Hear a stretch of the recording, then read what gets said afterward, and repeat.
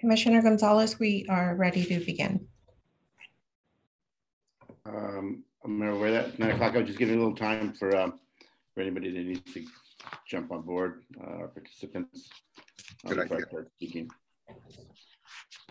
Well, first of all, I'd like to welcome, uh, all the commissioners today, uh, to this Thursday, May the sixth, uh, twenty twenty-one meeting of the RTC, the Regional Transportation Commission. Um, thank you for all your hard work and dedication to the community. Um, first, I'd like to uh, make a note that, uh, access for people with disabilities and translation services and, and the meeting broadcast, you can go to the last page, page six. And for español, uh, sobre servicios para de traducción al español, diríjanse a la última página, and that would be page seven, la página siete. Uh, the agendas are online. You receive email notifications with the RTC meeting. Agenda packet is posted on your on our website. Um, so with that, I'd like to commence the meeting. Today, we are going to do a two minutes uh, communications, uh, public and for the agenda items. Um, and I also want to, um, before I start, uh, have do some little clarifications here. Item 25 is a informational item only, uh, just for the public to know. Uh, the commissioners will not be taking or dis making discussion on that item. Uh, but I will be allowing anybody to, that would like to speak on the business plan uh, that opportunity on, on that agenda item 25 to speak. Uh, with that said, uh, roll call. Commissioner Bertrand, Hi, I'm here. Commissioner Brown, Here, Commissioner Johnson, Here. Commissioner Montesino, Here. Commissioner Caput, Here. Commissioner Coonerty, Commissioner alternate Mulhern, Here. Commissioner Koenig, Here. Commissioner McPherson, Here. Commissioner Peterson, here, Commissioner Gonzalez, Present. Commissioner Rotkin, Here. and Commissioner Scott Eads. Present. Okay, we're gonna go ahead, uh, thank you. We're gonna go ahead and move on to item number two, which is oral communications from the public. Uh, This is the opportunity for the public to speak on any item that is not on the agenda. Uh, You have two minutes. Uh, Chair Gonzalez, before we get started, I'd like to um, um, make some changes to the agenda. I think it's important to do that before oral communications, if that's okay with you. Uh, uh, yes, thank you. Uh, item three, addition or deletions uh, to consent and regular agenda items.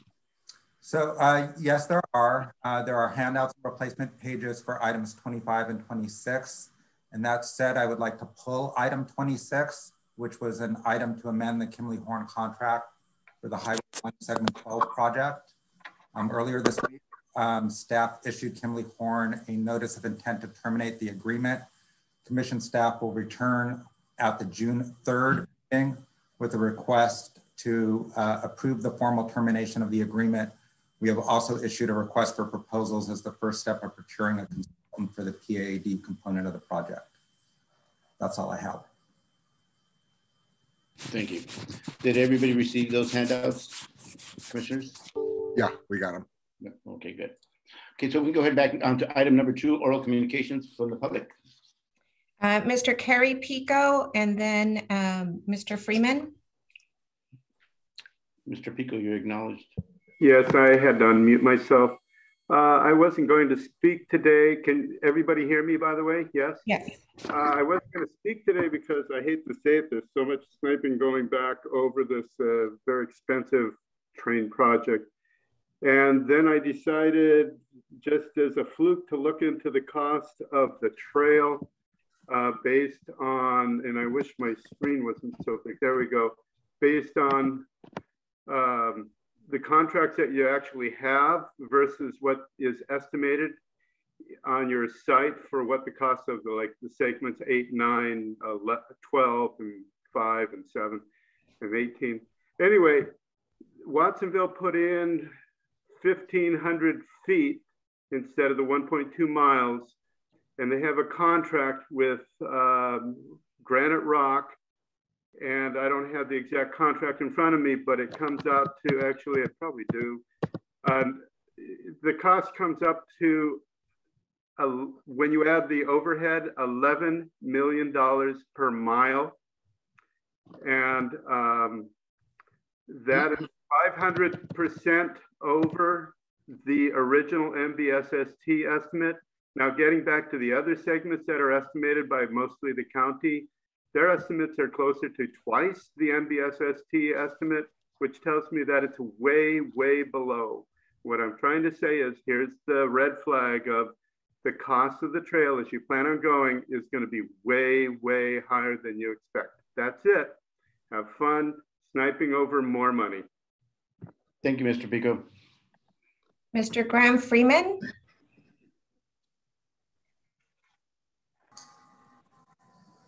Go ahead, Mr. Freeman.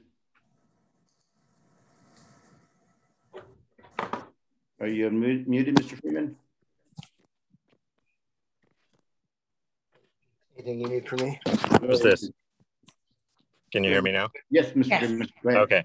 Hi, thank you. My name is Graham Freeman. Uh, I work in software engineering security at a large solar energy company, and I'm on the board of directors of Bike Santa Cruz County.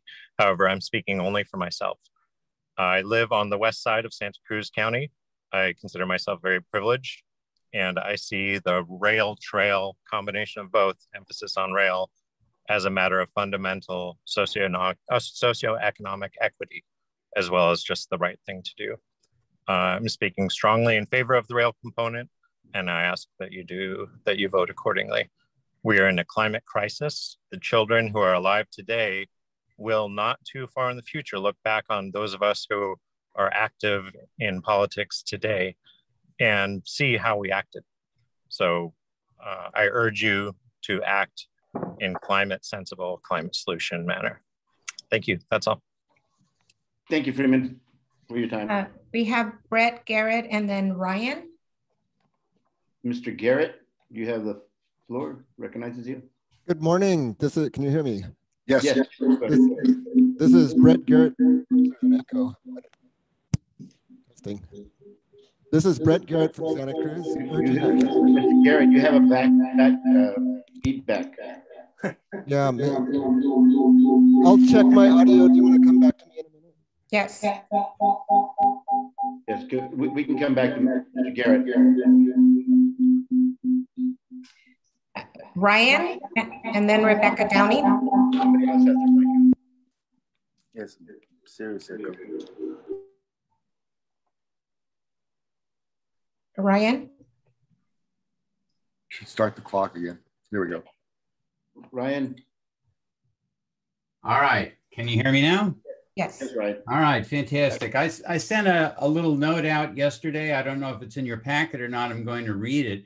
And it has to do with uh, segment seven, phase two. I'll read what I had, and then if I have a couple other seconds, I'll make some comments. In light of the increased probability of rail banking the corridor, I urge you to reconsider beginning construction on this segment of the trail, which was recently awarded a Caltrans grant. The artist ren- uh, renditions below, and there I included pictures from your web, uh, from the city website, taken from the Santa Cruz uh, city website, uh, shows in graphic the in graphic details the shortcomings of a plan which keeps the tracks in place. Santa Cruz has the choice between a versatile pastoral sweep around Neary Lagoon or a limited urban path. The construction choice is between gently working with the existing environment or significant ecological damage and greenhouse gas emissions. Financially, the cost of the current plan is many times above what it would be with a more ecologically uh, sensitive uh, implementation. Please note, retaining walls are taller than two-story buildings and will require a massive amount of moving, uh, earth moving and building materials. A narrow single trail is shown, forcing walkers and riders together instead of a wider dual trail. Uh, Google Earth photo shows the huge amount of foliage that will be needed to be removed. And if a train is run uh, on this segment, uh, the renditions are really not accurate because there's going to be a much taller and substantial barrier. And I think uh, what I'm saying here is that if you look at this from the point of view of the future, 50 years out, people are going to look back and they're going to say, look at what we've got instead of look at what we had. We had something natural and instead we have 20 foot retaining walls. Thank you. Thank you. All right. Uh, Ms. Rebecca Downing, and then we'll go back to Brett. Yeah. Yes, good morning, commissioners. Uh, I live on North Avenue along the corridor in segment 12 in Seacliff. And I just wanted to let the commissioners know how much I appreciate the maintenance crew that you have taking care of the corridor right now. I used to spend a lot of time taking pictures of graffiti and reporting it, and I don't have to do that anymore because almost as soon as we see it along the coastlands wall and the fences, uh, the maintenance crew comes and takes care of it and paints over it. It's a bit of a whack a mole job, but I still really appreciate it because this segment between State Park Drive and this part of the segment that between State Park Drive and Aptos Village is a very uh, popular route to Aptos Village, even though people are trespassing, especially during the pandemic, because it's the safest way to reach Aptos Village. Uh, the crew is also very responsive when we report trash on the corridor. So I just wanted to thank them and let you know how much we appreciate their work. Thank you. Thank you, Ms. Downing. Thank you. Okay, Mr. Brett uh, Garrett, and then uh, Barry Scott. Yes, can you hear me Yes, now? Mr. Garrett. I think it's, is there still an echo? Good. No, you're good to go. Sounds good. Okay, I hope I, I hope you'll, thank you. Yeah, this is Brett Garrett from Santa Cruz, urging you to take a very close look at a project that is starting in, in the San Francisco East Bay. The company is Glydways, G-L-Y-D-W-A-Y-S, um, Glydways with a Y. The details and feasibility study are readily available through the city council records, City of Pittsburg, just this past Monday, three days ago. This awesome system will run 25, 28 miles through the cities of Brentwood, Oakley, and Pittsburg with stations every half mile.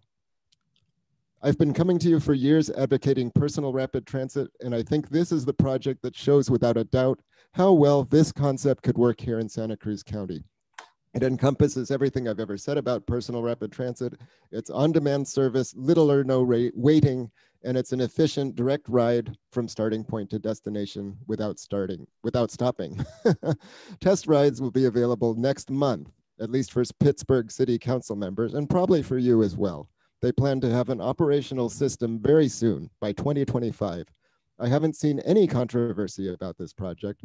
The Pittsburg City Council approved it unanimously and enthusiastically with support from the uh, local bus agency, Tri Delta Transit, which is deeply involved. It's a high capacity system that could scale up to 10,000 passengers per hour. The cost is lower than your business plan for light rail or commuter, with plans to use uh, private or public funding at no cost to the cities. And they plan to build the city, the vehicles locally in Pittsburg, California. You are the ones that can make something like this happen in Santa Cruz County. Please do it soon. This may be a very short window of opportunity when the technology is proven and the builders are not yet overwhelmed with demand. And there's other possibilities besides Glydway, Skytran, Modutram, et cetera. It could go beyond the railroad corridor to serve downtown Santa Cruz, Cabrillo College, UCSC, and Thank- the entire city of Thank, Watson. thank you, Mr. Garrett. Could you wrap it up? Thank you. All right, we have Mr. Barry Scott and then Fort Zoom host. Mr. Scott, you have the floor.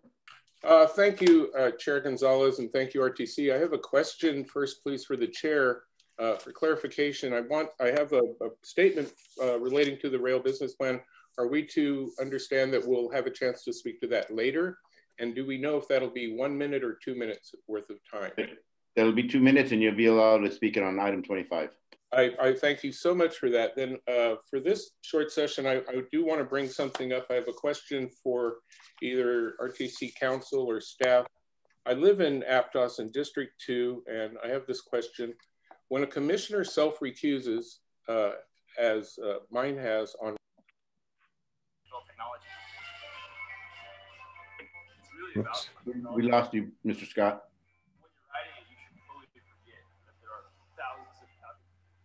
Um, uh, Barry Scott, we lost you. You're not, your audio is not working. Let's come back to him if, if it's, uh, Can we come back to him, Mr. Scott? Yes. Okay, so next is uh, the name Fort Zoom host and then um, Bud Colligan. Uh, uh, Chair acknowledges as a Fort Zoom host. You have two minutes. Uh, if you guys are, are you guys hearing me? Is that me? yes, that's you. Okay, I apologize. I was logged in, I guess, as my as a my not on my personal account. Um, I didn't realize that. But um, my name is Jessica Evans, and um, I'm not speaking as the representative from the Rail and Trail right now. I'm just speaking uh, for myself as a resident of the West Side in Santa Cruz, and um, I just wanted to say how much I appreciate the progress that's being made on the the rail trail. I'm really excited to um, be using it every day here. It's a it's a real benefit to the community, and I'm really looking forward to the last uh, to the next piece of it being built, and for kids to be able to get back and forth from the west side, um, and you know going to school. Everybody will be able to access from downtown. Um, it's going to be really great, and I really appreciate the set aside for a future uh, transportation uh, facility alongside the path. So thank you for that work. That's all I have to say. Thank you.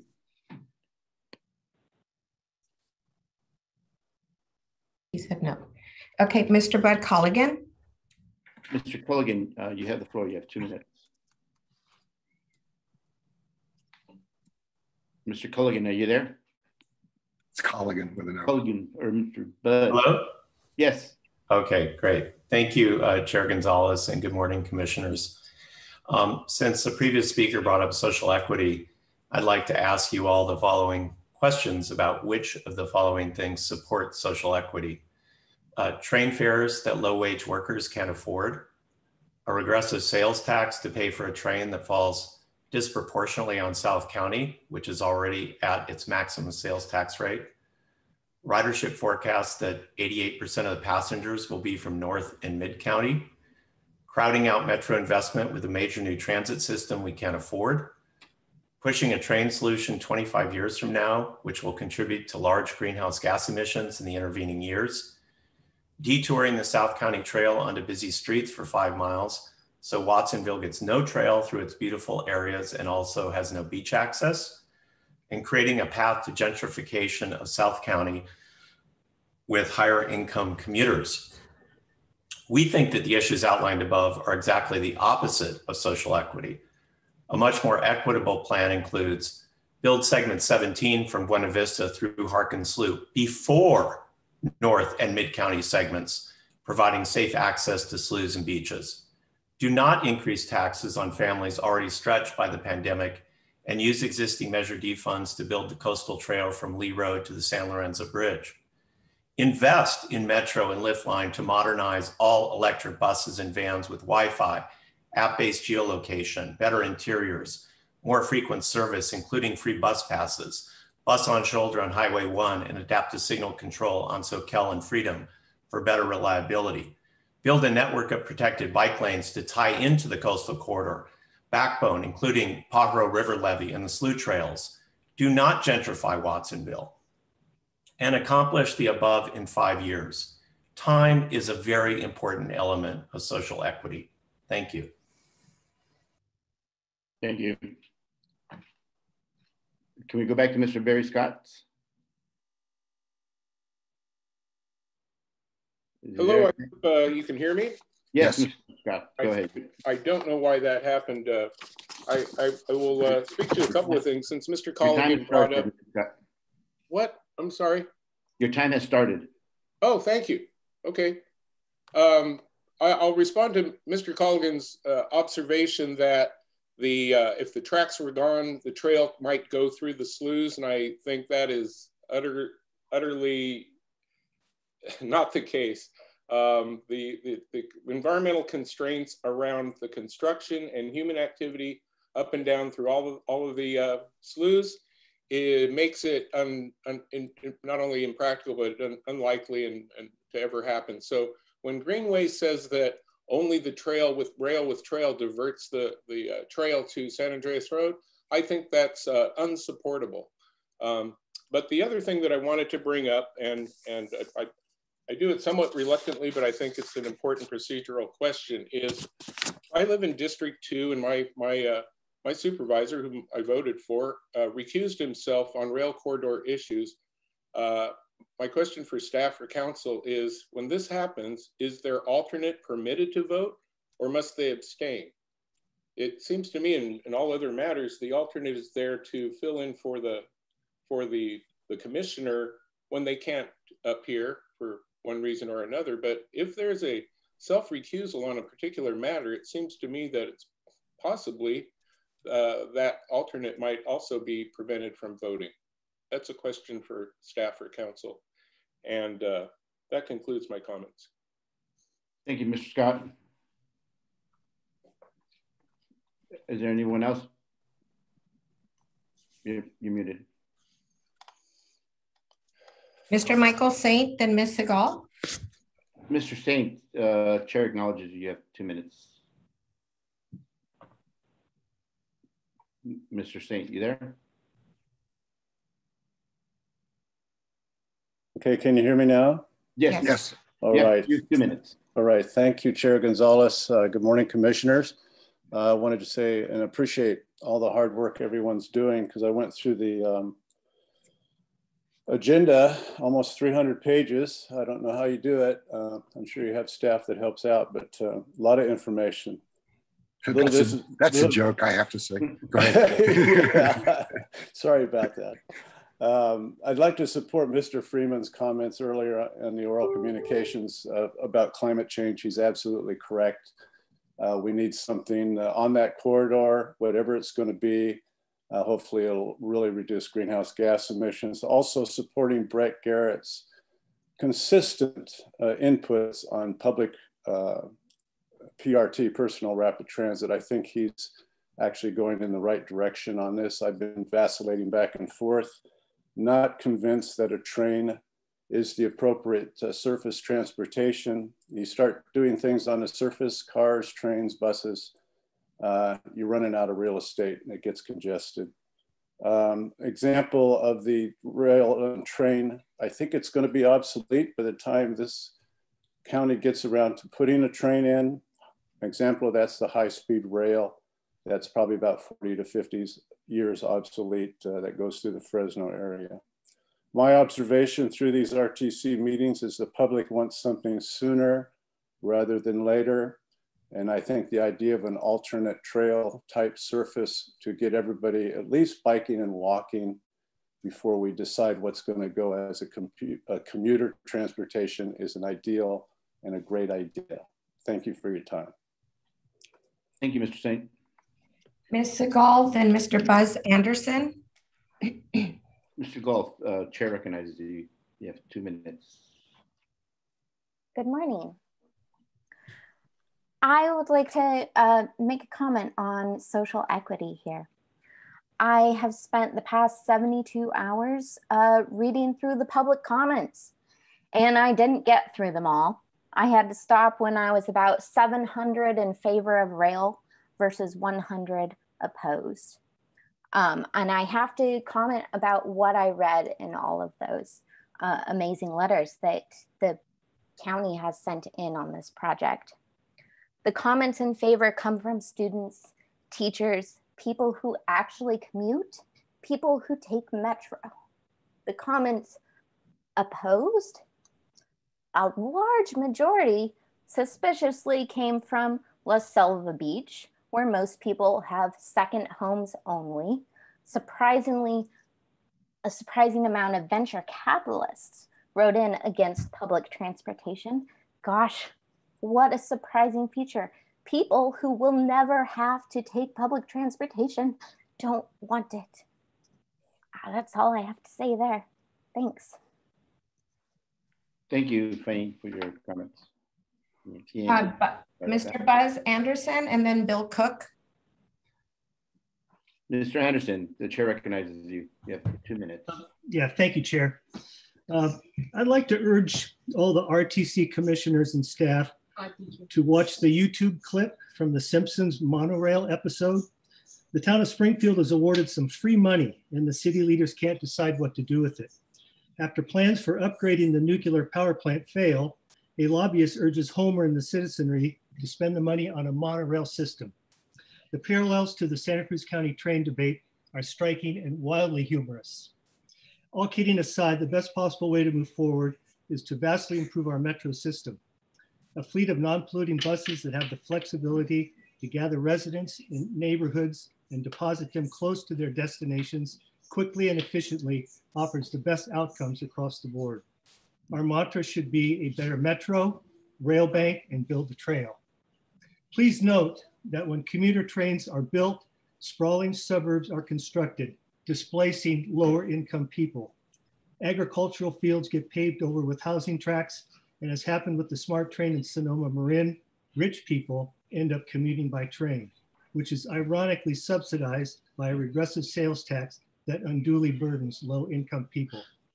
Social equity is about closing the di digital divide, improving access to better education, keeping housing costs affordable, and providing all residents with open space and access to parks, beaches, and waterways, not a train that would be used by a privileged few. And as Marge put it so succinctly in the Simpsons episode, I still think we should have fixed the potholes on Main Street rather than spending our money on an expensive monorail that no one will ride. Thank you. Thank you, Mr. Anderson. Okay, Mr. Bill Cook, then Peter Emanuel. Chair recognizes Mr. Cook. You have two minutes.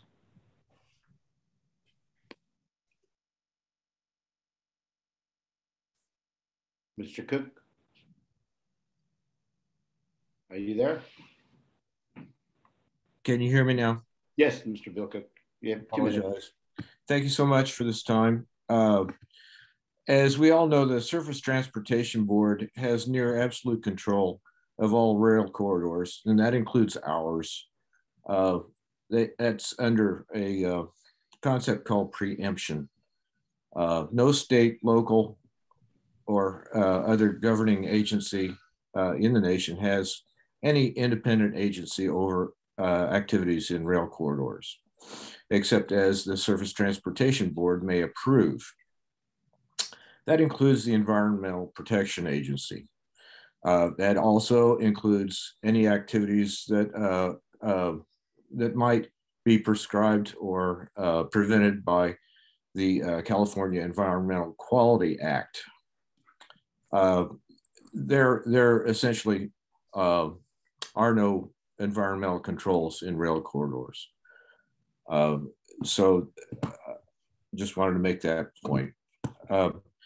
Beyond that, uh, all dollar bills carry a, a carbon load of about one pound of CO2 per dollar. Um, when we purchase things with tax dollars, that amount doubles uh, since uh, taxation is about a rate generally of 50%. So we're talking about two pounds of CO2 per dollar spent. Um, so I'm just emphasizing how important it is that we make good decisions when we spend our tax dollars. Thank you. Thank you, Mr. Cook, for those comments. Peter Emanuel and then Stephen Schaefer.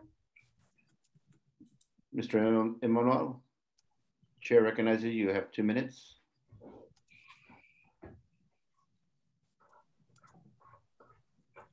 Is he there?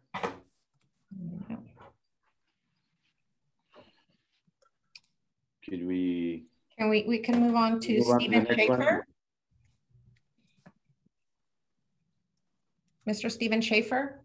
Yes, I'm here. Mr. Schaefer, the chair recognizes you have two minutes. Thank you. Uh, yeah, I just was uh, listening with interest to uh, Mr. Cooligan's remarks regarding um, this issue. And uh, what I want to say is I think this idea of running uh, a rubber tired bus along the uh, shoulder of the freeway is quite simply a non starter. I mean, if you're sitting in gridlock and you see one lane open, there's people are going to just jump in on that. And it's going to kind of self destruct the whole idea. Um, and I, I think that you know getting rid of rubber tired rigs and cars is very um, environmentally correct, and uh, and a train would do that, or a trolley. You know, steel wheels is much more efficient than than rubber tires. Um, so basically, that's that's what I wanted to say. Uh, I think the uh, train when it comes, and it and it should eventually come. Um, this this is for the future. You know, I'm old. I'll probably never see it, but I I recognize what the future needs are going to be, and I think uh, multi uh, modes of travel is is the way to go. The freeways, car transits, that that's that's really inefficient. So that's that's what I wanted to say, and thanks for your time. Thank you, uh, thank you, Mr. Schiffer. Schiffer, sorry about that, passing the name there awfully. Um, I'd like to stop the meeting here at the oral communications because we do have a public hearing that's set for 9:30. Um, and so we're going to go and move now on to item 21, the public hearing. Uh, once that, I will. Once we're done with public hearing, I'll ask the commissioners for consent to allow the public comments to continue. Is that okay? Yes. Okay, so let's go ahead and let's go to item 21, public hearing. Um, set forth unmet paratransit and transit needs. Uh, staff report. Great, thank you. Uh, good morning. Uh, my name is Amanda Marino, and I am a transportation planner for the RTC and currently staff for the Elderly and Disabled Transportation Advisory Committee, TAC. For the Regional Transportation Commission's consideration is the 2021 final draft unmet paratransit and transit needs list, with changes since the 2020 unmet needs list shown in underline and strikeout. TDA statutes require transportation planning agencies that use TDA funds for local streets and road projects to implement a public process, including a public hearing, to identify unmet transit needs of transit dependent or disadvantaged persons and determine if unmet transit needs can be reasonably met. Although the RTC does not allocate TDA funds to local streets and road, road projects, and therefore is not required to perform this analysis, the RT, RTC endeavors to solicit regular input on the unmet transit and paratransit needs list to provide a useful tool to assess and prioritize needs in the region. Serving as the Social Services Transportation Advisory Council per TDA statutes, the E&D TAC regularly hears and considers unmet paratransit and transit needs in Santa Cruz County. Unmet paratransit and transit needs are those transportation needs which are not being met by the current public transit system, have community support, and do not duplicate transit services provided publicly or privately. The unmet needs are prioritized using high, medium, and low rankings. High priority items are those items that fill a gap or absence of an ongoing service. Medium priority items are those that supplement existing service. Low priority items are still an unmet need, but is assigned low priority because the need identified may be general in, na in nature, requires more specific planning to identify strategies, or may not address a basic need such as transportation for medical appointments, shopping, or to access other services. Within each category, there are three levels indicating to what extent the needs, if addressed, would advance regional transportation plan goals, with one being a project that is expected to improve safety, economic vitality, and cost effectiveness. The items on the list reflects input from a variety of sources, including members of the public, partner agencies, and is primarily a document worked on, worked on by the RTC's E&D TAC, which includes Santa Cruz Metro, the Volunteer Center, and the Coordinated Transportation Services Agency staff.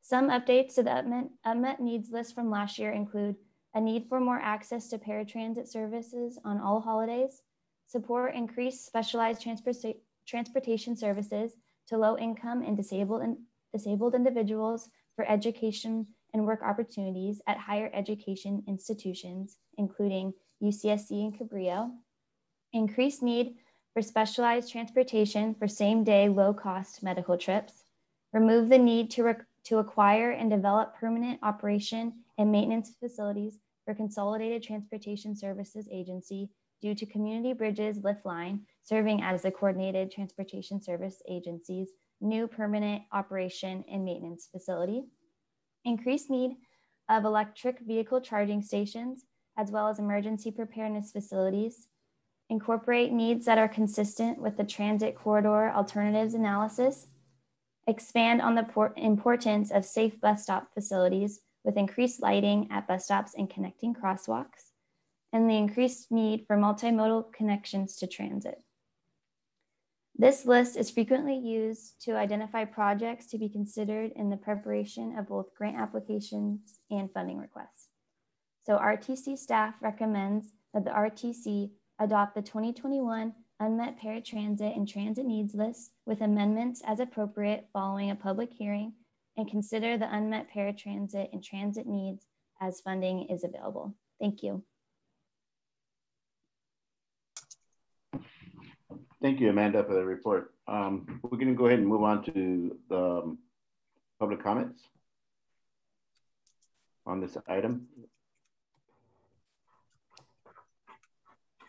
Give me one second. We are making sure that we got different ones. So I currently have, um, okay, uh, Jessica Evans. And this just a reminder for the public that this is a public hearing on item 21. So uh, keep your comments to this item. Thank you. Do you have two minutes?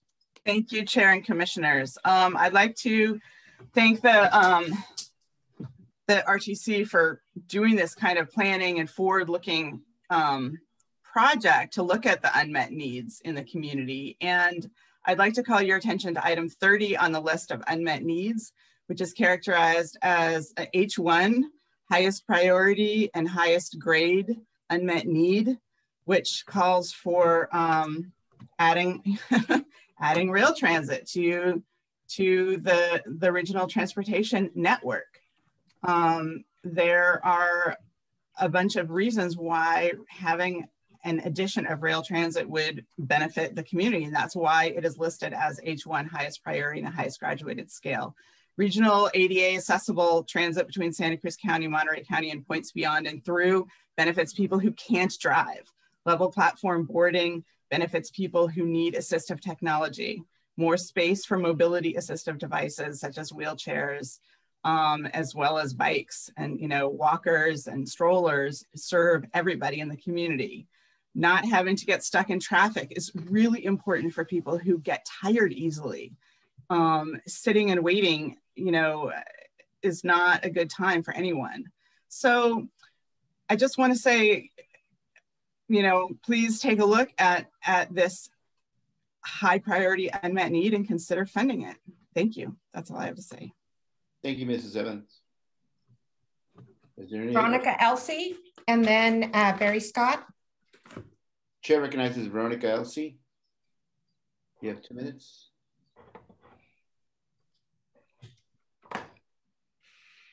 Veronica? There we go. that should have done it. it did. We hear you. Okay, good. Um, it just took three tries. I am currently serving as chair of your Elderly and Disabled Transportation Advisory Committee, and I'd like to let all of you know just how seriously we take this and how much time we actually devote both between meetings and during the meeting at going through this document and looking at what needs to be added, what needs to be removed. I also would like to say that we've had really good cooperation from Metro and the other agencies which we advise.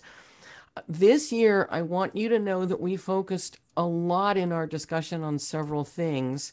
One of them was the safety at bus stops and the lighting, and that for many people, if they want to work, if they want to come back and forth, they might be sitting at a bus stop early morning and late at night. And while some lighting has been added at shelters, it is a real major concern. So that was why it was one of the things that came up in the rankings. We also did get quite a few comments on not being able to visit family on holidays, and that for some people, they may only have a public transit option to get there because family members may not be able to transmit or transport their mobility devices in their cars. So it's been a real hardship for people on Christmas and Thanksgiving not to be able to do that. We also had a lot of discussion about the, the ability to go to other counties. We've talked about inexpensive transportation to the airport and good public transit to the airport for years. It's been on the list, but the ability to go to Monterey County or connect easily to other types of stores, to other inexpensive shopping outlets that we may not have here in Santa Cruz. Mrs. Zelzi, could you wrap it up? give you 20 seconds more. Oh, you cut her off. Okay. Sorry about that. Okay, we have a phone number ending in 3660. And then Brian Peoples. Good morning, Chair Gonzalez and fellow commissioners. My name is Mark Mesiti Miller and a resident of Santa Cruz County for about 38 years now. Many people don't know this, but about one third of the county's population doesn't drive or can't drive. Improving mobility should be a priority for everyone in our community. As mentioned by previous callers, adding rail transit is a high priority. It will dramatically improve the mobility of everyone in our county, especially those who can't or don't drive. We all recognize that meeting these unmet transit needs requires additional funding. I would encourage all of the commissioners to roll up your sleeves and join with the others in the community who want to raise the money and improve mobility for everyone. Thank you. Thank you. Mr. Brian Peoples, and then we have a phone number ending in 9325. Just a, just a reminder that we're on item 21, the public hearing for unmet paratransit and transit needs. Go ahead, Mr. Peoples. Hi, this is Brian from Trail Now. Thank you for taking the time. You know, Metro Transit, paratransit is vital. We absolutely need to invest in it. My mother, 83 year old mother, who's disabled and in a wheelchair, uses this service. And what's great about it is it picks her up at her house and drops her off at the location she needs to go. There's no middle ground. It's it's been a lifesaver for her. She uses it regularly. The main issue uh, was getting it started. You know, I convinced her to call them, and now she's using it. So it's a great thing. And as a trail advocate, I want to encourage us to save on the spending of of the trail so that we can divert the money to the paratransit metro. You know, when we need to reduce how much we're spending on this construction of the trail. Um, look at segment 7A and seven segments 18 in Watsonville. When we're spending $10 million a mile for this trail, um, that's a waste of money. Um, you, you need to focus more on um, spending less on the trail and diverting it to essential services like paratransit. So that's coming from the trail person. We want you to be more effective um, at spending our money on the trail so that we have the resources. It's terrible that we have to have the shortcomings. Uh, look at segment 7B that's coming up. That's going to be over $20 million a mile. We can't afford an expensive trail when we have the need for the disabled and the handicapped. So please stop wasting money on um, a substandard, narrow, expensive trail, and let's invest in the para, paratransit and Lifeline. It really is a great program, and I congratulate Metro and Alex on that program. Thank you. Thank you, Mr. Peoples. Okay, so we have a phone number ending in 9325 and then Michael Saint. Chair recognizes the phone number nine, 9325. 9325. Hi, this is Rick Longinotti. Uh, I'm the co-chair of the Campaign for Sustainable Transportation. And um, a couple years ago, the commission invited Jarrett Walker from Portland, who's the transit planner there, um, and he presented to the commission. I just wanted to remind you one thing of what he said. He said, for a community of your size and your density, let alone the degree of progressive values that operate in this community, you did not have very much transit. And he recommended, he said, he said, we know that simply a higher level of service would be useful to a lot more people and would be having a lot more benefit, particularly in the Santa Cruz Watsonville corridor.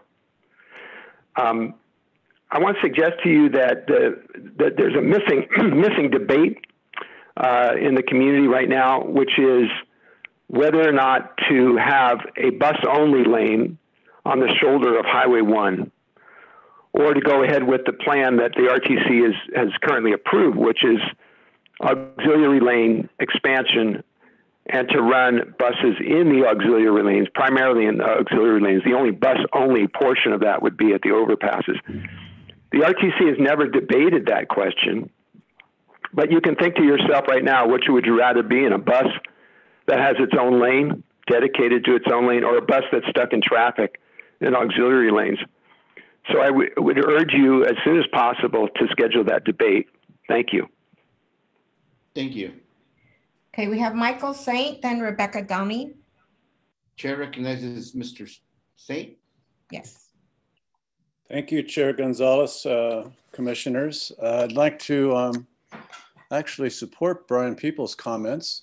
Uh, we're not always on the same page, but I think what he had to say was uh, very informative and uh, more money does need to go to places like uh, community bridges and uh, paratransit. Uh, the only thing I will quickly add that um, appreciate you supporting this, looking into the issues, but also to emphasize that these paratransit vehicles are electrified.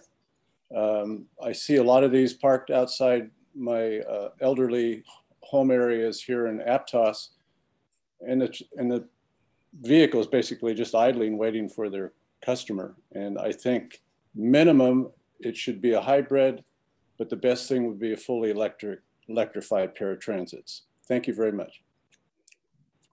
Thank you, Mr. Saints, for your comments. We have Rebecca Downing and then Lowell Hurst. Mrs. Downing, uh, chair recognizes you. You have two minutes. Thank you, commissioners.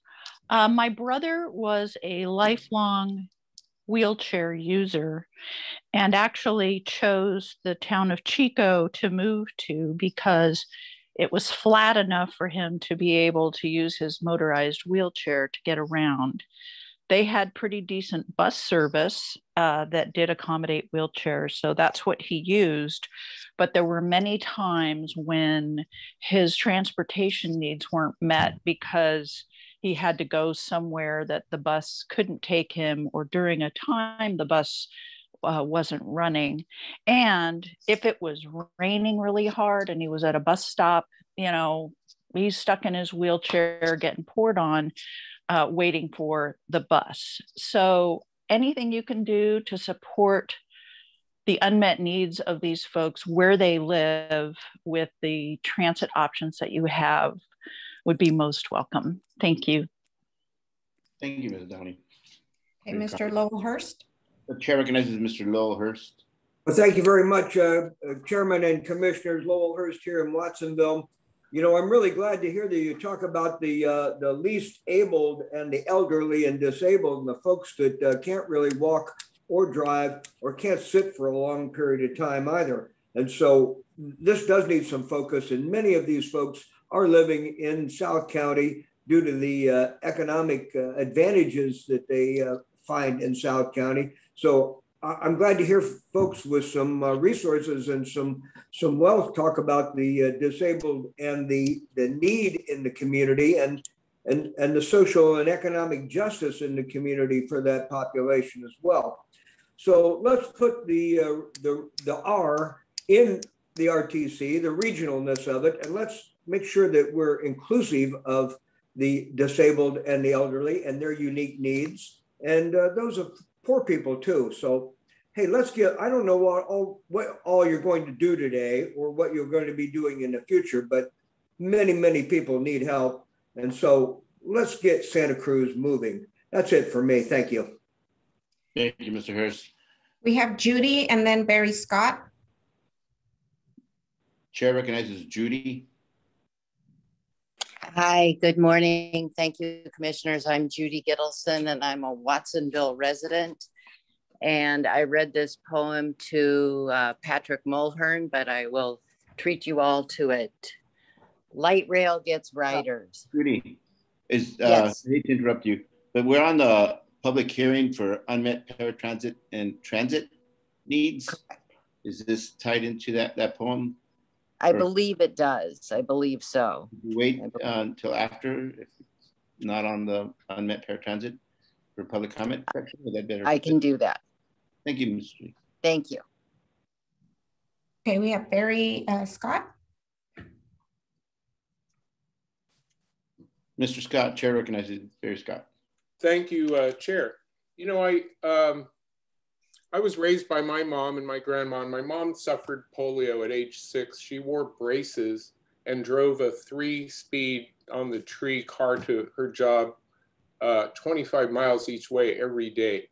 Uh, I have the fondest memories when I was in college in New York of taking her around, and and it wasn't that transit served every purpose uh, because subways are are you know didn't all have elevators, but I am really uh, sensitive and uh, toward the the uh, the needs of the disabled, the needs of people who who are who are are, are not able to get around with with really equity, and I support in the hugest way possible metro, expanded metro, expanded lift line, and paratransit.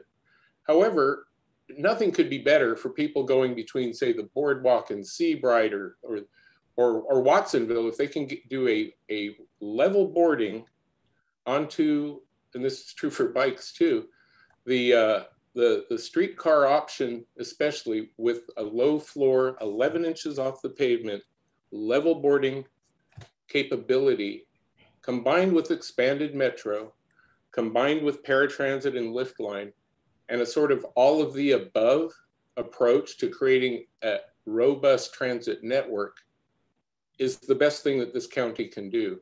And it should be the highest priority.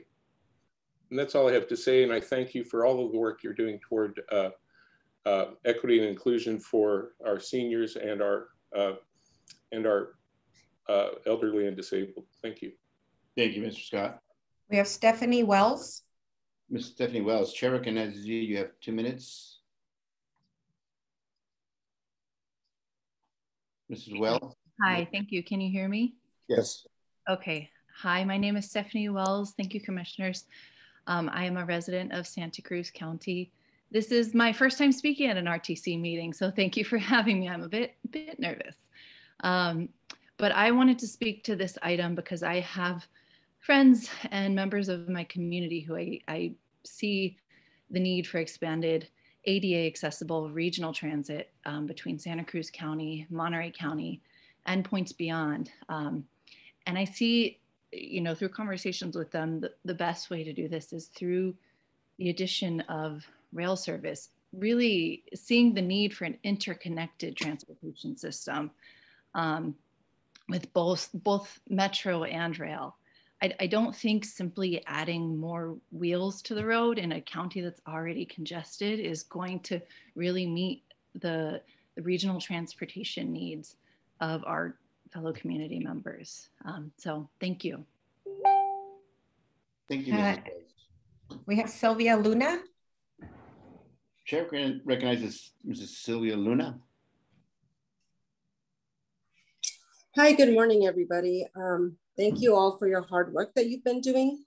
Um, I am from South County in Watsonville, and I'm here to state my support for the unmet transit and transit needs that are on the agenda, as well as the overall business plan, um, which will connect and benefit all our county residents, and especially Watsonville residents, which will be connected to northern part of our county. Um, I'd like to also say that at this time, yes, the, the county does face a lot of unmet needs, especially in transportation, because we have residents who use public transportation, but they are not only facing barriers to our precious sites in the county, but they're also being locked out of job opportunities because of time and location restrictions. Um, as for myself, there are locations here in Watsonville that I'm not even able to go to.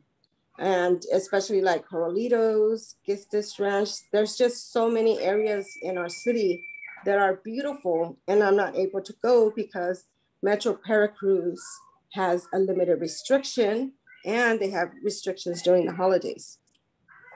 In addition, um, I'd also like to say that we are having a lot of increase in housing developments here, and we are going to have a big impact in our highways because of the increase in population as well. So with that being said, you know, we need to listen to our people, to our residents, listen to your constituents. We need to look into the future and take action now in modernizing our county rail transportation system by approving the business plan. Thank you. We have Peter Scott. Mr. Scott, uh, Chair recognizes that you have two minutes. Mr. Peter Scott. Okay. Is that better? Yes, good. We hear you. We got you. Okay.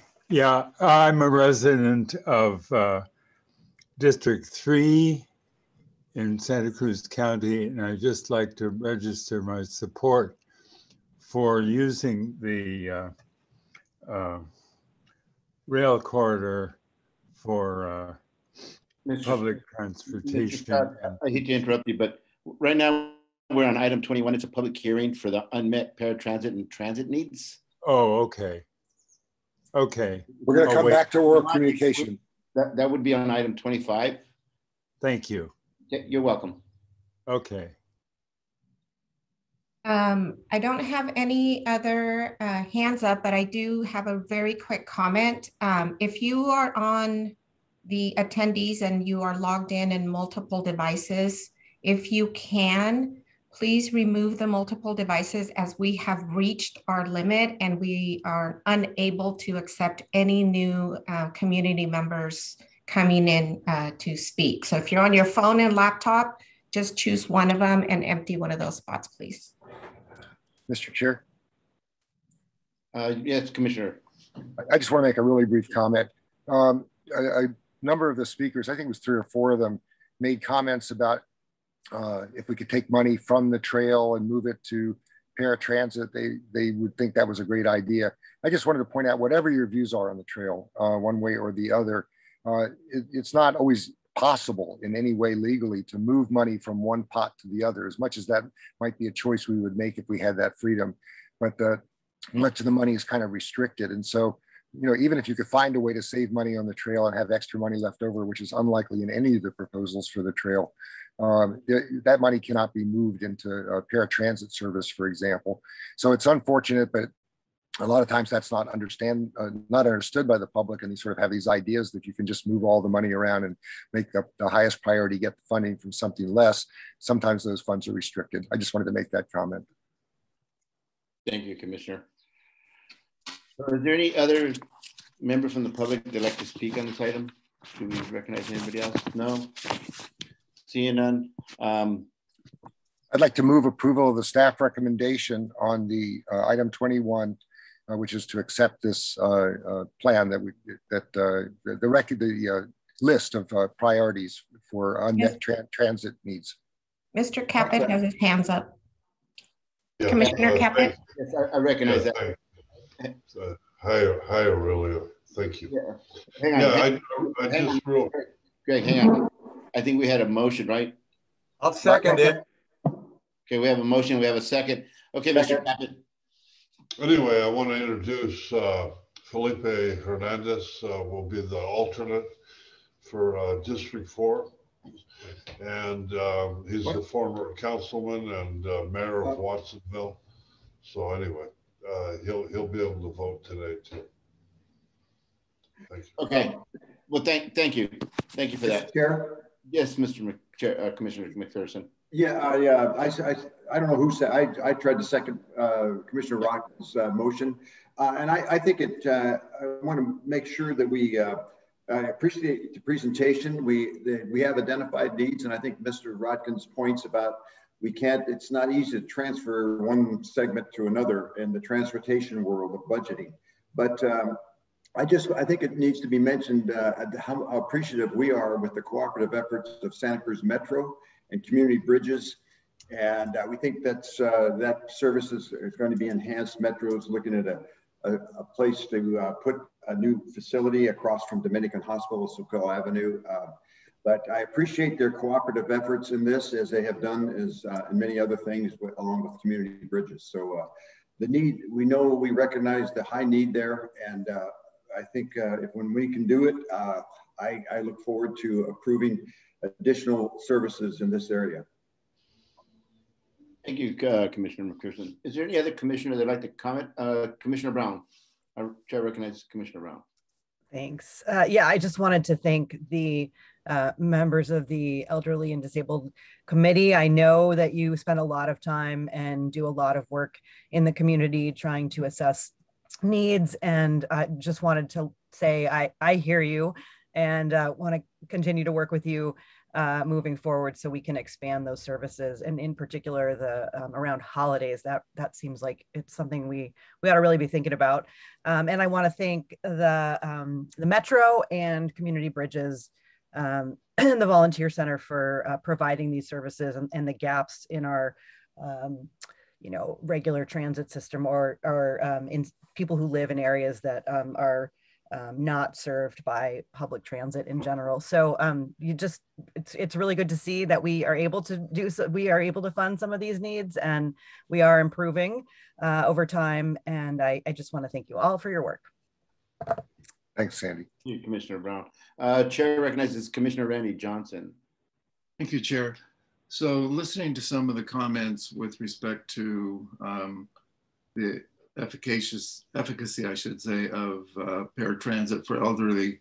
Um, I lived that, of course, with my mom and dad, who lived in Watsonville for 15 years. We spent many, many times in Scotts Valley making one trip to pick them up, coming back, then the other trip to take them home and us driving back. And finally, we convinced them to use paratransit. And, it, and to Brian Peoples' point, it was a lifesaver because my mom used it all the way till she passed away at age 97. Um, I guess I, I don't see a rail system as a panacea uh, for you know meeting unmet needs simply because having a level a platform doesn't um, compensate for the numerous extra trips that you would need to actually access rail.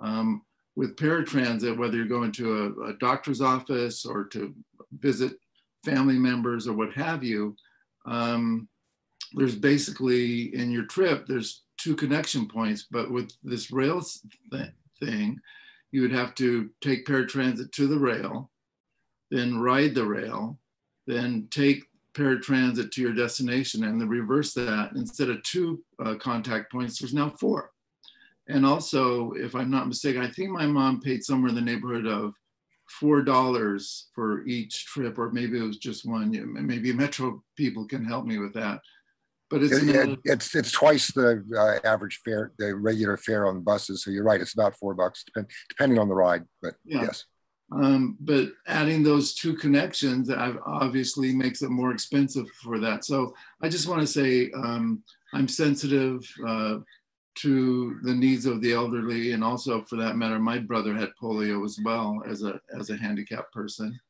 um, and there was there was no metro. He used he used a actually a cab to get to high school uh, because the the school district provided one for him to kind of uh, so because he couldn't walk.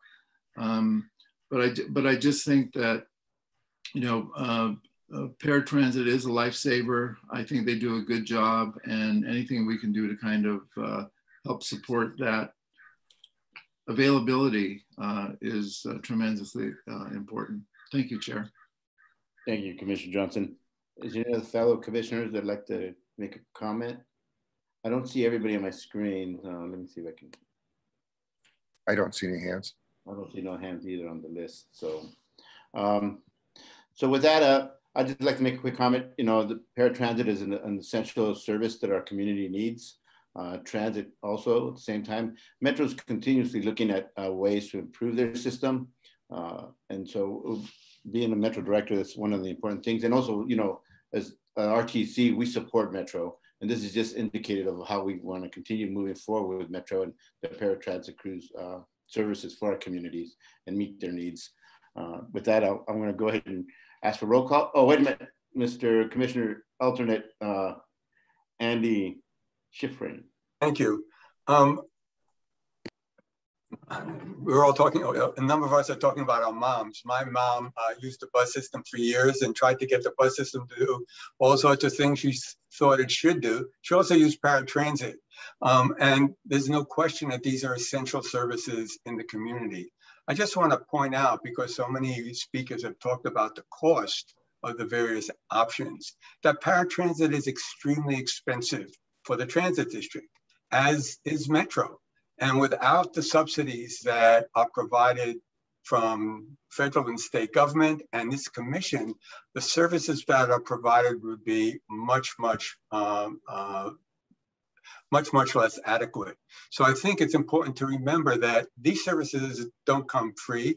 That $4 charge does not support paratransit. It's probably a relatively small percentage of what that paratransit ride actually costs. It's about 36 about $36 on average. My, Sorry. Um, uh, it, it, that doesn't mean paratransit shouldn't be supported. It just means that when we're talking about services uh, that support the public, whether it's a passenger rail service, whether it's a trail, whether it's a highway project, they are subsidized services and they're highly subsidized services.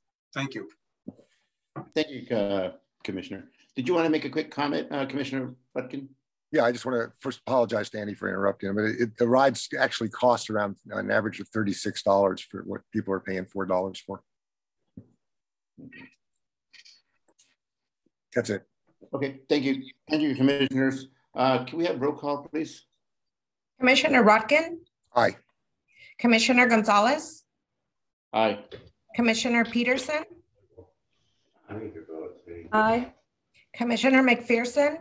Aye. Commissioner Koenig? Aye.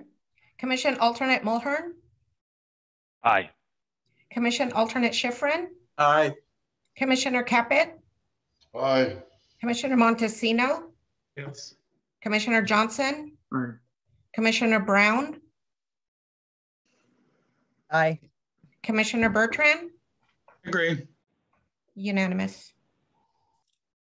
Thank you. Thank you, commissioners. Uh, we're going to go ahead and move on to item number 22, which is another public hearing. Uh, and it's the immediately following the unmet public hearing it is Measure D, the five-year program of projects for community bridges Liftline. Good morning, commissioners. Rachel Marconi of your staff. In 2016, more than two thirds of Santa Cruz County voters approved Measure D, which is a half cent sales tax, which provides critical funding to maintain and expand transit and paratransit services for seniors and people with disabilities, as well as funding to maintain and improve local roads, highways, rail, bicycle, and pedestrian facilities in our community. Before you today is the Measure D five-year program of projects for Community Bridges Lift Line, showing its planned use of 4% of the Measure D revenues for fiscal year 2021-22 through fiscal year 25-26 for paratransit services. It's also included as Exhibit A to the resolution, which is shown on page 22-7 of the packet or page 216 if you're looking at a PDF. The Measure D ordinance approved by voters requires each agency that receives Measure D revenues to prepare and annually hold a public hearing on the program of projects showing how they plan to use Measure D funds in the upcoming five years. Liftline serves as the Consolidated Transportation Services Agency for Santa Cruz County and provides paratransit services for people with limited mobility and seniors. Because Liftline is the only agency receiving direct allocations of Measure D funds that is not a public agency, the Regional Transportation Commission serves as the agency that um, provides the input, the opportunity for the public and approves the plan. The Liftline five-year plan that is before you today includes additional drivers training and outreach and administration funding for expanded services that are possible because of Measure D. and funding for its new operations facility in Watsonville.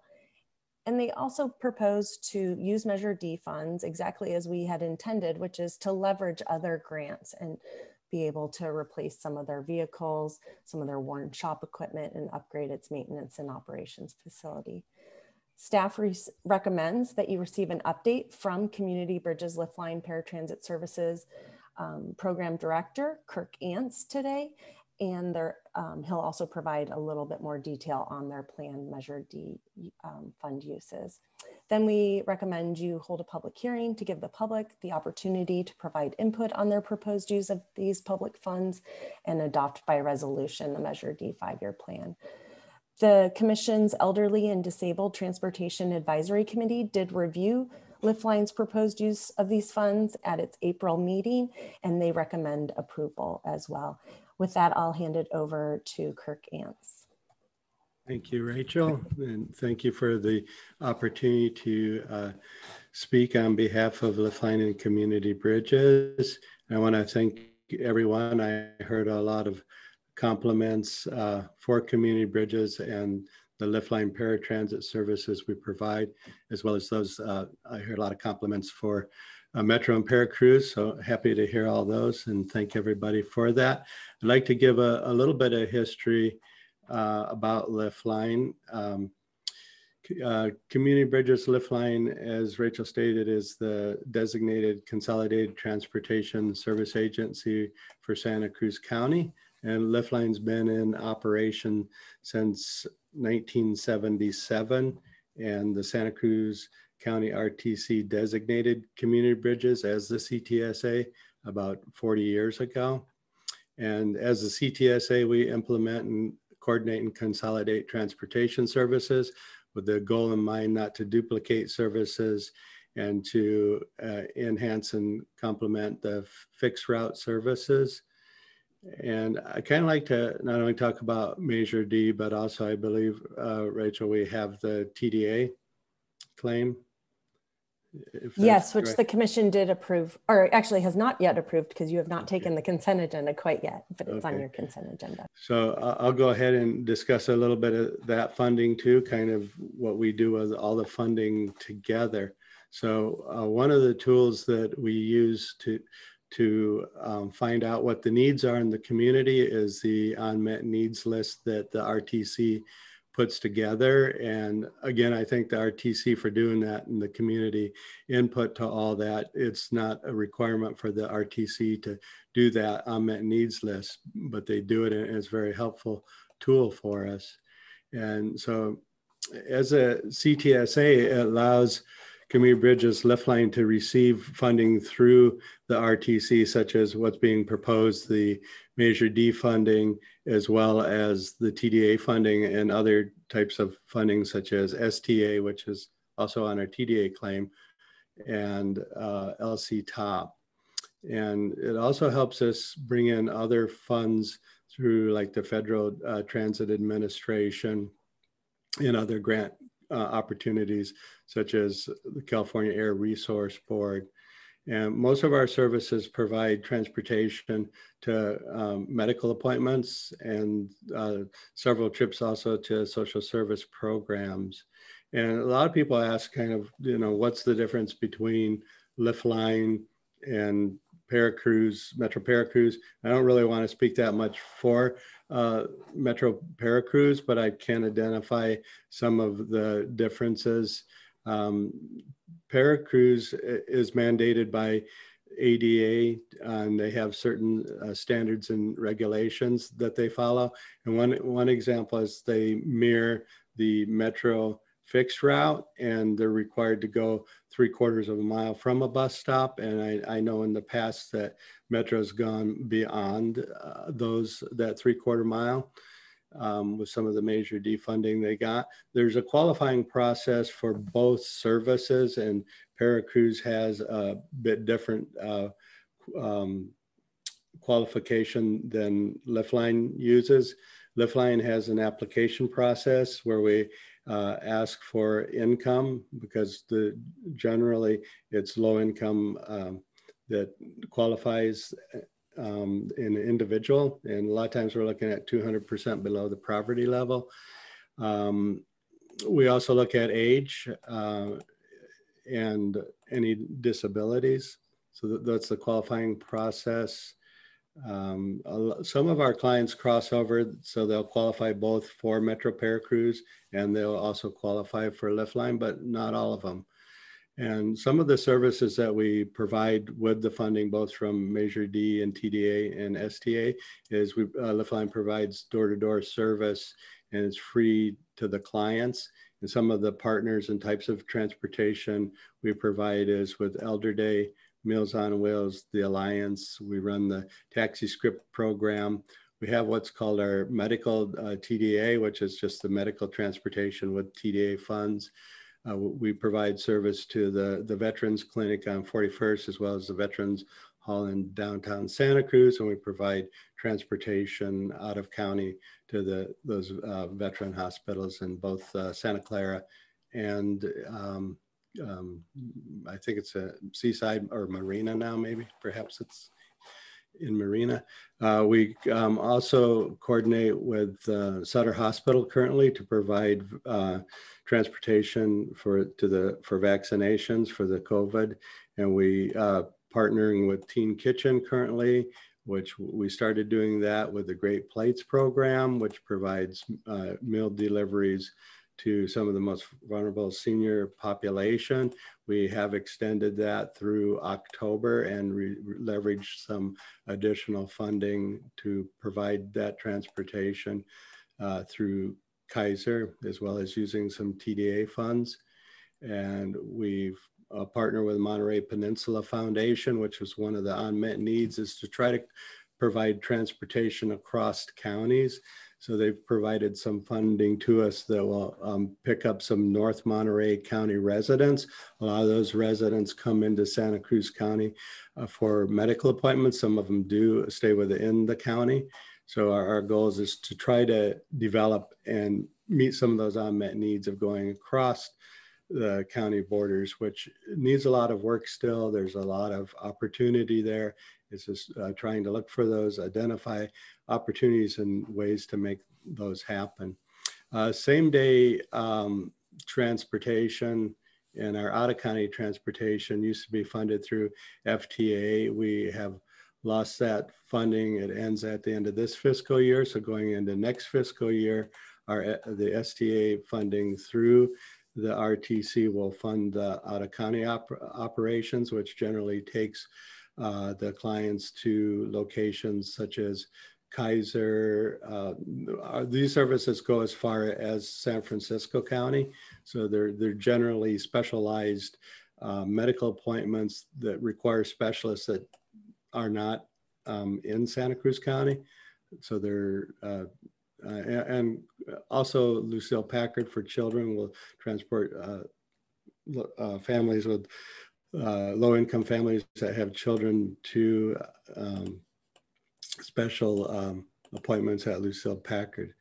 Um, some of our past partnerships I'll talk about a little bit was uh, we partnered with Metro and uh, Liftline did provide the ADA services for Metro for um, several years. Um, and we also helped out with uh, um, Santa Cruz uh, lightning fires. We trans uh, partnered with um, restaurants in uh, the county to provide transportation from the restaurants to the displaced uh, individuals because of the fires. Um, we used to transport also the homeless with the ISSP program and Louden Nelson Center. We were providing transportation for seniors for senior activities down there until uh, COVID came along. We partnered with the Museum of Art and History to uh, provide transportation for seniors to see the senior display that was at the museum there. And another thing, great thing is that uh, Rachel mentioned is leveraging fun, funding, and we just signed an agreement, a contract last month with uh, uh, California Air Resource Board, and we'll use matching funds about 33,000 from Measure D for a new electric bus, and then the rest of that will be funded through uh, CARB.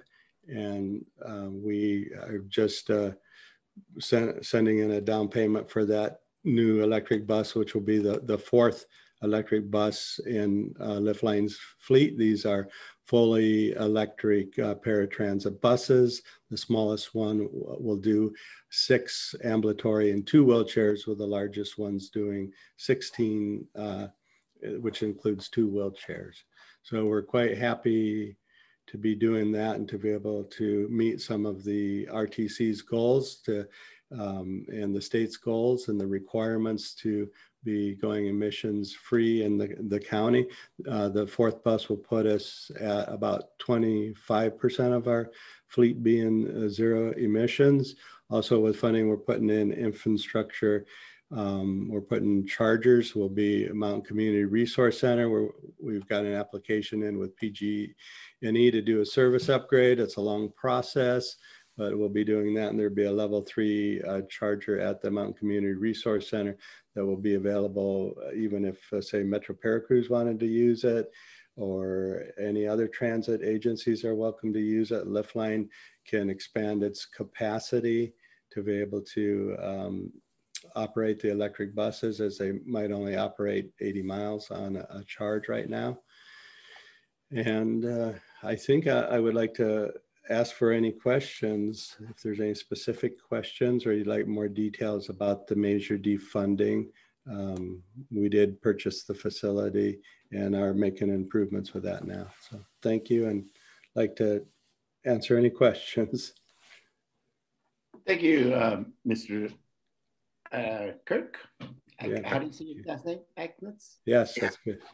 Oh, sorry. Is there any quick questions from the commissioners? Thanks for the report. That was very useful. Commissioner Caput and Johnson have their hands up. Commissioner uh, Chair recognizes uh, Commissioner Randy Johnson. Thank you, Chair. And just I'll keep it very short. Boy, it just really seems like we're getting our money's worth with this agency. So um, uh, tip of the hat. Yeah, well, thanks for all the partners and support as well. Uh, Chair recognizes Commissioner Greg Caput. Yeah, thank you. Uh, I want to personally thank uh, uh, Liftline and uh, Community Bridges. Uh, we had a, 92 year old uh, Korean War veteran down here in Watsonville needed transportation to get his vaccine shot. And even veterans services didn't offer anything.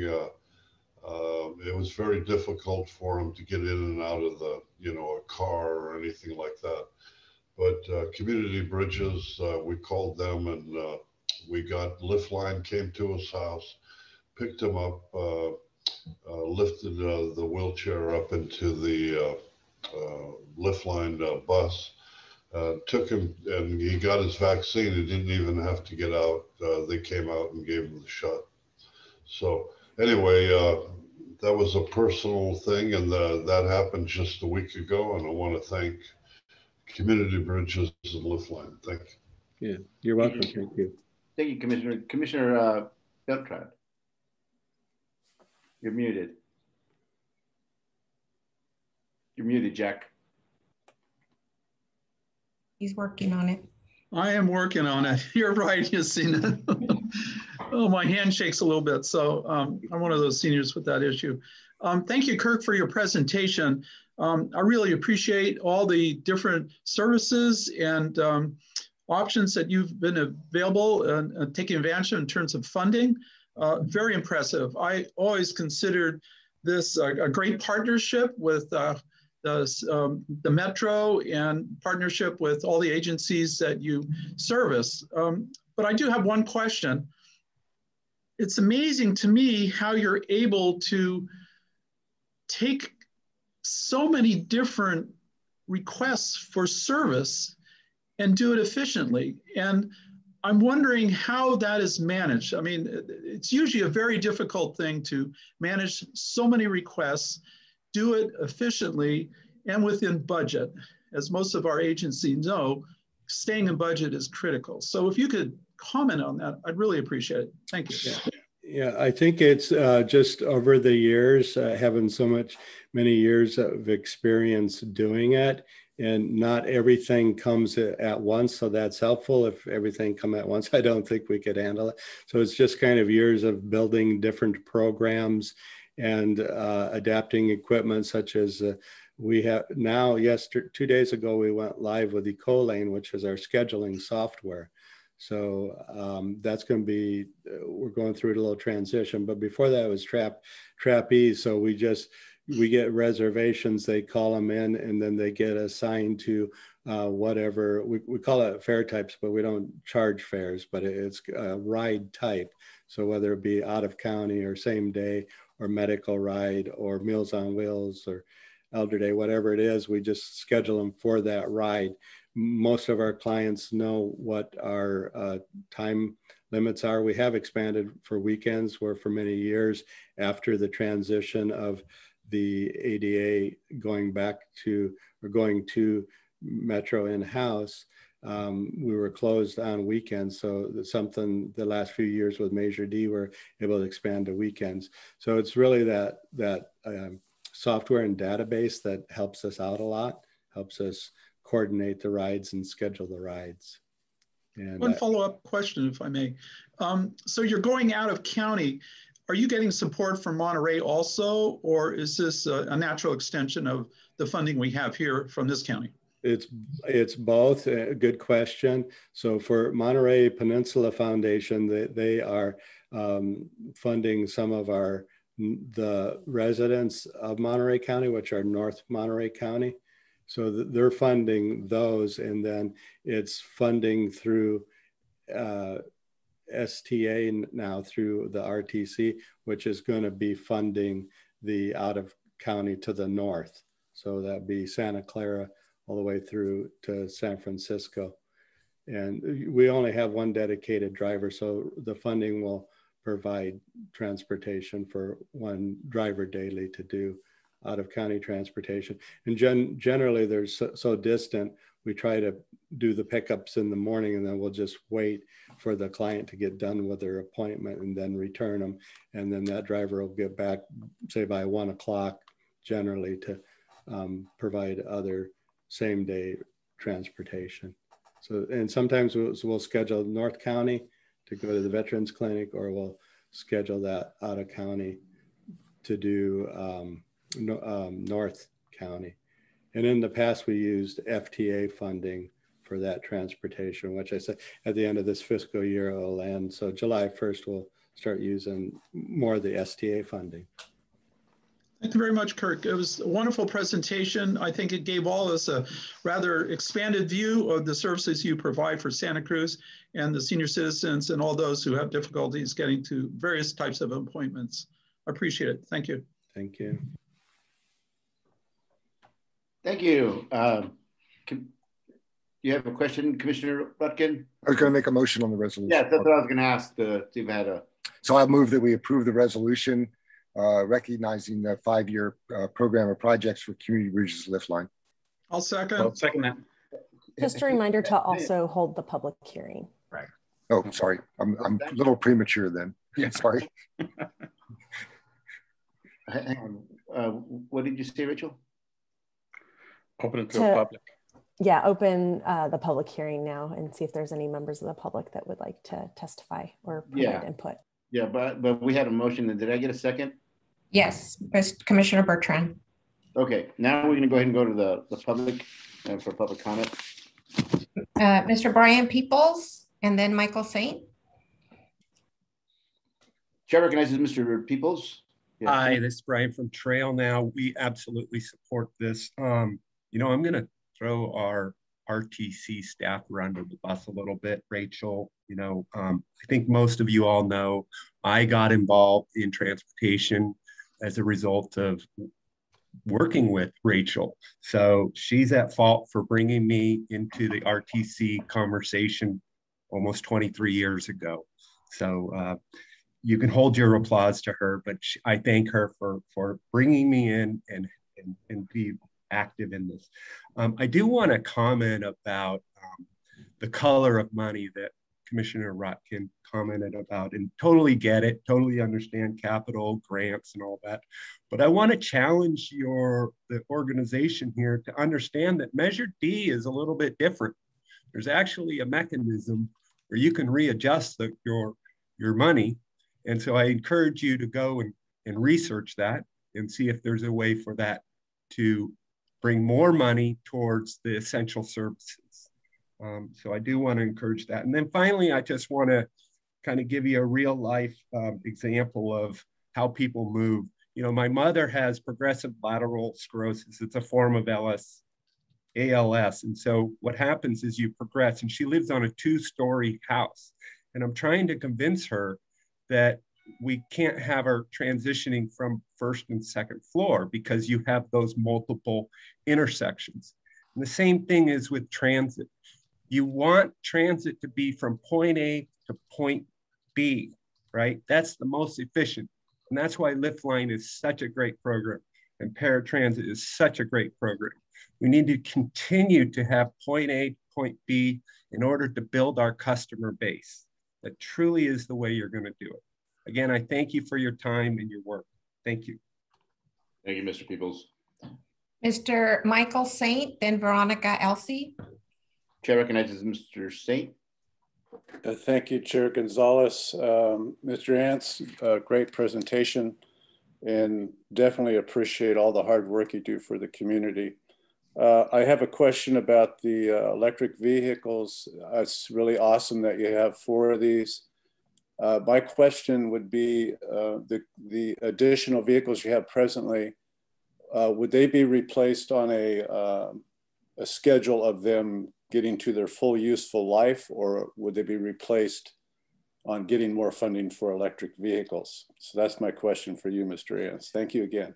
Yeah, that, that's a good question. They do uh, have to serve their useful life, which is a requirement of the FTA funding uh, for a large vehicle that's seven years or 150,000 miles, whichever comes first. And for a minivan, it's uh, five years or 100,000 miles.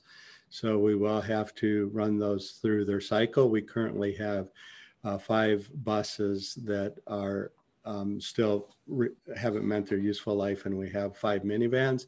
So out of our fleet of 25, we have uh, 10 that have to meet their useful life.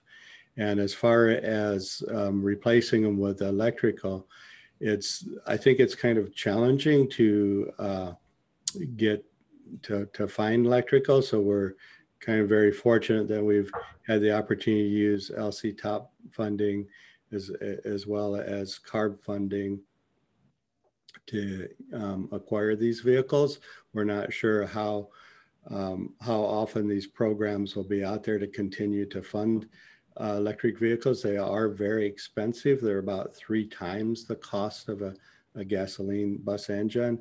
So uh, I'm trying, uh, you know, I'm encouraging folks and uh, as well as Caltrans to work with FTA to bring them in on the grant process, which as far as I know, they're not yet part of the grant process. So it could be challenging with the cost and the availability to replace them as fast as we would like to see that happen. So. Um, Thank you. Uh, just a reminder for the public, this is public comments. Uh, so if you can uh, just make a comment and, uh, and, then if you have any questions, uh, you can submit them in and I'm pretty sure Bridges, Community Bridges will respond to you or if not, the, the staff will. Okay. So we have Veronica Elsea. Staff, Chair Hello.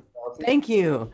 Um, as chair of E&D-TAC, I just really wanted everyone to know that whenever whenever Community Bridges does one of these presentations to our committee, we really grill them we spend a lot of time looking at their budgets, looking at their tables, and comparing numbers of rides. I mean, we really grill them.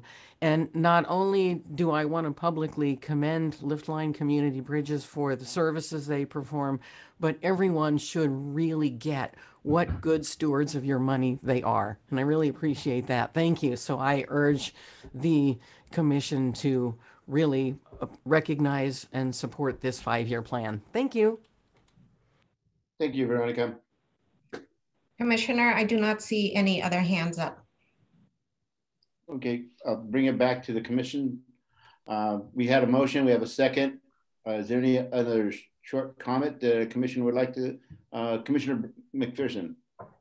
Yeah, I, I make this often. We, and many of us do. I can't, it can't go unsaid though. I want to thank the people of Santa Cruz County, more than two thirds of them who approved Measure D.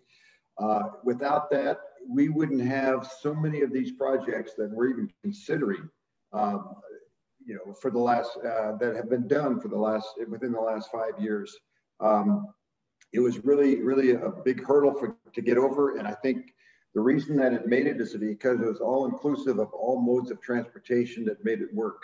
And uh, I think it's working and we're doing an excellent job, everybody. Uh, the For the transportation needs of seniors and the disabilities from uh, on, just on down to highways and bikeways, wherever you want to put it.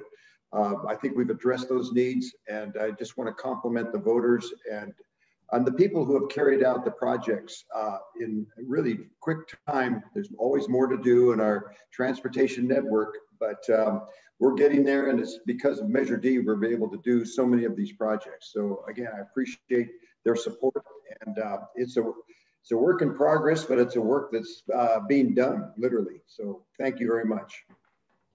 Thank you, Commissioner. The big car. Is uh, Commissioner Montesino, would you like to make a comment? No. Oh, okay. Because I heard you speak. That's why I was. Um, is there any other fellow commissioner that'd like to make a brief comment?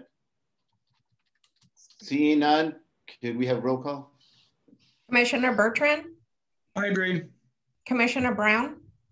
Aye. Commissioner Johnson? Aye. Commissioner Montesino? Yes. Commissioner Caput?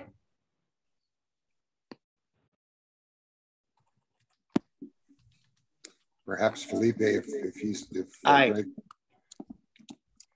Commission Alternate Schifrin? Oh, That was good. I had my, Commission Alternate Schifrin? You're muted, Andy. Sorry. Is that an aye? Aye. Commission Alternate Mulhern? Aye. Commissioner Koenig? aye. Commissioner McPherson? Aye. Commissioner Peterson? Aye. Commissioner Gonzalez? Aye. Commissioner Rotkin? Aye. Thank you, commissioners. Um, we look forward to community bridges and Liftline and uh, Veracruz and everybody to move forward and uh, continue servicing our community in the most needed. Uh, let's go ahead now. We're done with our public hearings and uh, we're going to go back to our, our consent agenda items. I have this right, right? Yep. And uh, Want to go back to public uh, comment to oral Yes, uh, communication? That's what I was going to bring back to the commissioners. Uh, in consensus, are we in agreement to allow continue back to public comments? Yes. Follow your lead. Yes. Okay. Let's go ahead back and bring it back to uh, the public comments uh, for items that are not on the agenda. Okay, so we had three uh, uh, hands up before we uh, moved, and those were Michael Wool, Saldine Sale, and uh, Faulkner.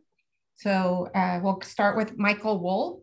Also, I, I just wanted to comment. Uh, I know that Judy uh, might fit in here, and so Judy, right. allow her. She's still with us. So So let's let- go ahead and start with the first one. And uh, Chair recognizes Michael Wool. Let's see. Yeah, he's still on. Mr. Michael Wool. Mr. Michael. Um, I was just making a general comment about the capacity limit on the Zoom meeting because there's a lot of people who are very interested in being at this Zoom meeting who unfortunately can't attend due to the capacity limit.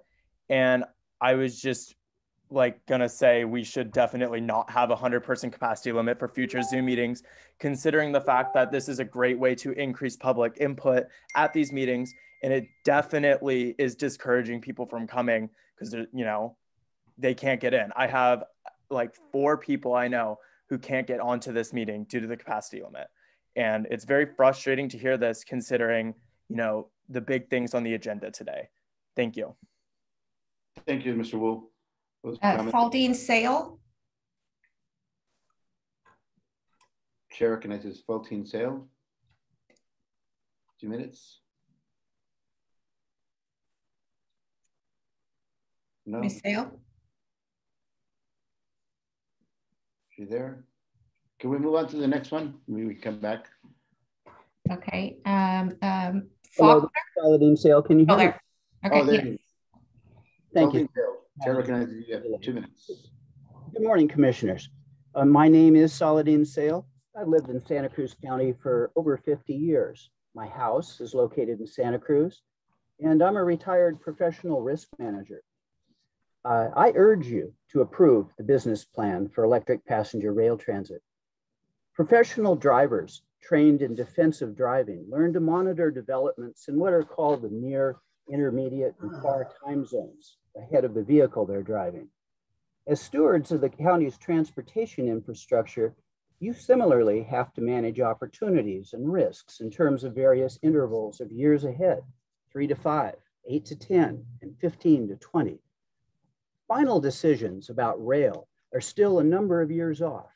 Other matters, such as painting additional bike lanes and adjusting bus schedules, naturally fall within a more immediate time frame.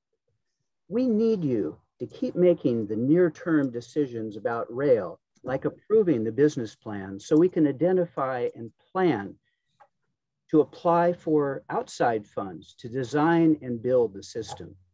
Then we can begin construction when conditions are right. The Biden administration is committed to building passenger rail. A rail spine anchoring a north-south transit corridor is the optimal transit solution for Santa Cruz County.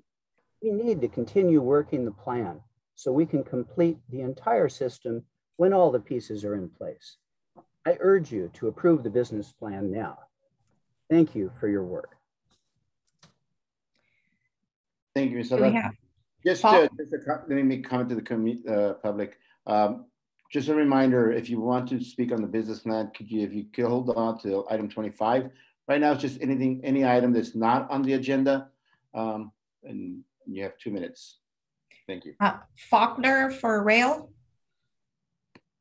And then Judy. Chair recognizes Faulkner. You're on mute. Oh, there you go. Hi, um, uh, this was a general approval of um, the plan. Should I hold off? Yeah, if you would, till item 25. Okay, thanks. Thank you.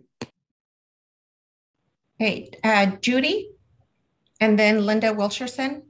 Chair recognizes Judy. Thank you, commissioners. And I'm just going to squeeze in here. Um, this is a poem that I wrote to encourage you to accept the business plan, but I do have to take off. So it's one minute. Light rail gets riders away from traffic. There is no backup. Give us a quick trip where buses are still stuck. Preliminary engineering will help with the steering toward a finer budget, then better judge it. Diligence, do and inspect. 68% or more say accept for free from the government for the people's betterment. My name is Judy, and it's our civic duty to build passenger rail post haste without fail for our children's future, this earth, yes, to nurture and not leave to ruin or leave in a lurch or let drivers screw or gas guzzlers burn her, home builders barrier, write earth's obituary, or let's paint a better picture with trains carrying creatures like rail housing corridors, take trains to corner stores, people enjoying Earth some more, go again 20 years and four score, yes to Earth and rail encore. Thank you. Thank you, Judy. Uh, Linda Wilshusen and then Jessica Evans. This is Linda Wilshusen. Chair recognizes you. Hello. Hello. We hear you. We hear you. Thank you. This is Linda Wilshusen. Um, I'm speaking to item uh, 26 that I understand was removed from the agenda. And um, I wanted to clarify that um, commissioners received a, um, a memo about this item prior to the meeting. Is that correct? Um, I'd like to request that that memo be posted on the RTC website as an addition, additional item to this uh, meeting agenda. Thank you. Thank you, Linda. Ms. Jessica Evans? Chair recognizes Mrs. Evans. Hi, thank you for uh, giving me the opportunity to speak. Um, I actually am just here to ask you right now whether you have the capacity to increase the meeting capacity because I'm extraordinarily upset and offended that the RTC doesn't have the capacity to allow everybody who wants to participate in this public hearing. This is a really bad. It's very distressing. People want to participate. This is a democracy. This is supposed to be an open hearing. And, you know, Michael spoke to this issue and no one answered it. No one addressed it. And so I'm just calling back to say, please, can someone address this issue of the fact that there are many people who want to participate, who want their voices to be heard, who are locked out of the meeting because the RTC hasn't created the infrastructure to allow people to be able to participate. So, you know, I'm a big fan of you guys and of your work, and I know everyone is trying to do the best they can, and these are difficult circumstances. But the pandemic has been going on for a long time. And, you know, I feel like it's time for, you know, us to kind of step it up and really let people participate. It's really hard for people to carve time out of their day and get the technology together and figure out how to do this and figure out how to come. And then to be turned away is just uh, it's just really a bad, um, it's a bad way to run a public uh, meeting. So I apologize for bringing the negativity, but I just need, I want you guys to address this. Thank you. Uh, thank you, Mrs. Evans. Um, you know, with technology nowadays, uh, it's hard to, to really tell how many folks are going to be attending your meeting since we usually don't have a place to meet and we would be able to physically see people and the amount of people that would be attending at that time. Uh, and due to, to the technology, once you set your meeting up, I think it's difficult to midstream to expand it uh, without creating more havoc. So I apologize to all those that haven't been able to connect with us. Uh, we will be looking into the future in other meetings on that issue, but I think currently right now we have to just proceed with what we have and uh, and continue the meeting. So we apologize uh, for that not being able to foresee uh, and it's difficult, like I said, to say how many folks are going to be actually attending a, a, uh, a Zoom meeting. Okay, thank you. Uh, D. Rowe.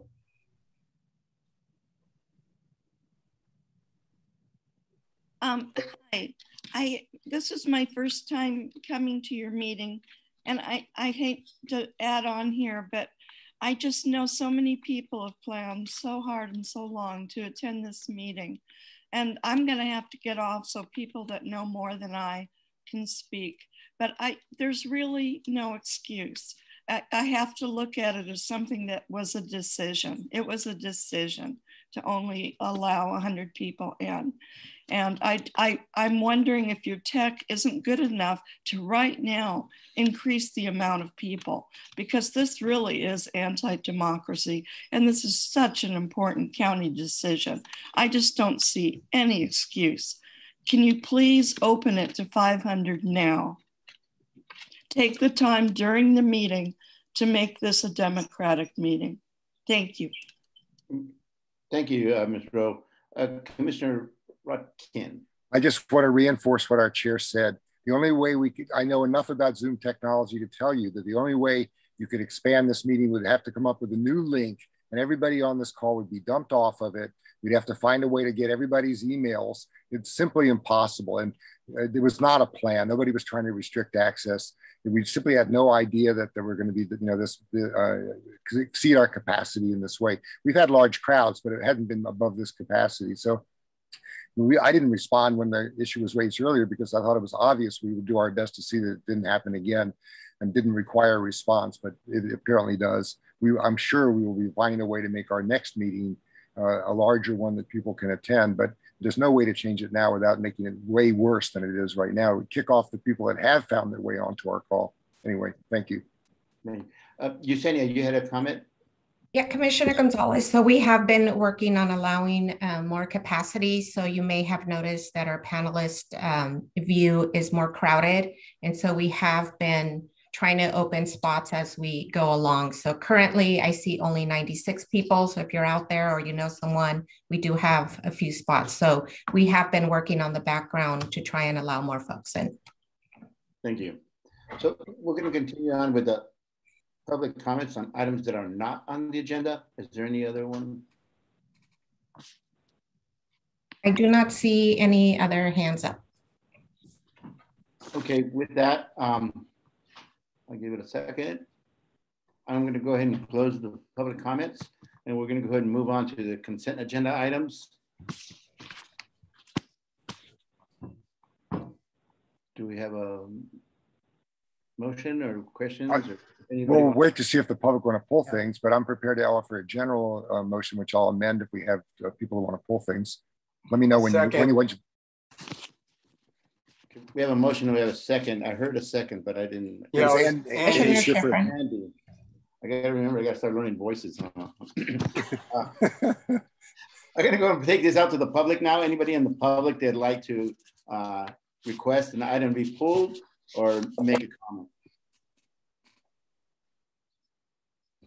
I do not see any hands up as of yet.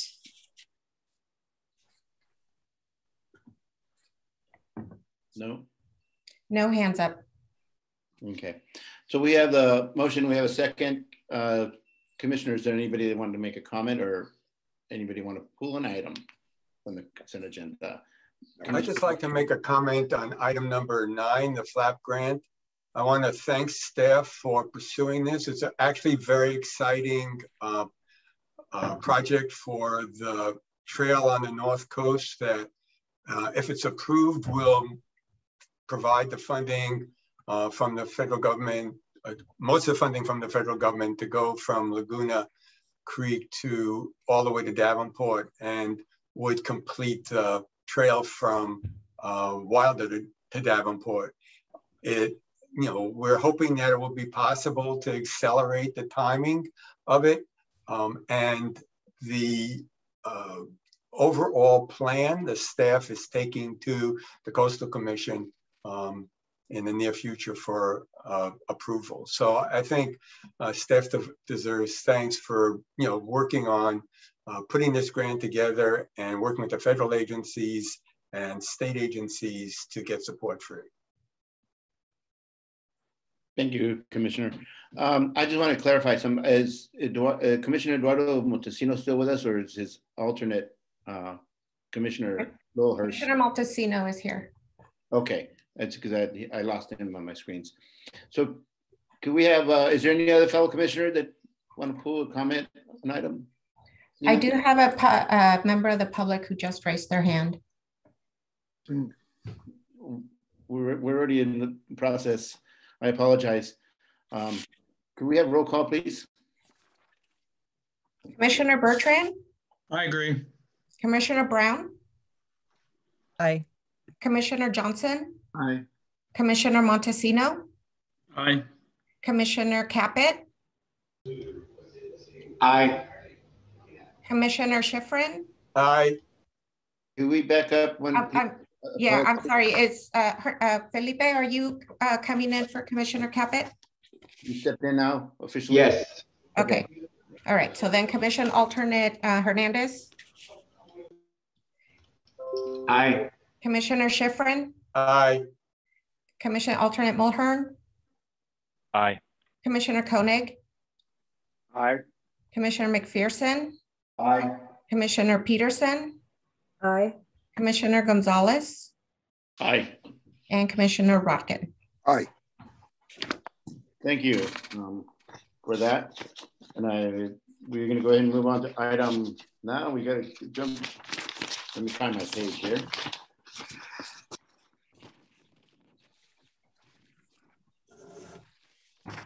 You're up to 23, I think.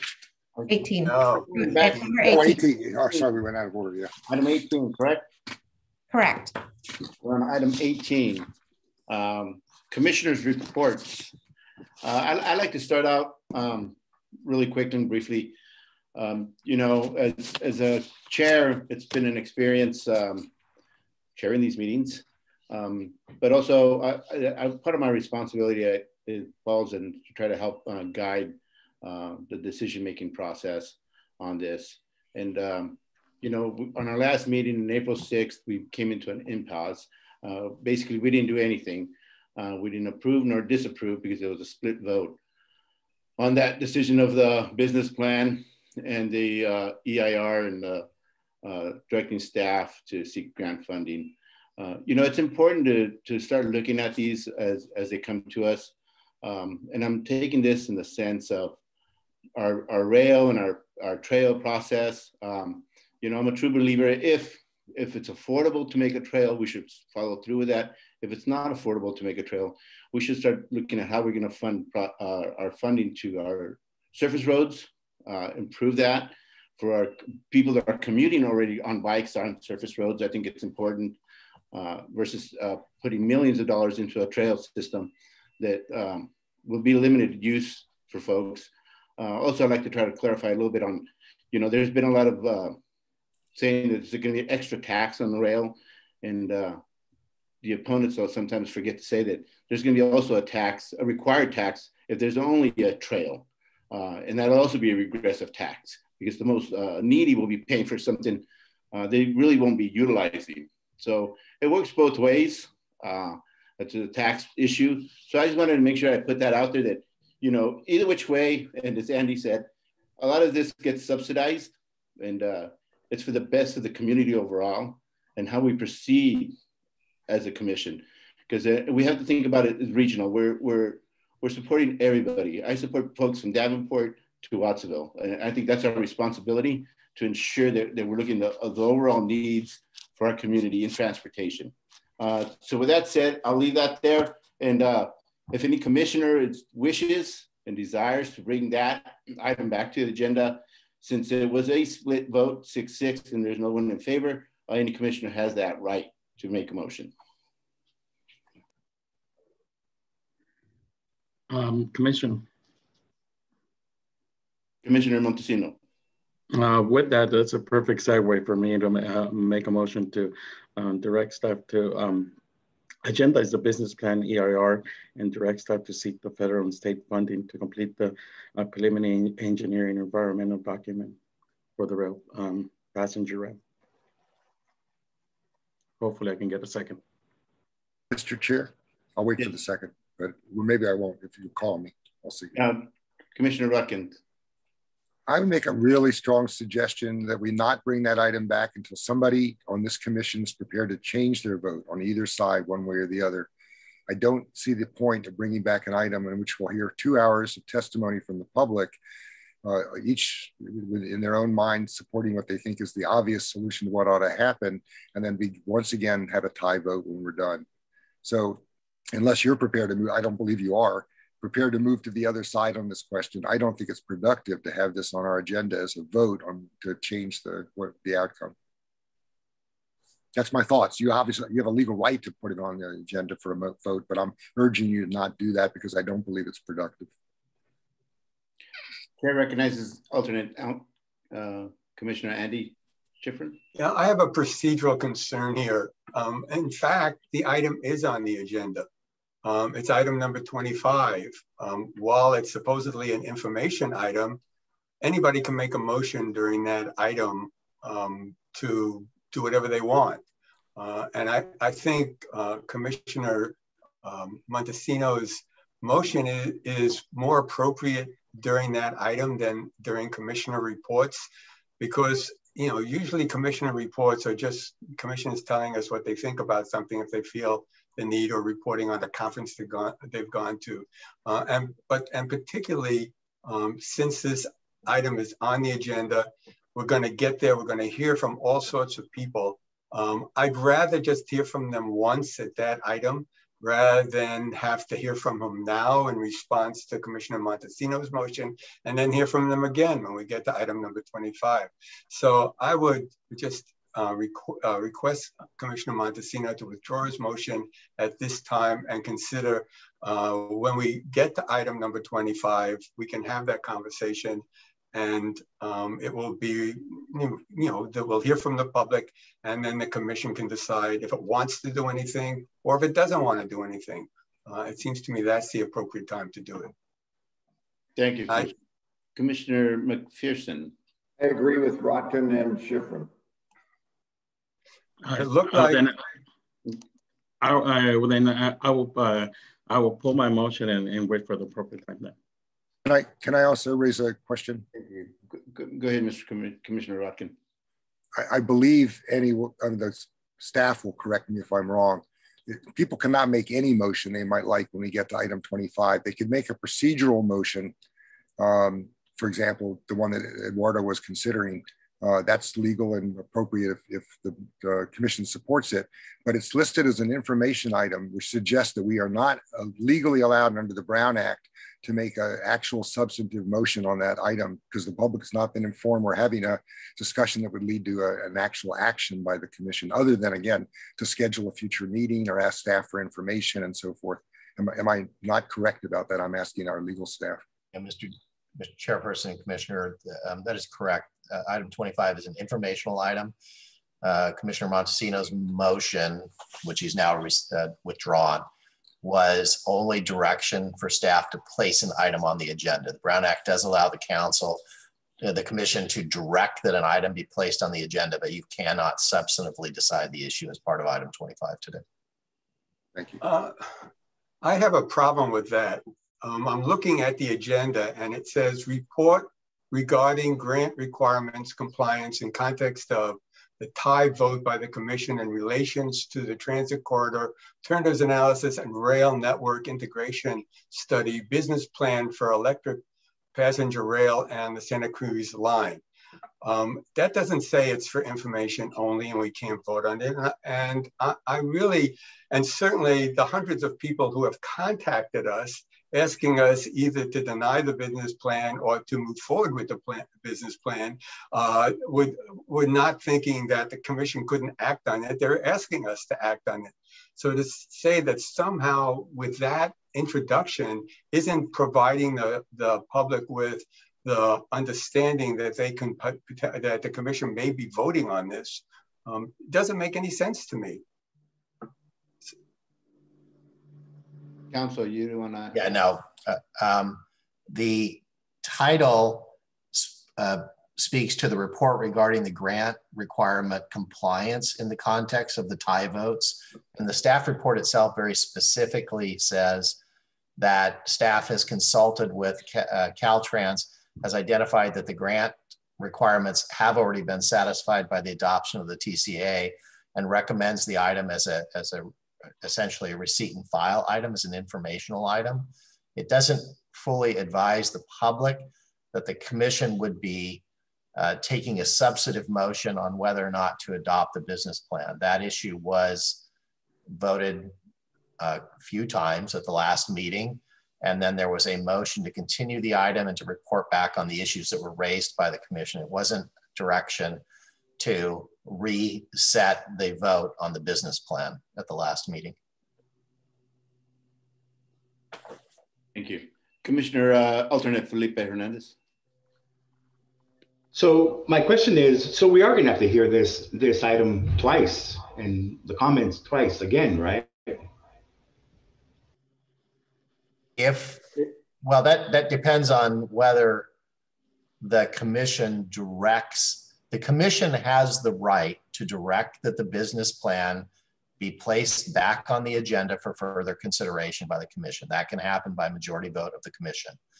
And so if the commission does decide, you know, receives that motion and decides to do that, then there is the potential that you will have people speak to the issue today, as well as speak to the issue at a subsequent meeting, if that's, um, you know, if, if that plays out that way. If the desire of the commission, and I'm, I want to be very clear, I'm just speaking about an option. If the commission uh, approves a motion to place actual consideration of business plan back on the agenda, then the commission could um, consider that, uh, frankly, at the beginning of your discussion of item 25 today, and then decide whether or not you would want to have that agendized for the commission to take action at, at a subsequent meeting. He answered your question? So do we want to take this motion to item 25 or uh, right. we? Let me suggest we at least finish the discussion on this on item 25 and not resolve it here. Yeah, no, item 25 is still going to be sp spoken on. So you rescinded your motion. So is there any other? Um, So I, I, I- I have a question. So, um, so am I gonna be able to make the motion on, on 25? Yes, you can. It's a procedural motion and it's legal. Yeah, you can make it as you made it. Yours was a procedural motion to direct staff to place an item on the agenda. That would be an appropriate motion. Oh, then I'll wait for 25. okay, thank you. Is there any other commissioner reports? Seeing none, uh, go ahead. And we're going to move on to item number 19, the director's report. And I, I'm told he has like a 30 second report. I'll try to keep it as short as I can. Thank you, Chair Gonzalez and commissioners. Um, I have uh, three short re- reports on uh, funding and two informational items on our traffic demand programs. Um, there's been various discussions using the state budget surplus for transportation. California is expecting a roughly $15 billion budget surplus next fiscal year, which starts July 1st. The surplus is primarily the result of income taxes on capital gains from the soaring stock market. Many transportation groups are pushing the state to make significant portion of funds available for one-time transportation infrastructure investments. The California Transportation Commission has asked the governor and legislature to make the active transportation program um, uh, an increased by $2 billion in order to fund projects that were not able to be funded in cycle five of the ATP. The CTC was able to fund less than 20% of the requests they received for ATP funds earlier this year. A statewide coalition has also submitted a request to boost funding for SB1 competitive grant programs, the State Transportation Improvement Program, electric vehicle infrastructure, sustainable community strategy implementation, and other programs. Governor, Governor Newsom is scheduled to release the May revised budget proposal on May 14th, with the legislature expected to approve a new budget in June.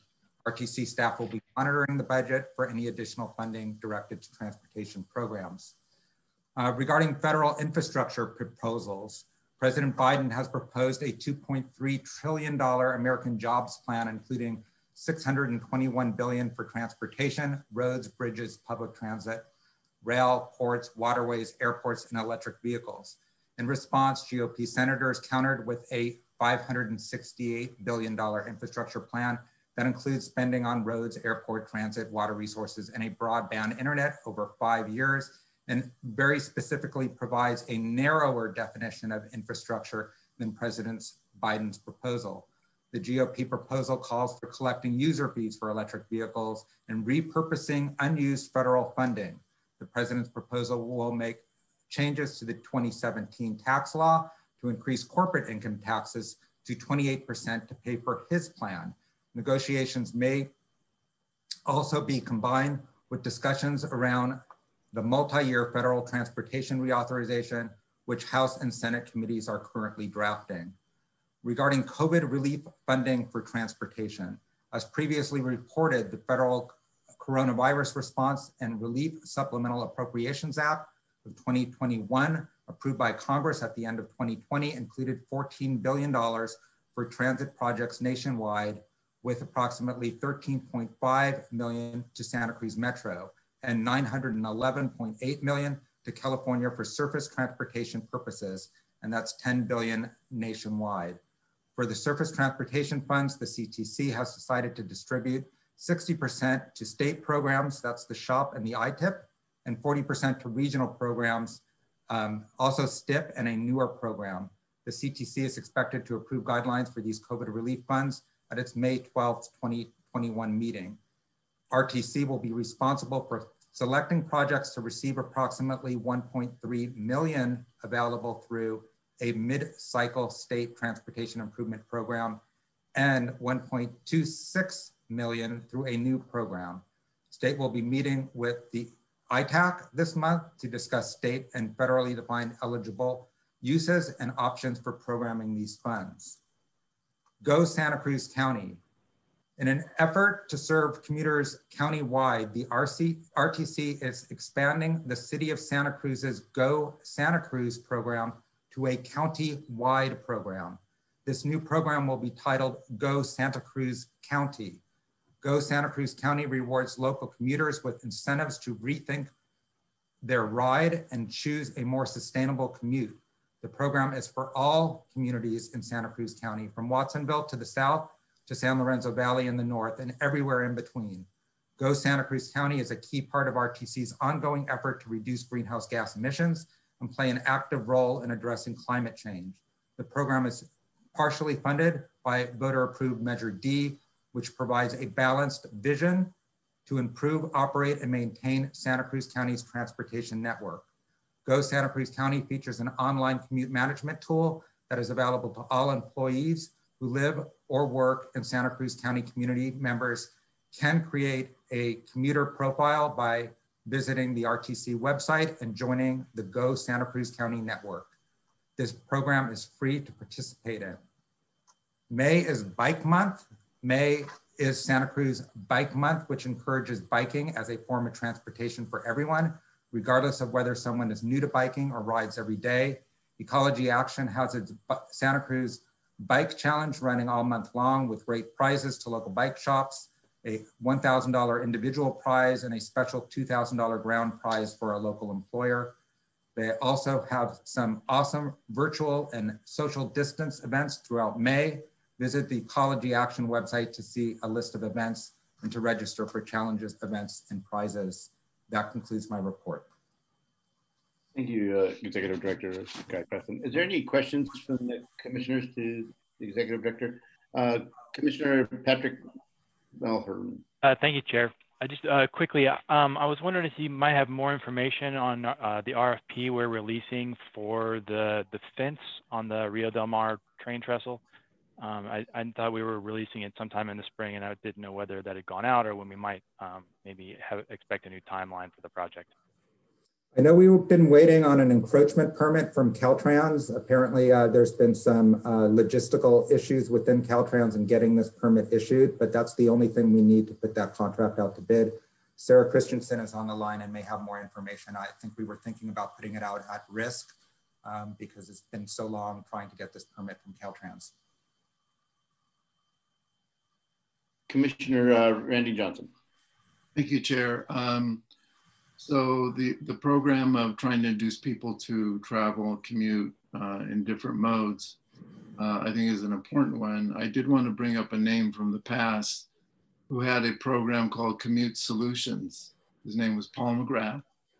Uh, he had a program that was efficacious and very positive until it was kind of extracted from him by the RTC.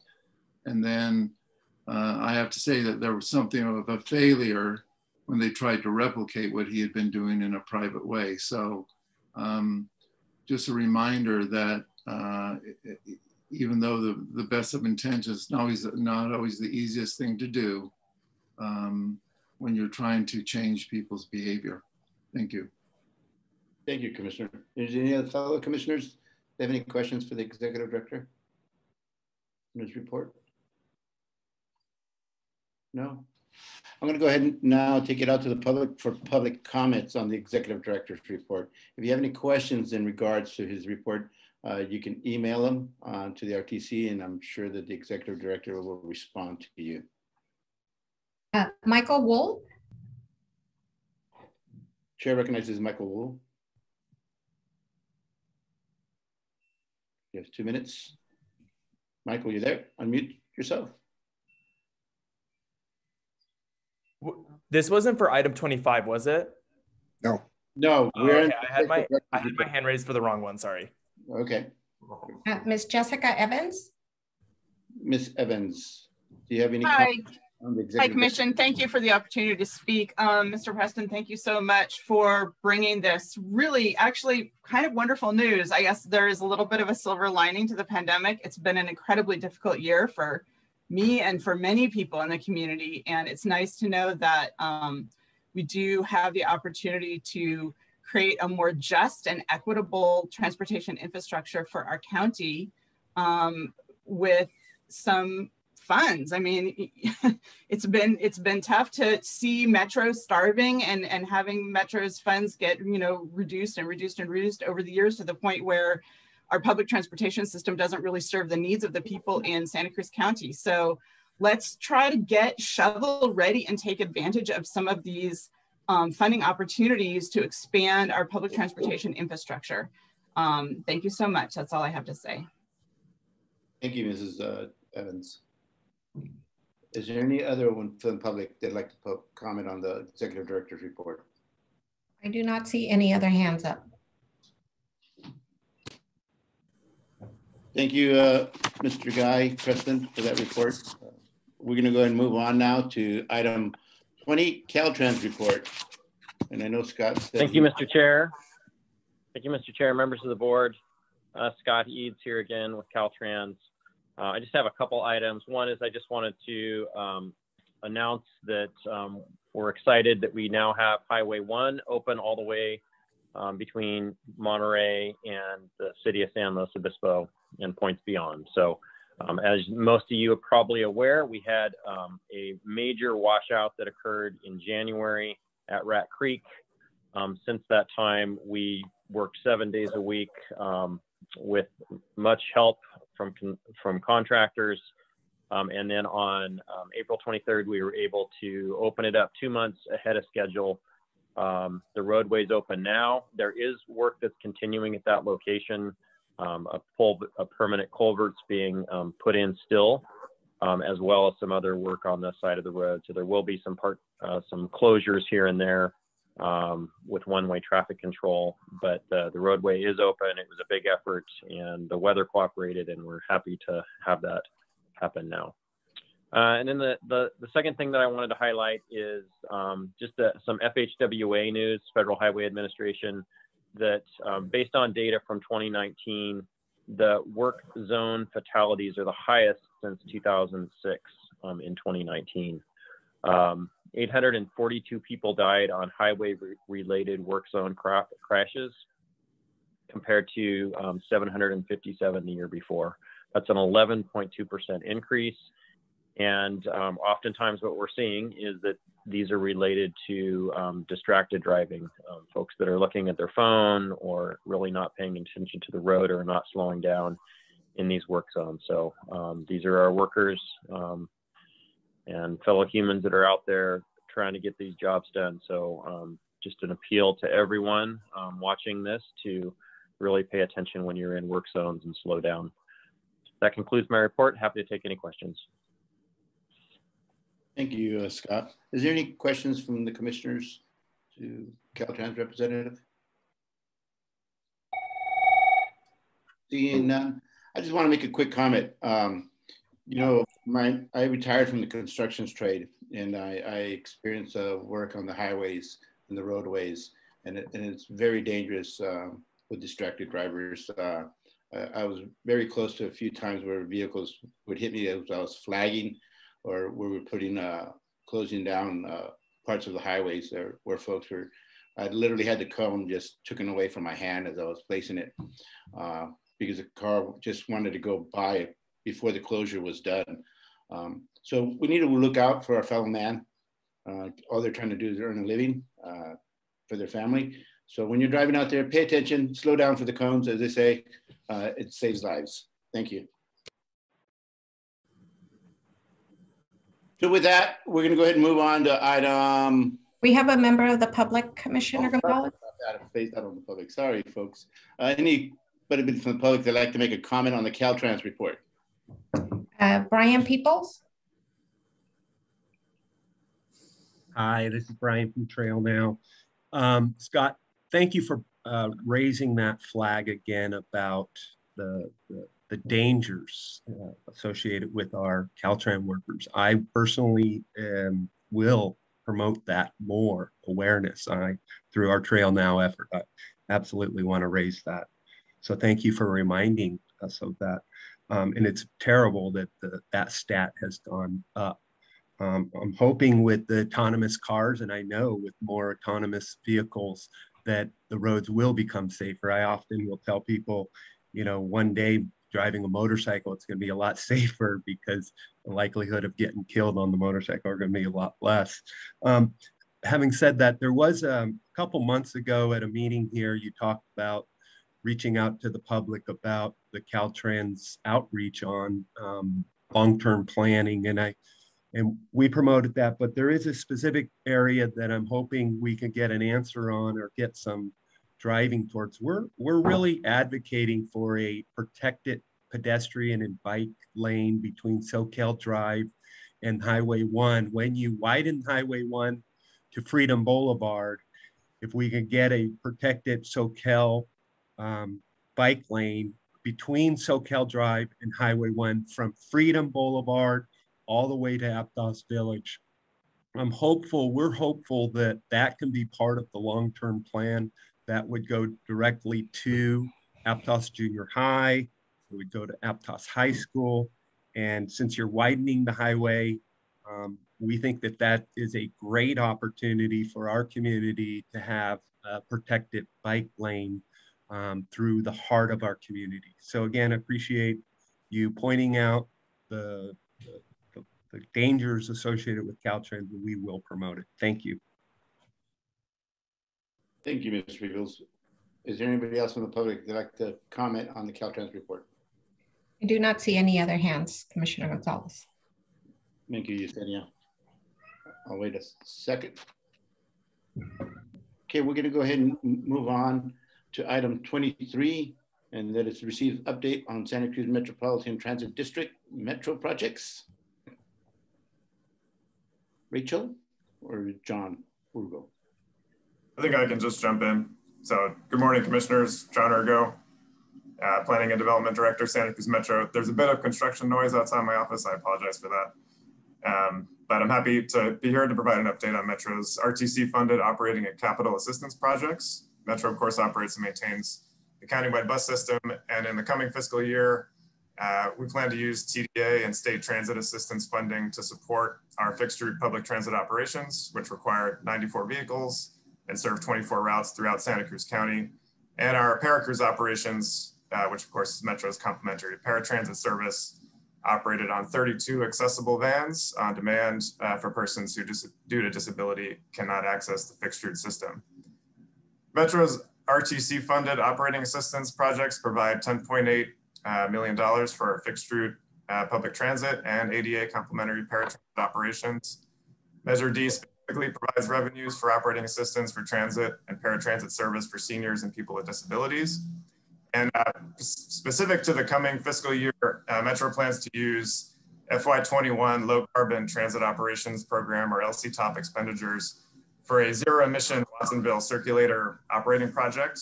Uh, this project will deploy new battery electric buses on a new circulator route in downtown Watsonville that will start in the fall, uh, this fall, 2021.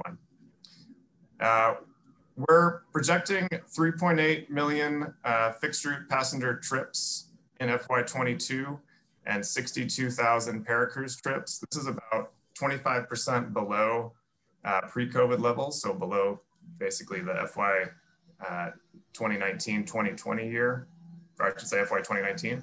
Um, currently, ridership uh, remains about 80% below pre-COVID levels, but as the county progresses through its tiers of reopening and with UCSC students planning to return in greater numbers this fall, uh, we expect a ridership also across our system to return in greater numbers.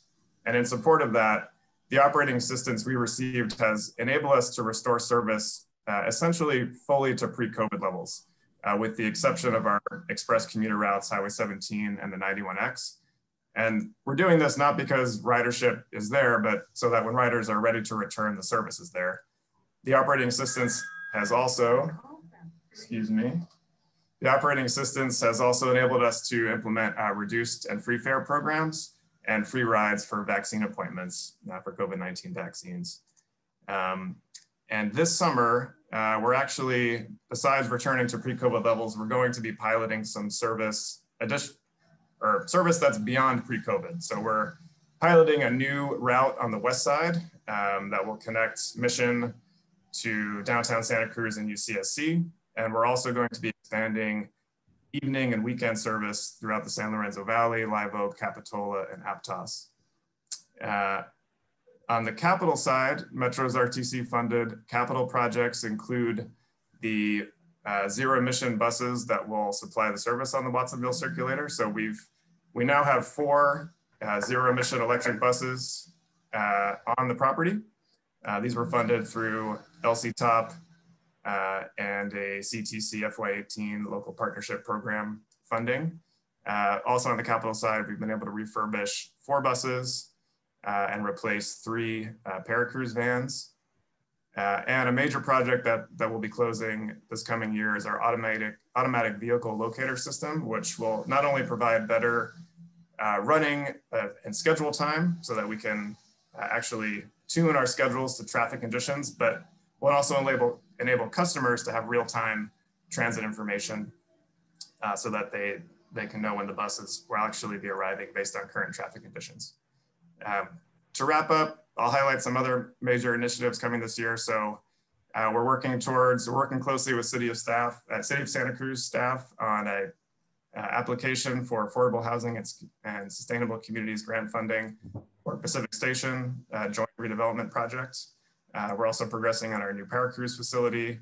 Uh, we recently launched a new service called Cruz on Demand, which takes advantage of more capacity that we currently have within our Paracruz operations uh, due to lower ridership and basically allows the general public to book on-demand trips anywhere within the county uh, through our Paracruz service. These are same day trips. We, allow, we book all uh, Paracruz trips, prioritize all Paracruz trips booking first, and then on the day of travel, it's open up to the general public for on-demand trips. Uh, we limit the distance to three miles. These are meant for shorter neighborhood trips or to connect into the fixed route system for longer journeys. Uh, but the service launched about uh, two weeks ago.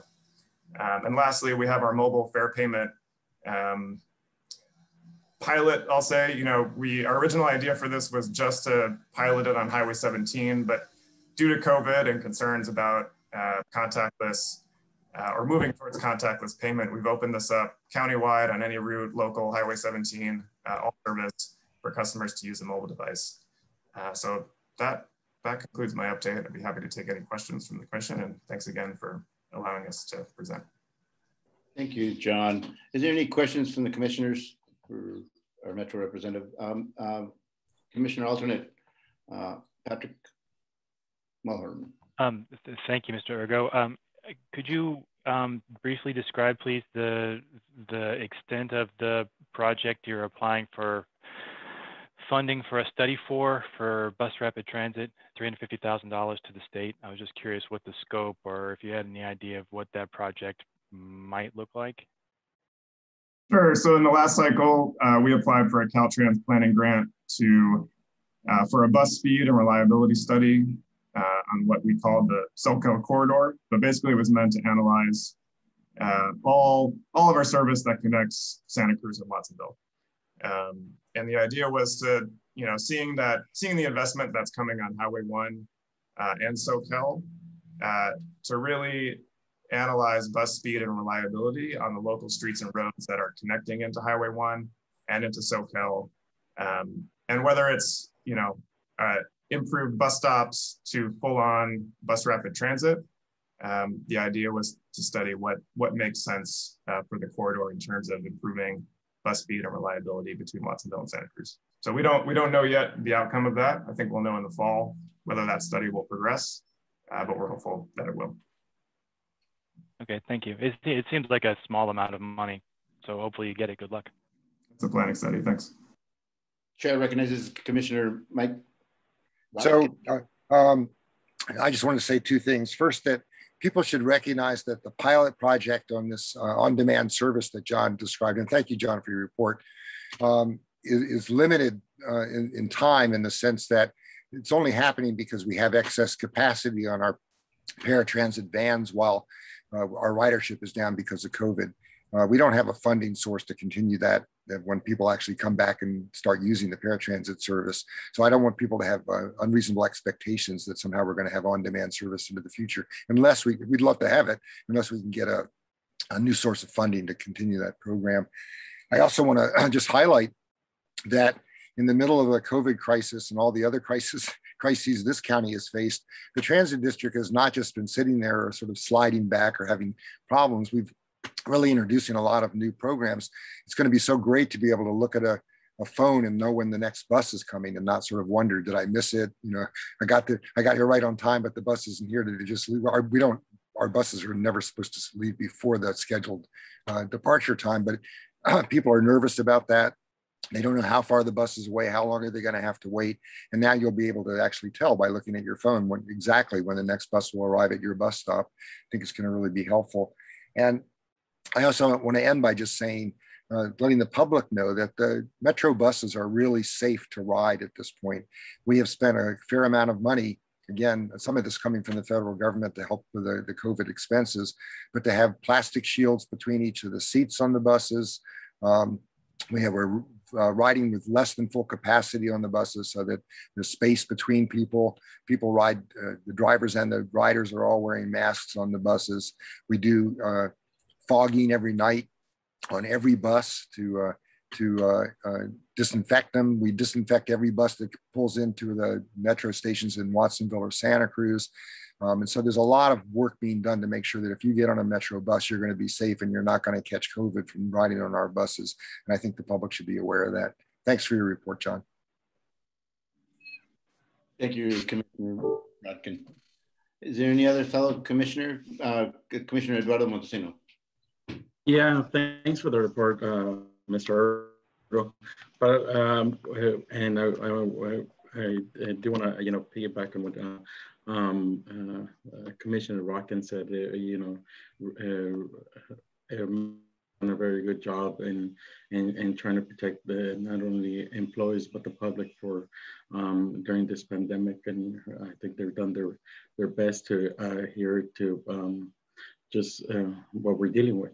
Um, but I also I had a question about, you know, um, attractability, how we get back on, on track. Because you, you pointed out that we're, that we're down in passengers. How are we, um, aside from what you said, uh, putting more services or keeping the services back, are we, you know, um, uh, thinking about putting Wi-Fi on buses? Are we, you know, just looking towards the future?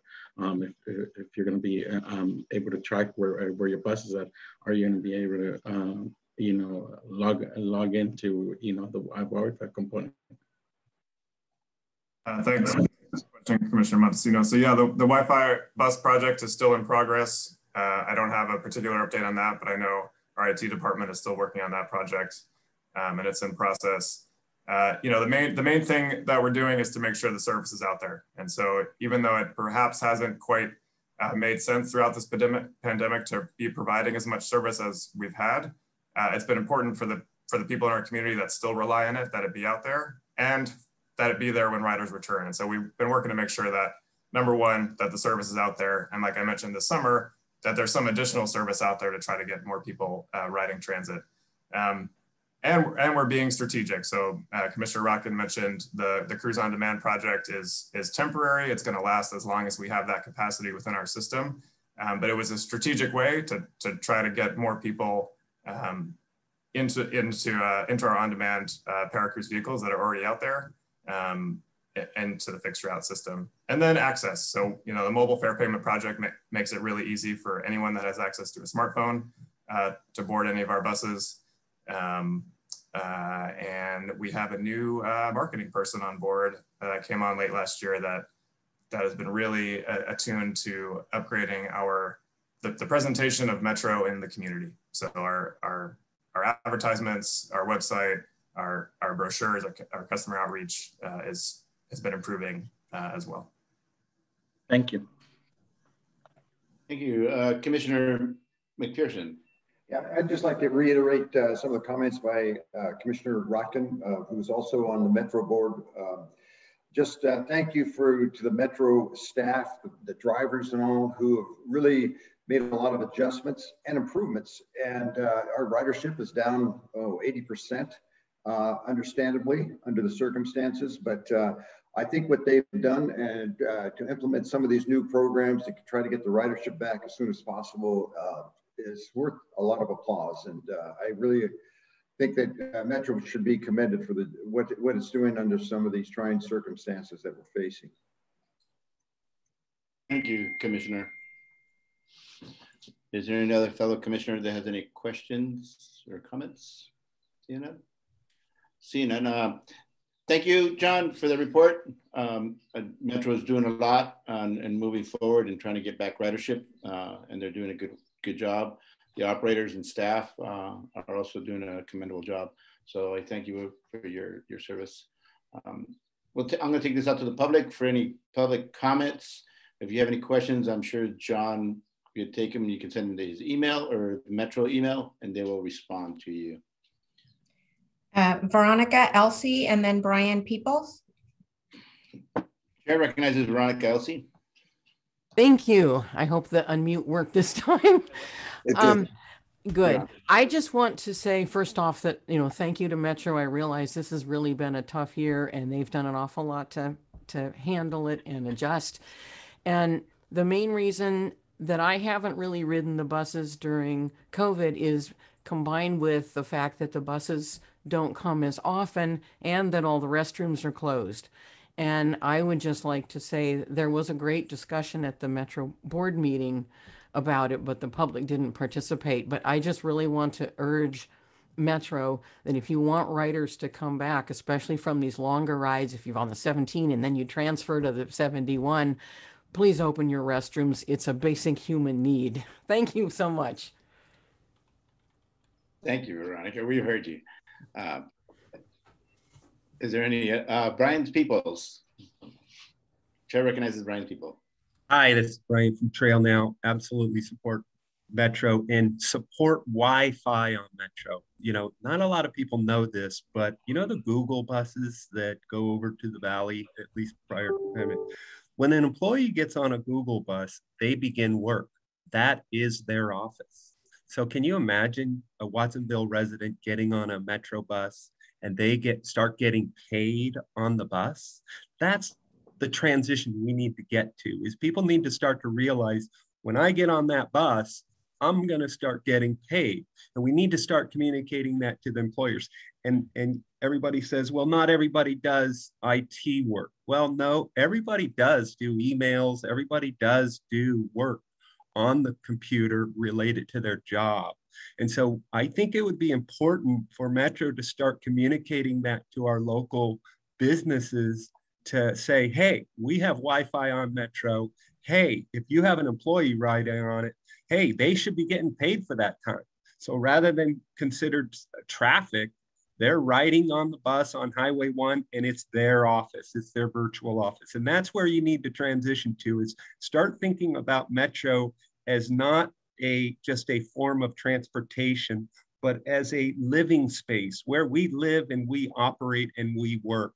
So absolutely Let's get Metro Wi-Fi on there. And if you don't have the money, let's go out to the, the private sector and find it. I'd be more than willing to help promote that um, to get Wi-Fi on those buses. We need to get Wi-Fi on all of the buses. Thanks again for your time. Thank you, Mr. Peoples. Excuse me. Is there anyone else from the public that'd like to make comments on the Metro report? I do not see any other hands up, Commissioner Gonzalez. Okay. I'll wait just for a second. With that, um, we're going to go ahead and close that item. Thank you for that report. And we're going to move on to item 24, receive update on Capitola projects. Rachel? Good morning, commissioners. Before you today is a presentation from uh, City of Capitola engineer Kailash Mazumdar, um, and I'll hand it over to him.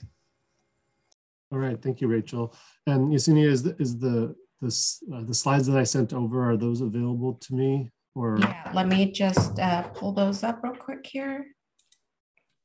Oh, there you go. Perfect. And then will I do I just ask to advance slides or do I have control? Um, Ian, can he have control or do you want to advance them? It's pretty simple. I, I can just say next slide if that's easy. Okay, that would be great. Okay, perfect. Thank you. Well, thank you, thank you, commissioners and, and Chair Gonzalez for the opportunity to speak to you guys today. Uh, we had, I think we had a gap in the years from reporting, so we have a few extra projects um, that didn't get uh, reported to you last year. So I'll start with the next slide. And this is a recap of what we're going to go through today. So first we'll run through the completed projects that have been done through coordination with the RTC, both uh, through technical uh, input from the E&D TAC and, and other groups, as well as funding. And then we'll go through the future projects that we have planned. Next slide, please. So the first project I wanted to highlight was our uh, 2018 slurry seal project that was funded through Measure D. It allowed us to address 12 city streets and was completed in the fall of 2018. Next slide, please. Uh, the next project we wanted to look, uh, have you look at was our 38th Avenue Sidewalk project. This was an important project for us because it uh, allowed a continuation of, of uh, sidewalk on the west side of 38th Avenue that connected to the mall. There was a gap in the sidewalk there that didn't allow uh, pedestrians to complete their that walking path. So that was an important uh, gap that we were able to fulfill and, and did that with the coordination with RTC and uh, funding through the RSTPX exchange. And we can move on to the next slide. Here we have the Park Avenue Sidewalks project. This was a long-term project that the city has had on the books for quite a long time. Uh, it, it, took us, we did need to bank some of our funding. So we used a few years of, of Measure D, SB1, and then also made use of our TDA funds through the RTC to complete this project. This was another project similar to the 38th Avenue where there was a there was just there was no pedestrian access or uh, safe path of travel along Park Avenue that connects down to the village and also connects to New Brighton Middle School and in the, the uh, community of Cliff, Cliffwood Heights. So this was an important project for the city. It was very, uh, it was, it was we are happy to have it completed and, and it's been in, in great use since then. So uh, we are happy to get this one finished. We can move on to the next slide. Uh, this was also a project we finished last year. Um, we was our first uh, full depth reclamation project where we had to address one of the our poor city streets as far as the pavement uh, index went. And as well, we had a gap in, in sidewalk on the north side of Brommer Street that uh, pre prevented pedestrians from being able to travel east and west along this route. Um, so we completed that project and enhanced the bike lanes safety and, and uh, had the opportunity to work with our, uh, with the, the bicycle uh, technical advisory committee and they provided some useful input for us on final design for this project. So that was a, was a great partnership with the RTC to get this job completed. And we can move on to the next slide. Uh, here we have a, a, project recently completed just this spring. Um, this was a, a, short section of a new sidewalk for the city of Capitola, updating the curb and gutter and, and curb ramps. Um, and it kind of adds to our city streetscape in the village. And we can move on to the next slide. Uh, now we're moving on to the projects that are in, in design or for, for future use, right? The first project we wanted to highlight is our, our plans for a new pavement management project that we have in design currently. This project will um, uh, be using, utilizing both SB1 and Measure D funding, as well as our TIP funding through the RTC. Um, we're currently reviewing the streets that are going to be uh, addressed with this and, and we'll hopefully have a, a nice project coming out in the near future. And next slide, please. Uh, this is an, a pretty exciting project that I'm happy that we're getting underway with. So this is the 41st Avenue Adaptive System. Uh, I'm sorry the slides turned sideways. I, I, wanted to be able to show you the extent of the whole project. So what we're planning to move forward with this year is the blue section, which is uh, signalizing this, the, the all the signals on the intersections from 41st and Brommer up to Clare Street. Um, those are all the city controlled intersections that we have funding through uh, uh, Monterey Bay Air Resource District to complete. Uh, the green sections on the on the right or the north are actually what the county is, is going forward with. The county is actually out to bid on that project right now, and we'll be going out to bid on the blue uh, intersections in the next month or two. And, and then the gap that we're really hoping to get completed is the are the three Caltrans controlled intersections. We've had a little bit of a challenge getting um, approval with the Caltrans encroachment permit to, to install the infrastructure on their signals. We've, we've made some good progress, but we're hopeful that in the next you know, handful of months, we can get buy-in from Caltrans, and then that would ultimately allow both our adaptive system and the county's adaptive system to meet together and, and create much more efficiency for ridership and, and decreased uh, wait times on 41st Avenue that many of you know is, is our largest street, um, or widest street in the county and, and gets fairly congested in, in both morning and afternoon uh, peak travel times. And we can move to the next slide. Here we have the Bay Avenue, Bay and Capitola Avenue undergrounding and roundabout um, project. Currently, we're working with PG&E to, to utilize our Rule 20A funding to underground all the utilities in that intersection. Um, and then after completion of that undergrounding effort, which, which we're currently out to bid now, we will then move into uh, designing and finalizing a roundabout for this intersection that would then uh, kind of start to enhance our upper village area of Capitola. And we can go to the next slide. Uh, another project that we've had on, on the books for a little while that we're, we're looking forward to moving forward with right now is the Clare Street traffic calming project. Um, we're currently developing our public workshops so that we can have a forum similar to what we're doing here today with RTC to reach out to our community um, and seek input. We've we've already had a cursory involvement with RTC, with the E&D TAC, um, weighing in on some of the components that we are looking at for enhanced uh, uh, pedestrian safety and and um, and are reviewing the different op options that we may have that could help us uh, kind of decrease traffic speeds, but also increase the opportunity for pedestrians to cross Clares because right now there are only the only places to cross Clare Street are at the intersection of 41st and Wharf. And with the completion of our new library at the corner of Wharf and Clares, we envision seeing a lot more use of this area by the pedestrians. And so we're really trying to, to enhance this area to make it safer and easier for, for everybody to, to utilize. And next slide, please. And this is the last project I wanted to highlight. Um, this is part of the uh, Monterey Bay Scenic Trail Network where the city of Capitola is planning to do a, uh, a pedestrian trail that, that feeds to our upper village parking lot, which is one of the, one, a fairly large parking lot that then would allow um, visitors to both access the, the village and the, and the coastline here in Capitola, but also uh, then also be able to tie into Monterey Bay Trail that runs uh, east and west here along Park Avenue. And so that's our uh, last project that I wanted to show to you guys. And with that, we can move to the next slide. And I just want to uh, take this opportunity to thank the RTC.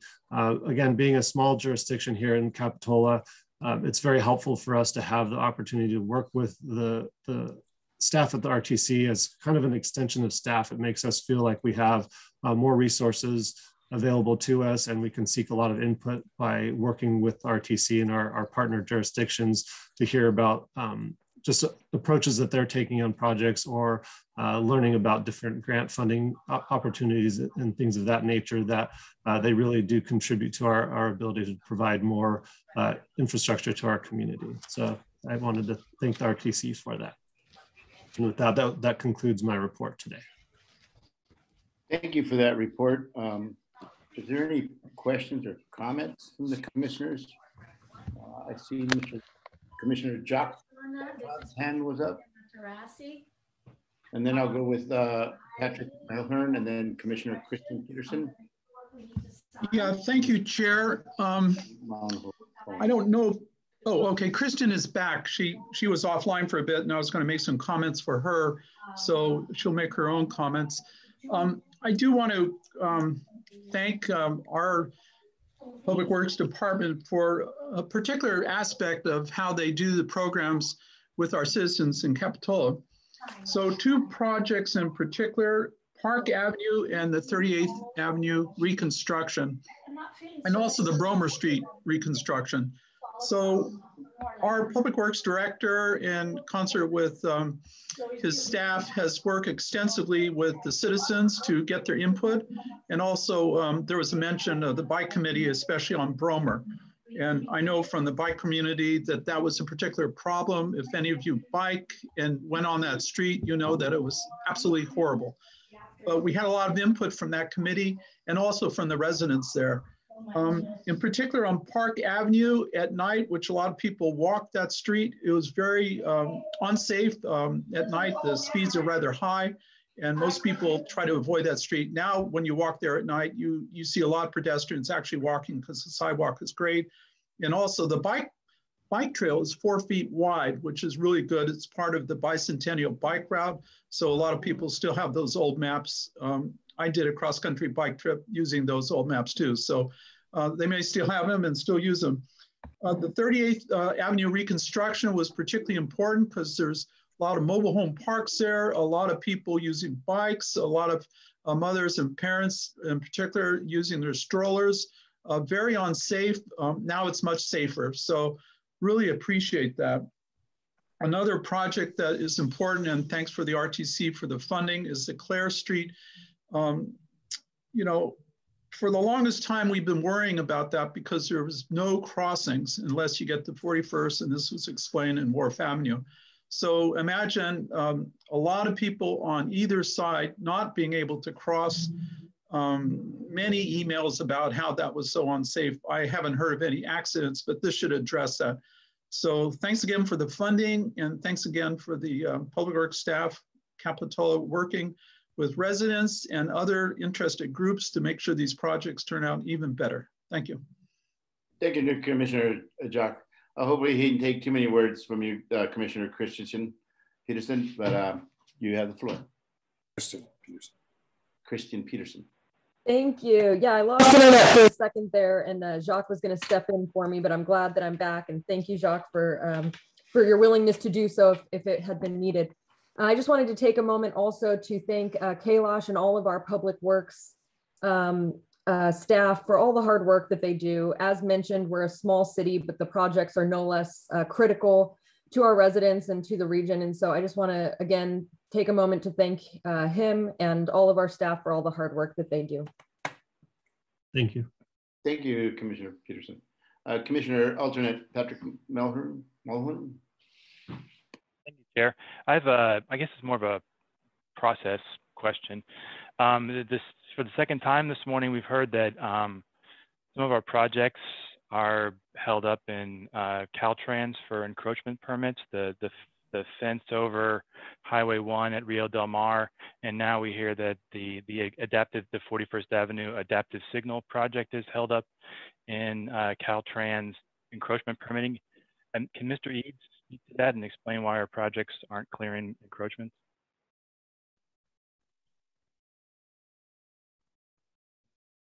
Um, if I can respond to that, Mr. Chair, be happy to.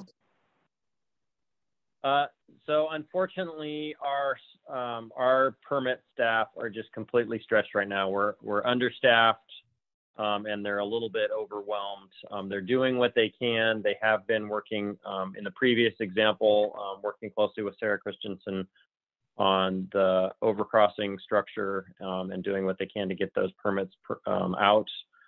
Um, I'm, I'm not super familiar with this particular location, but I'm sure it's a, a similar issue in terms of there's a lot of internal processing when we're looking at adaptive signal control and making sure that the, our system will continue to function. We're not going to back vehicles up onto the uh, main line, which is a primary concern for us, of course, because of the safety implications. But um, I'm sure that um, our permitting staff will continue to work with the city on this.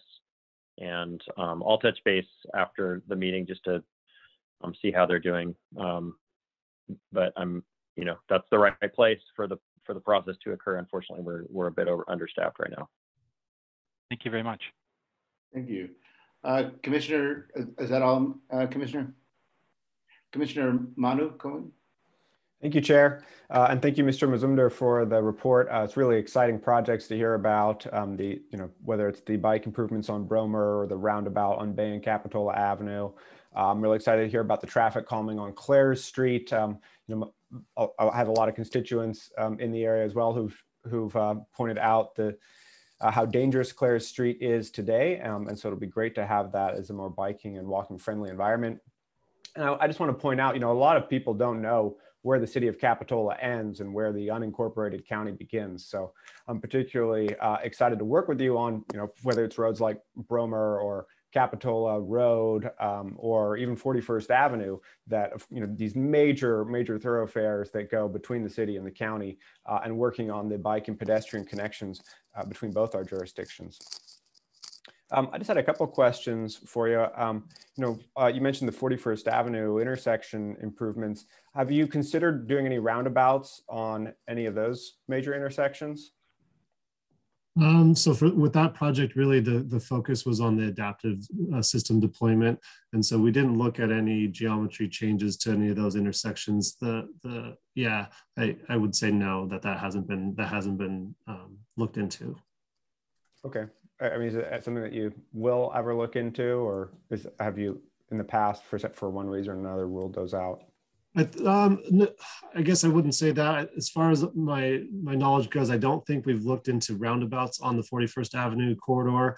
Um, I think there more recently there have been some uh, studies that the RTC has been looking at into to evaluate uh, better throughput at the intersection with Gross and 41st because of the frontage roads that intersect there, uh, causing a lot of challenge. Um, there's you know there, there are a few long term um, designs that have been, I think, are on the book somewhere for what may improve that intersection. But it's a it's a challenge there mainly because uh, the on ramps don't have the length to have signal metering on them, and so effectively metering happens on the city streets, and so the the uh, it's kind of a trying to find a, a, good compromise to find you know better throughput for the street but then not flooding the freeway with uh, too many cars all in, in volumes at, big in big chunks that kind of create more of a, of a challenge for them. So I think that's that's I think that's the main reason why we've had a little bit of a challenge with getting our encroachment permit figured out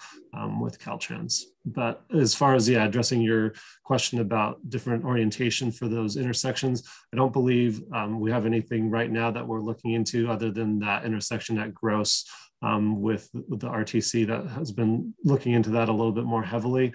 Um, and I think that's more looking at uh, you know opening up or closing down different entrances and, and exits rather than uh, all, you know creating a, a, a, large roundabout in that intersection. Got it. Yeah because um, one of the things we're looking at, at the in the county of course is uh, with the future plans for the mall how to in, improve throughput on capitola road. Um, you know one suggestion has been to widen it to two lanes in both direction. Uh, i'm not particularly sure that's the best plan since in the past we reduced it and put it on a road diet um, and so an alternative we're looking at is putting in roundabouts um, at, at, some of the major intersections along Capitola Road and it'd be interesting mm -hmm. to see if uh, we can continue that into the city. Um, and then the other question I had is um, if with those signal improvements, you're, you're planning any pavement um, management on 41st Avenue. Um, I know particularly at that Capitola Road, 41st Avenue intersection, the pavement's in pretty bad shape and uh, can be a little bit dicey for, especially for bikers. Yes, no, that that's definitely an intersection that we know needs needs addressing. Um, it's uh, you know being being one of our largest arterial uh, streets in the in the county and, and for sure the largest street in Capitola. Um, it, it is in need of some additional pavement management. Um, but we, right now that you know to bite off a section of 41st costs quite a bit because it's such a wide road. And so oftentimes our funding limits don't, you know, we're, we're happy to get a million dollar project out usually. And that, that, you know, addressing all of 41st would be a multi-million dollar project. So at this point, I don't think we've got the funding to do a full, to look at that. That would be more of a long-term plan that we would, would need to stockpile some money over, over the years um, and have a plan for that in the future. Okay, thank you very much. Commissioner Mike Rotkin. I just wanted to quickly point out that it's not just uh, citizens of Capitola that are served by these projects.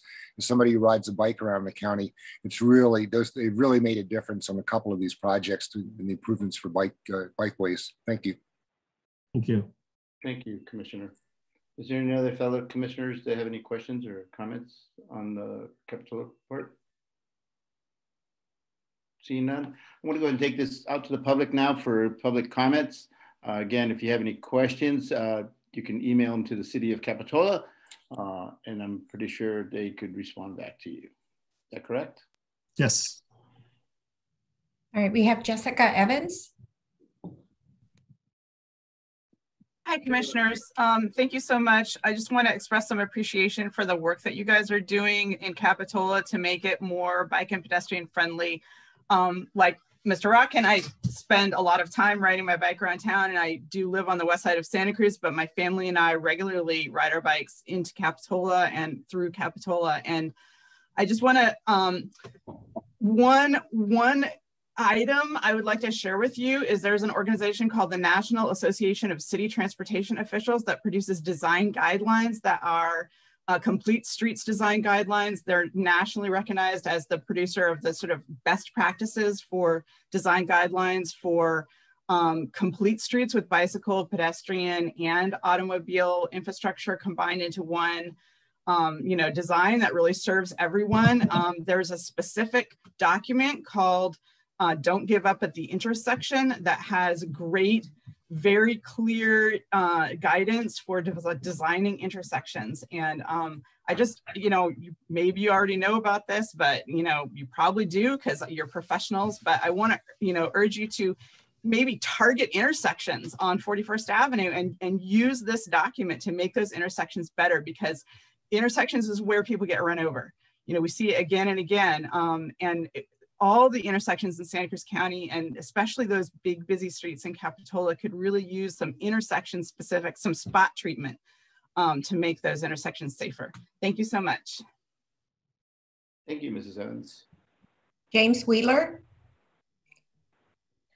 Chair recognizes Mr. Wheeler. Are you unmuted? Okay, okay, I'm on. I want to say as a longtime resident of Capitola, um, thank you very much for uh, finally fixing Brommer between 31st, 38th and 41st. I'm a, a senior citizen who rides a recumbent tricycle with no suspension. And uh, that sucker uh, was just terrible. So I'm very appreciative. How'd you like it? Uh, Mr. Ben Vernassa. Yes, I, uh, talking about intersections, I want to remind everybody that between the old depot at Monterey and Park Drive all the way to La Selva Beach, uh, there are only six streets to cross on the coastal trail. Mar Vista, State Park Drive, two in Aptos Village, which are controlled now with signals, one uh, at the Clubhouse Drive, and one going into Seascape. Tremendous, tremendous. And I just want to remind you that to get to the hillside of Aptos and Soquel, we have the Mar Vista overpass that's being built. So that's that for Mid County. It's a wonderful transportation system when you put that all together. Thank you. Thank you, Mr. Vernassa. Is there anybody else from the public that would like to comment? I do not see any other hands up, Commissioner. Okay, well, well, thank you. Uh, thank you the City of Capitola for that report. Thank you for your time. I'd like to go ahead and uh, move on uh, to item 25. which is the report regarding grant requirements compliance in the context of the tie vote for the commission related to the transit corridor, alternative analysis and rail network integrated study, business plan for electric passenger rail on the Santa Cruz Branch Rail Line. Ginger. Morning, Chair, Commissioners, and members of the public. I'm Ginger Dykaar. I'm Senior Transportation Planner on the RTC staff. The item before you today is regarding the Caltrans grant uh, compliance requirements in relation to the business plan for electric passenger rail on the Santa Cruz Branch Rail Line, mm-hmm. which is the final component of the transit corridor alternatives analysis and rail network integration study. As you know, at the RTC meeting in February in 2021, RTC accepted the transit corridor alternatives analysis and the rail network integration study, which selects electric passenger rail as the locally preferred alternative. The project team then developed a business plan for rail transit as the locally preferred alternative. At the RTC meeting on April 4th, 2021, RTC staff presented the draft TCAA uh, Rail Network Integration Study business plan and recommended that the RTC adopt a resolution accepting the business plan for electric passenger rail on the Santa Cruz Branch Rail Line as a guide for implementation and to direct staff to seek federal and or state funding to complete the preliminary engineering and environmental documentation for electric passenger rail. A motion to accept the staff recommendation failed with the tie vote of six to six.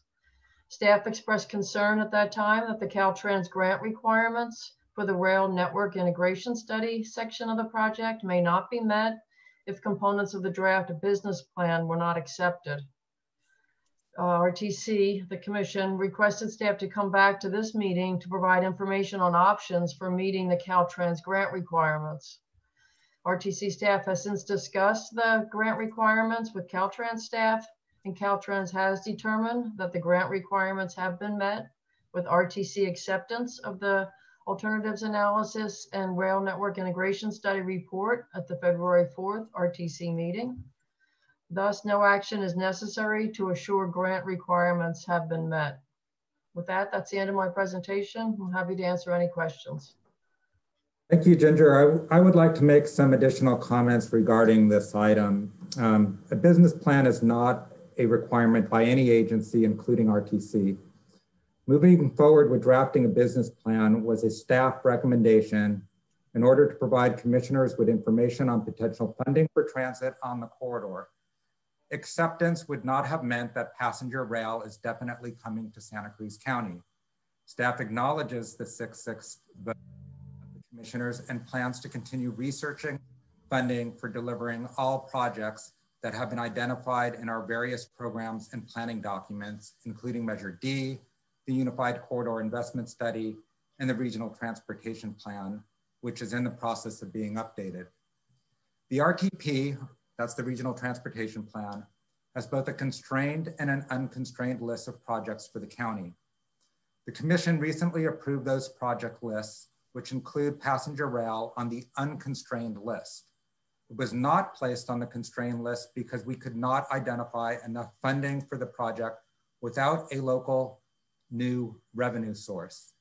At this time, passenger rail will continue to be included in the RTP unconstrained list for Santa Cruz County. The project will also continue to be identified in the state rail plan, which is an ambitious plan consisting of both projects to enhance existing rail service and various projects for new service, both now and into the future. In developing the business plan, our biggest challenge was identifying a potential funding source for the next step, which would have been preliminary engineering and an environmental document. Historically, state and federal funding has not been made available to fund this component of the work, and certainly not without a significant local match. Staff met with Caltrans Division of Mass Rail and discussed how hard it is for local jurisdictions to fund this early stage of such a large project. To fund this early stage of the project, locals often need to direct several years of regional discretionary funding for this component of work unless they have a dedicated funding source.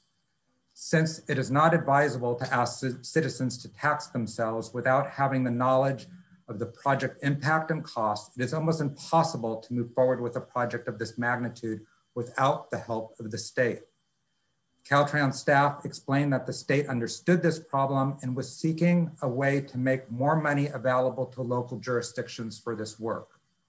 Caltrans staff identified one possible funding source, the Emerging Corridor Fund within the State Rail Assistance Program. This is a small account and RTC project would be eligible. There would be no guarantee of funding. And in fact, a subsequent meeting with Caltrans staff indicated that the fund would not be able to fully fund RTC's project with the state rail assistance money, even though a local match is not necessarily required. Caltrans staff thought that over time, some Caltrans planning money may be able to be diverted to rail projects to help close the gap. In summary, RTC has not turned down any funding that has been made available for a rail transit project in Santa Cruz County. In summary, RT staff is, RTC staff is responsible for seeking funding for RTC projects. I plan to continue to investigate the likelihood of any funding for any of our projects and advising the commission and seeking direction moving forward. Thank you. Thank you. Is there any questions from the commissioners? Commissioner Rotkin. It's not a question, it's a just brief comment. I'm like not making an argument. I just want to highlight that what uh, our executive director just told us is that the information that we got, many of it, all of us got, and I uh, myself believed for some time was that there is not $17 million from the state that's available for us if we just ask for it with no local match.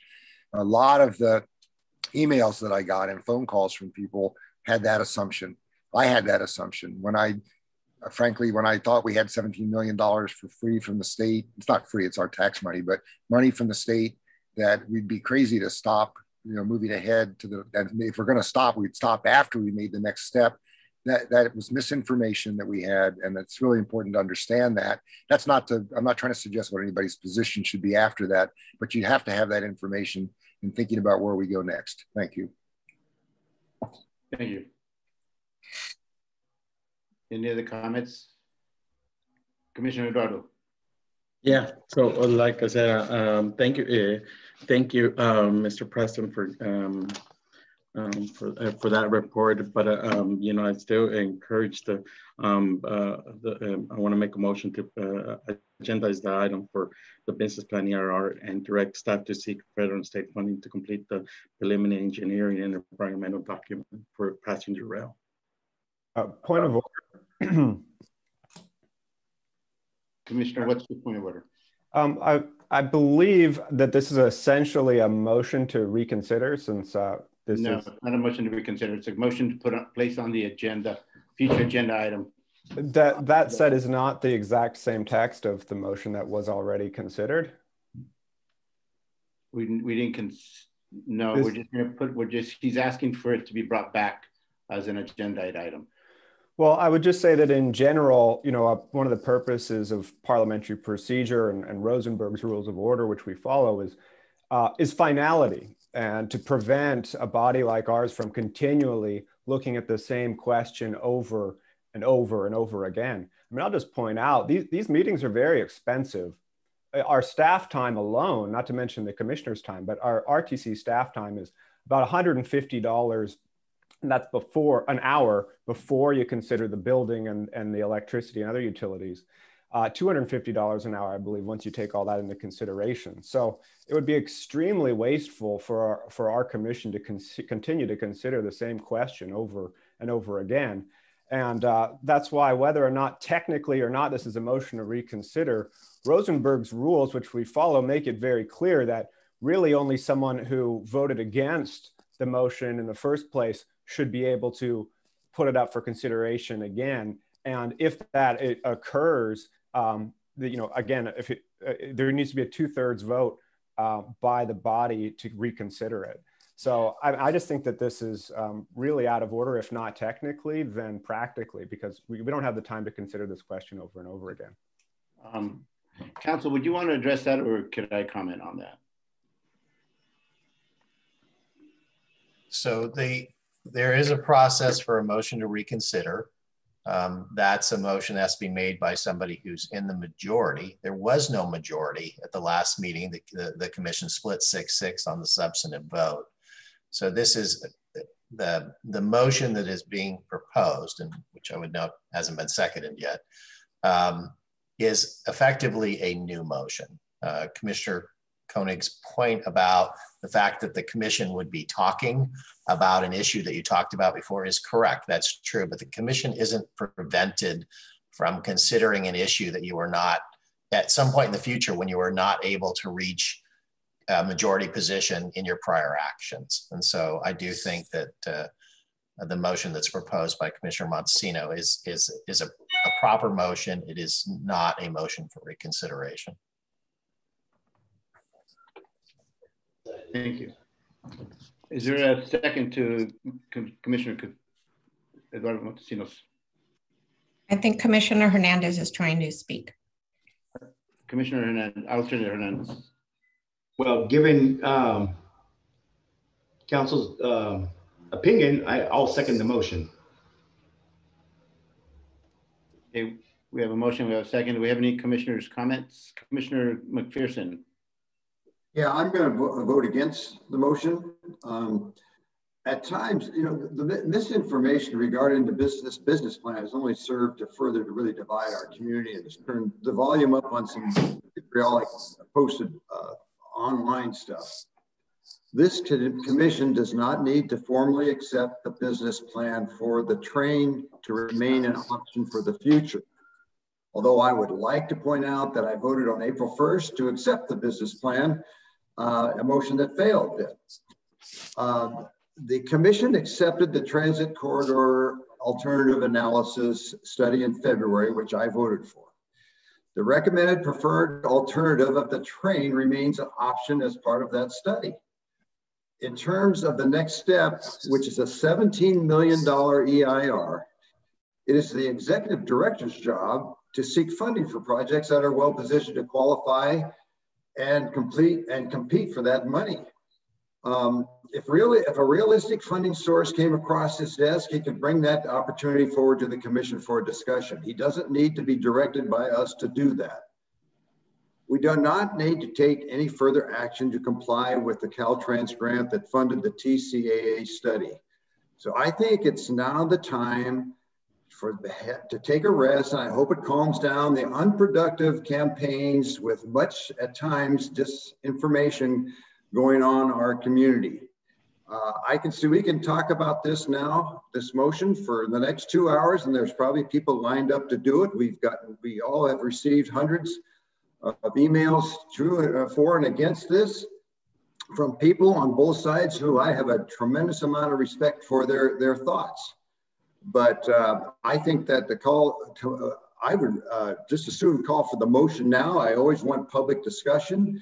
But I, I can tell you, we're going to end up with a six to six vote on this motion. I, um, well, I don't know. I, I, if, unless you want to prove me wrong, I think we ought to call for the motion and move on. Commissioner uh, Kristen Peterson. Thank you. Yeah, I um, I would like to echo what Supervisor McPherson just said. I think it's he makes some really important points. Um, I'd also like to um, to thank Guy for clarifying some of the misinformation and misconceptions, uh, specifically surrounding the idea that the state will will fully fund any kind of EIR moving forward. Um, I I have also spoken with many people on both sides of this issue, people who I greatly respect and appreciate their opinions and um, and insight and input on this. Um, and with that in mind, I also want to encourage those on both sides to consider um, toning down some of the incendiary rhetoric that is on both sides right now that really goes to attack those whose opinions we don't agree with or who is not on our side. It's not productive. Um, it's damaging to this conversation and to the uh, ability for for us as a body to make decisions uh, in a way that um, that we can do so um, without the the concern that there will be either personal attacks or attacks of a nature that aren't related to uh, sticking to facts and um, and information uh, that can be proven.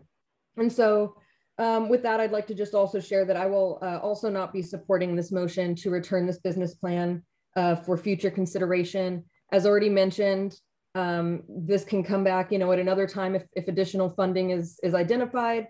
Uh, I had someone call me yesterday indicating that they received information that this could never come back to us again.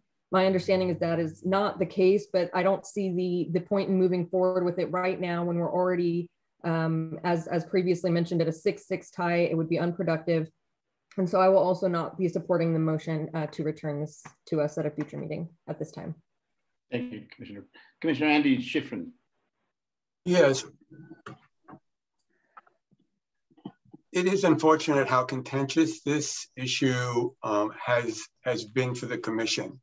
I do appreciate the clarification that Guy gave that, in fact, the business to accept a business plan or not accept a business plan is not a particularly meaningful action. Um, the commission, I think the thing to focus on is that the commission did accept the TCAA um, recommendation that rail is the preferred alternative. That, to my mind, is the last action that a majority of the commission supported.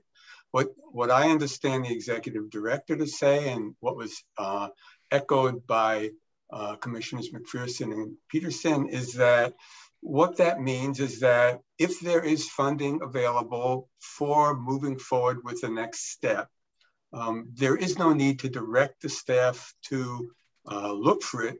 They will be looking for it. And if it is available, they will bring it back to us. And then we can have hopefully a productive discussion of whether it's worth pursuing or not. But at that at this point, when there isn't the full funding available, I, I, am not sure it really is productive to uh, end up with a split that has symbolic value of pro and con, but doesn't really help um, move the process forward. Um, so I, don't want to vote against the motion. I don't think it will be productive to uh, have a 6-6 vote and then have the opponents of rail say, yeah, we killed rail again. I would ask the maker and the seconder to consider that, in fact, what they want to happen has happened. It doesn't need a vote of the commission to accept the business plan. The business plan is not the determinative document. The determinative document was a TCAA. And that was, uh, you know, the commission accepted that document with rail as the locally preferred alternative. Um, I want to say something. I want to thank all the people who contacted uh, me, and I know other commissioners as well, on both sides, and particularly those who wrote long uh, explanations of their point of view. Many of those people talked about the community agreeing with their point, with their perspective. I think it's it really made me realize that we're not really talking about a community when we talk about transportation. We're talking about a bunch of communities. And those communities have different priorities. There's the rail priority, there's the highway priorities, there's a trail priority, there's a bus priority, there's local roads priority. And all those priorities led to the passage of Measure D because they all agreed that the deal that provided for all of them is um, uh, was worth supporting. Measure D didn't pass by much. It needed all of those communities to support it. And the commission, I think, has been moving forward with the various, uh, the various components of Measure D. We've gotten a lot of highway money. We've gotten a lot of outside trail money. Um, where you know there millions of dollars have gone to local roads and a great deal of money has gone to the transit district. And i think we've been you know trying to uh, move forward with rail as well uh, because that was what was part of the deal with measure d. And i think what staff is saying is it's still part of Measure D, but we don't know what the funding is going to be. We don't know uh, when or whether it's going to be available, but should it be available, the commitment that Measure D made is going to be carried out. So I, I really feel that this sort of contentiousness and having people be angry on both sides um, and feeling that this is a knockdown drag out decision on whether we're going to de deal with rail or not is really not what's going on.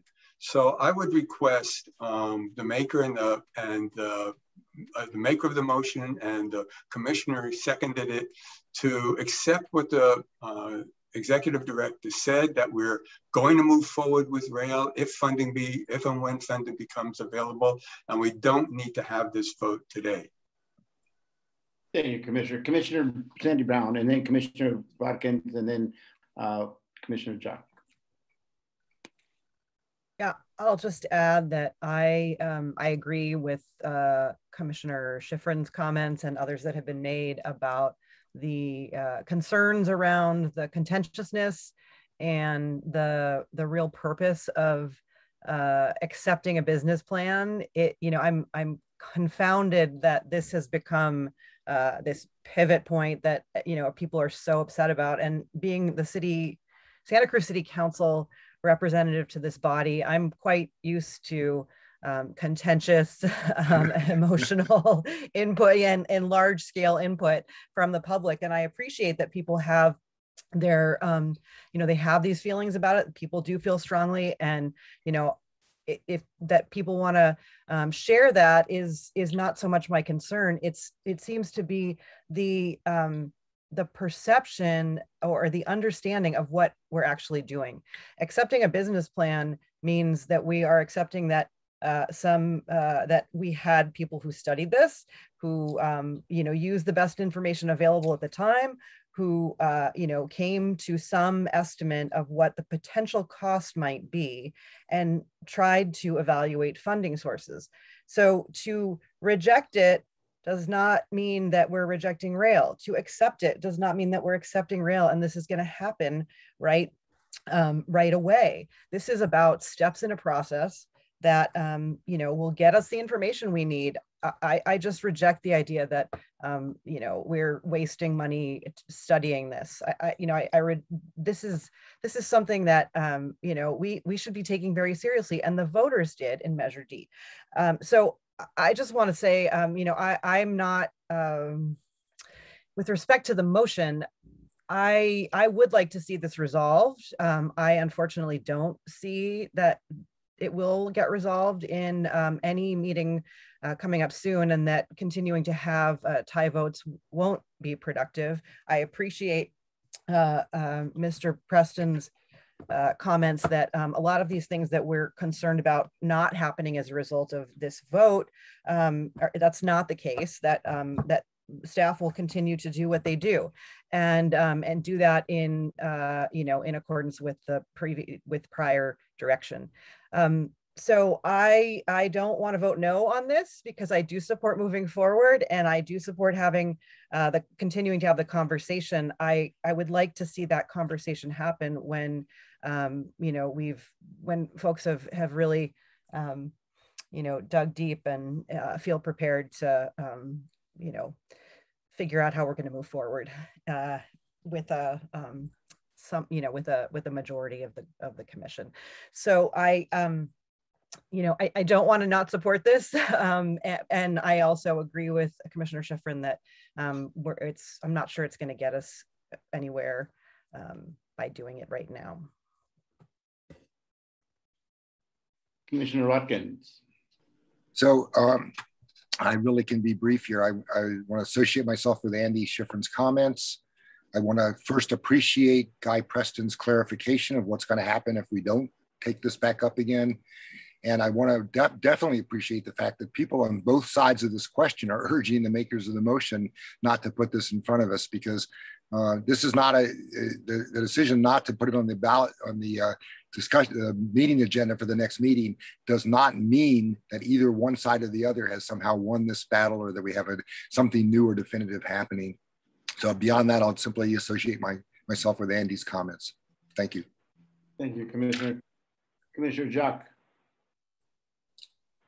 You're muted.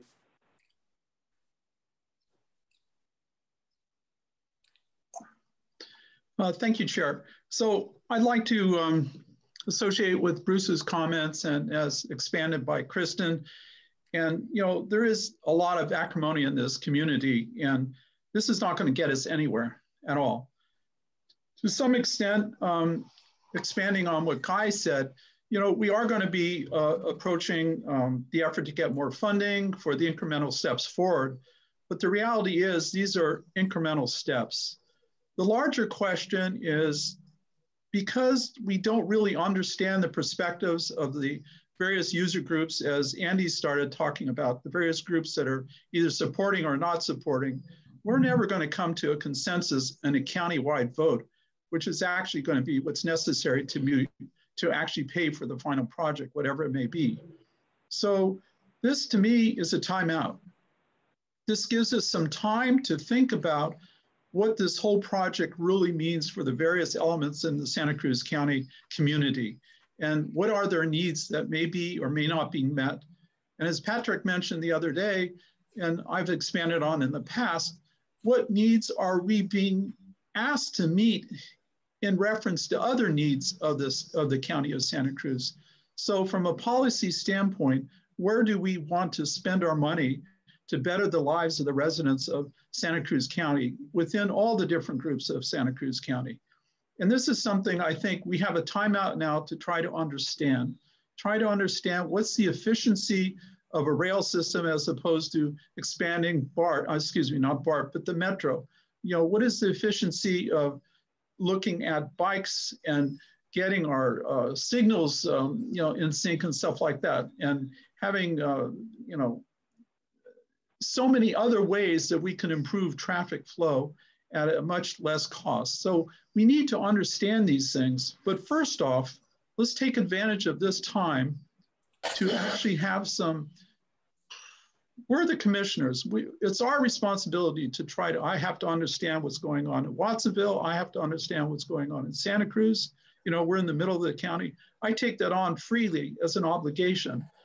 And so getting back to Andy and others, this vote, and I asked Eduardo and I asked Felipe to withdraw your motion. And the reason why is because I think this continues the contention. If you take this action, I think you're recognizing that we don't want that to continue. We want to have a conversation to continue, to start listening to each other. And with that, I'd also like to say, I appreciate all the people who've given their emails. A lot of the comments are great. I appreciate the, I mean, I realize that there's a lot more to this than, you know, than I think most of us realize. And so this is a timeout for me, and I hope it's a timeout for the rest of the board.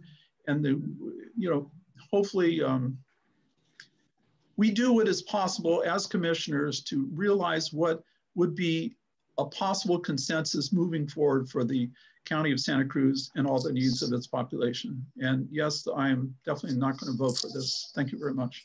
Thank you, Commissioner. Commissioner alternate Patrick uh, thank you, Chair. I very quickly wanted your, your voice is muted or messed up somehow. Muted or something's wrong with your audio. I just uh, wanted to thank Caltrans for uh, being flexible in the requirements for their grant funding. Um, it's pretty big. I mean, they're a huge partner to us in this county, so it's nice. Uh, it's nice to work with them. So thank you. Okay. Um, before I go on to anybody else, I'm going to make a comment here. Um, I'd like to thank staff for their clarification, but you know, I'm a little confused here at the same time. Uh, you know, staff came before us asking uh, that we approve the business plan so they can have a guidance, something to guide them into the future. It wasn't an immediate action thing. Um, also, they asked us to give uh, staff direction to be able to go seek grant funding. Again, this is seek grant funding. It's not um, immediately, but look for it. If it's there, go after it. And I think that's what was uh, the purpose of, of the business plan um, and directing staff to go that way. Uh, and again, it wasn't an immediately, let's do it tomorrow. It's, it's a, how they're going to work their process, but at least staff had direction from us as commissioners uh, and giving them guidance on that. But you know, now that the, the executive director has clarified that he really doesn't need our vote on this to seek forward funding or uh, procedures, um, it was kind of, I'm, I'm kind of thrown back because it's kind of like a, uh, you know, uh, Supervisor uh, Cummins said a waste of money and funding and resources um, because, you know, staff brought us this to us so we could help them uh, so they could move forward into the future. And now they're taking steps back and saying, well, you know, we really don't need your vote. We can move forward. Um, and so I'm, I'm kind of thrown back at that uh, prospect. And, and it, this is an important subject for our community overall. Um, it's important not to close out the community. Uh, I, I, know you guys don't want to have this brought back, but I think it's important that the community have their voice. You know, we heard just there's over 500 people that want to get in on this meeting. It shows the significance of importance to our community and, and then we put this back on the agenda. So we just give the community an opportunity to continue to voice uh, their opinions and, and, really start learning more of what's going on. Um, and so I'll support the motion still because I think it's important to allow the community to continue to voice themselves and that we don't shut that door on them. Uh, and because they are, they are, they are the taxpayers. They are the ones that we're using their funding. Um, and as far as funding goes in resources, as uh, Supervisor Manu said, uh, you know, it, it, they are spending money. Uh, actually, me, um, it's costing me money uh, because the little that I get compensated for this does not compensate me for the amount of time that I spent on this. Um, I'm not compensated the equal as the county supervisor is. Um, it's way, way much less. And so I, I, understand that, you know, energy and time is, is important. But it, I, I, think it's important that the community have that opportunity to be able to continue to voice themselves. And by not allowing them that next meeting to continue to voice, uh, I think we're just going to shut the door on them. So, uh, and that's the reason I'll support this to bring it back to the agenda to give the community an opportunity to continue to speak. Thank you. And so with that, um, Andy, I know you spoke already once, Commissioner alternate, uh, but Commissioner uh, Eduardo Montesino, would you like to step in? Yeah, uh, yeah. Please, thank uh, thank you for uh, giving me the time to recognize. You know, um, uh, seeing uh, all of you, uh, all of your comments, and um, you know, um, especially you know, Commissioner Schiffrin's um, point of view. I think you know, you you swayed me to put a put my put my motion out of consideration. Um, if the second one is is willing to consider pulling it. Mr. Chair, I suggest you call him the second next. Oh. Commissioner Alternate Hernandez. I'll withdraw my second. Okay, motion's been withdrawn. Um, I'm going to go ahead now and take it back to the out to the public. Mr. Chair. Yeah, Commissioner uh, Randy Johnson also had his hand up. Oh, I didn't see him. He's not on my screen. Sorry, I apologize. Commissioner Randy Johnson. Uh, that's okay, uh, Chair. I, I um, the motion's been withdrawn, and I, what I'm looking for is I think everybody on this commission is looking for alternatives, um, uh, kind of a consensus uh, that's best for our uh, community. And so being open, um, I think I saw, felt at least a sense of that. And, you know, I, I don't always agree with uh, Commissioner Rotkin, but um, I've always respected him. And I think initially his very first comments were, you know, unless people are going to change their minds, um, it's kind of redundant. And I do believe that people have had a chance to speak on this. Uh, they did in April. Um, so um, thank you, uh, Chair. Thank you, Commissioner Johnson. Commissioner Rotkin. Um, I'm not going to do this as a motion. I just would like to make a suggestion to the Aurelio, our chair, that we not, uh, unless our uh, legal staff overrules me, that this is a procedural motion. And I don't know that we need under the Brown Act to take comments from the public on it. If you just either he would suggest that we do or that you decide that we should, I'll leave that to your judgment. Um, I would suggest that you give people one minute each because I do not believe hearing these comments will in any way advance our conversations. People still have many opportunities to reach all of us with their views to try and persuade us to change our minds about a variety of things and so forth. But I don't think it's productive for us to sit and listen to two two minutes each or three minutes each. Let's say two is what you were going to do uh, from everybody. So please either you know find out whether we don't we have to actually take these comments at this point, and if we do, please limit them to one minute each. That's just I'm not a motion, but a, a plea to you as the chair. Commissioner, just, just for clarification, before this motion came before us, to allow uh, the community to speak on, uh, on the business plan, on this item, on the agenda on 25. And so I'm gonna go ahead and proceed with that and respect them. It's not gonna be on the procedural motion that was made. Um, okay. It's gonna be on the item 25. Thank you. It's your judgment. I appreciate it. Comments and uh, if they can keep them as brief as possible, we greatly appreciate it because there's a lot of folks that, that do want to make those comments and uh, engage. And so it's important that we allow the community to continue to engage with us. Is that all from the commissioners? Commissioner Andy Schiffrin, you still have your hand up. Yes, I, I just want to uh, thank uh, Commissioners Montesino and Hernandez for withdrawing their motion. I think it, it is helpful. And I did want to respond to uh, you as the chair regarding your concern about public comment.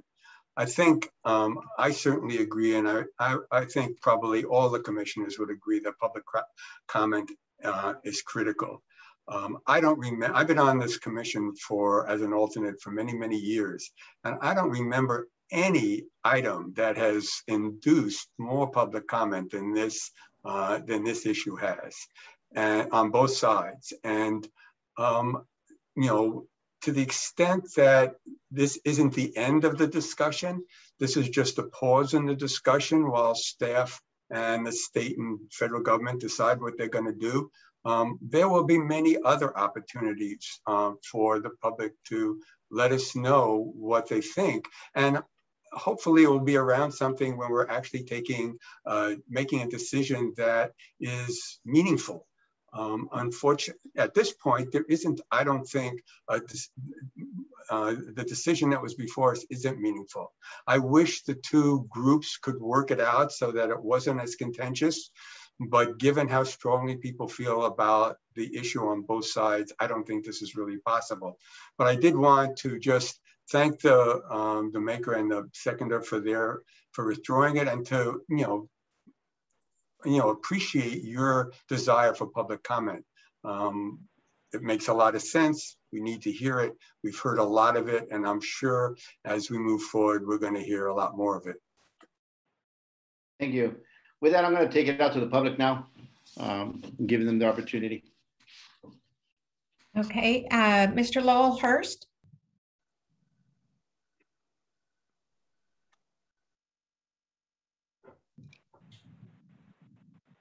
Mr. Hurst, you're recognized by the chair. You have two minutes. Hello? Is that me you're talking to? Yes. Yeah. you lost a minute already. Uh, thank you. I, yeah.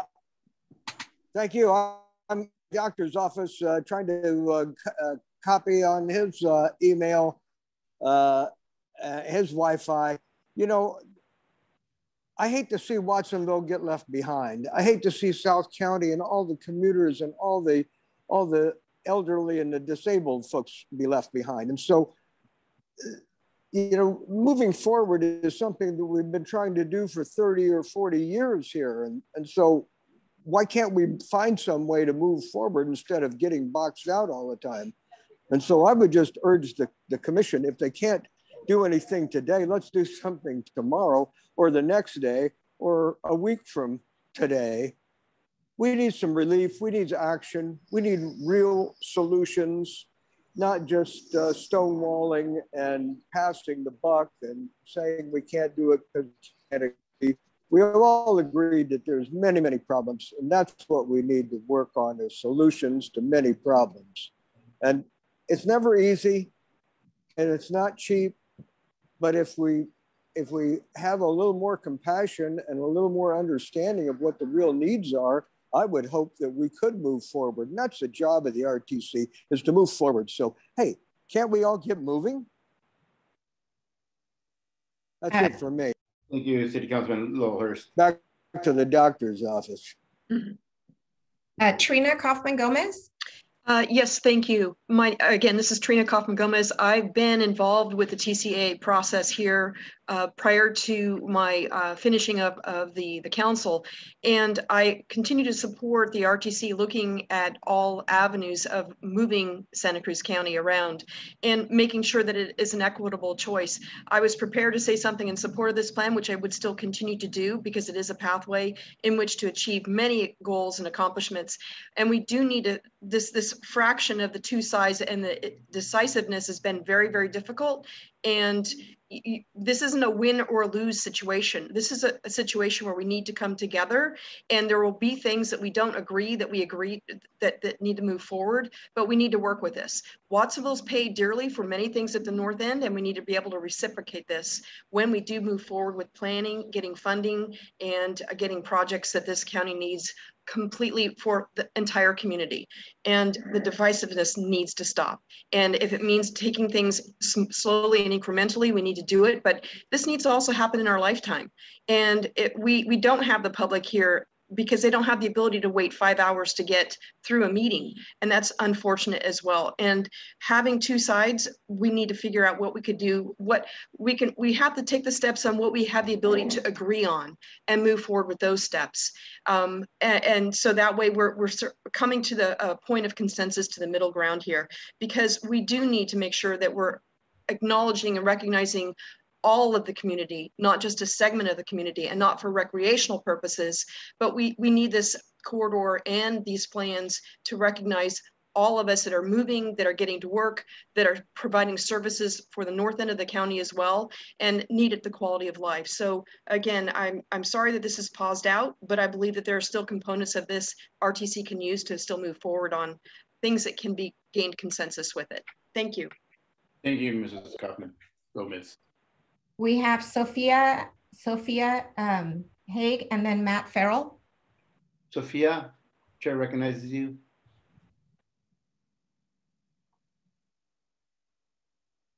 Can you unmute yourself?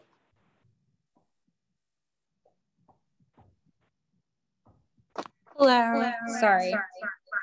Fine, uh, yep. My name is Sophia Haig. I'm a Cabrillo College student. I'm urging the RTC to end the delay in implementing passenger rail service in Santa Cruz County.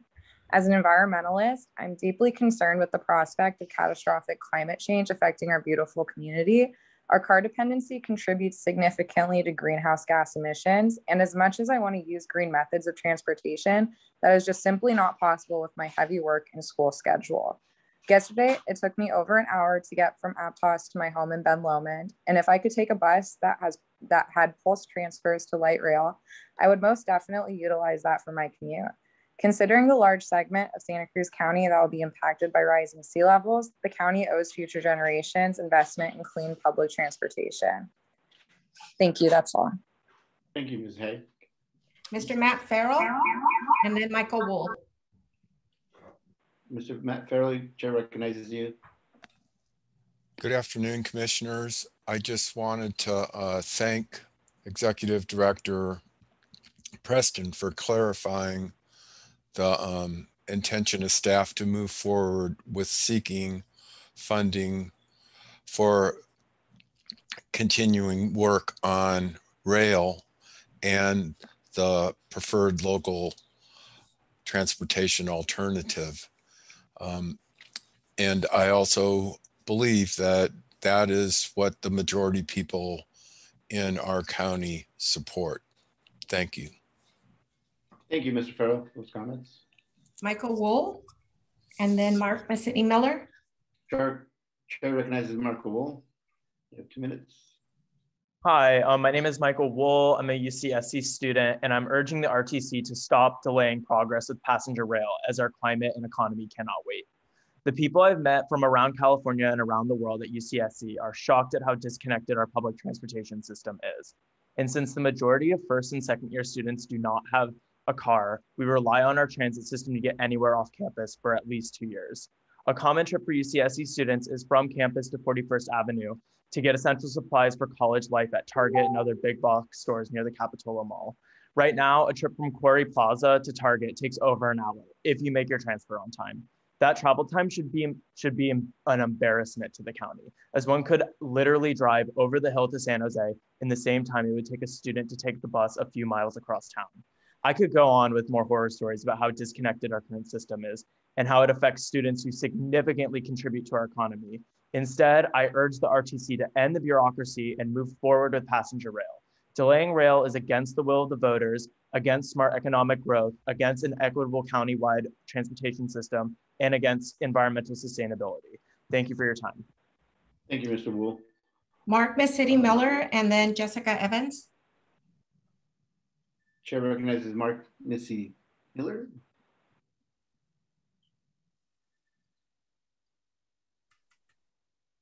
Mark, you unmuted?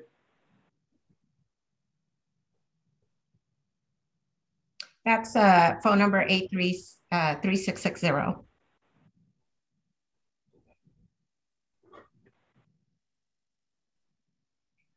no, we're going to move on to the next one. Okay. Okay, I can, I think I just unmuted it. Can you hear me now? Yes. Yes. Okay, greetings, Chair Gonzalez and Commissioners. I guess you know my name's Mark Mesiti Miller. I've been a resident of Santa Cruz for 38 years. I know you have been inundated with an avalanche of support for accepting the business plan and moving forward with the long range planning of rail service. I hope you paid special attention to the resolutions of support unanimously adopted by both the city councils of Watsonville and Santa Cruz, the two largest cities in our county. In case you missed it, both resolutions have the following language in common. Quote, Whereas, according to the U.S. Census Bureau, the population of Watsonville, of which many commute to Santa Cruz for work and school, is over 80% majority Latinx, and the per capita income of Watsonville is less than half the per capita income of the majority white population of the three North County cities of Santa Cruz, Capitola, and Scotts Valley. Whereas, developing, operating, and maintaining passenger rail service between North and South Santa Cruz County and connecting to Monterey County and the rest of the state and national rail network will facilitate a decrease in the long-standing and substantial per capita income gap between the majority Latinx Watsonville residents and the majority white North County cities of Santa Cruz, Capitola, and Scotts Valley. End quote. Recognizing that many folks seem focused on the almighty dollar at the end of the day, your vote on this matter is also, and perhaps most importantly, about equity, equity, and equity. I trust that your position reflects where your conscience has led you. Thank you. Thank you, Mr. Miller. Jessica Evans and then Faulkner. Jessica. Hi, Commission. Thank you for the opportunity to speak. Uh, I'm speaking now as a representative of the Santa Cruz County Friends of the Rail and Trail. So this is the official Rail and Trail statement. First, I'd like to say that our policy is to always stay positive and courteous to the commissioners and to the members of the public.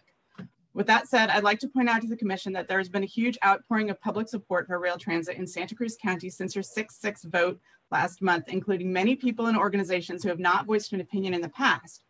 Here are some of the new organizations who sent letters after last month's vote to ask you to move forward with the long-term plan for rail transit. The Santa Cruz County Democratic Central Committee, the Pajaro Valley Cesar Chavez Democratic Committee, the San Lorenzo Valley Women's Club, the Monterey and Santa Cruz Counties Building and Constructions Trade Council, the UCSC Lobby Corps and UCSC College Democrats, Youth for Climate Action. In addition to the agencies and organizations who have expressed support for rail transit, 679 unique individual members of the community have sent email to the RC, RTC using the Friends of the Rail and Trail email links or forms. This does not include other members of the community who have used their personal email to send comments. We roughly estimate around a thousand individual members of the community have expressed support for rail transit. We have made a rough estimate of 200 to 300 individual members of the community who have expressed opposition to planning for rail.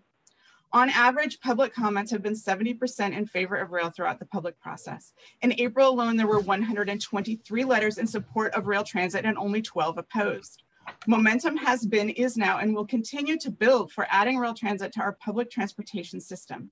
Public transportation supporters are not going to give up and disappear. The community wants the RTC to move forward with long range planning and implementation of rail transit.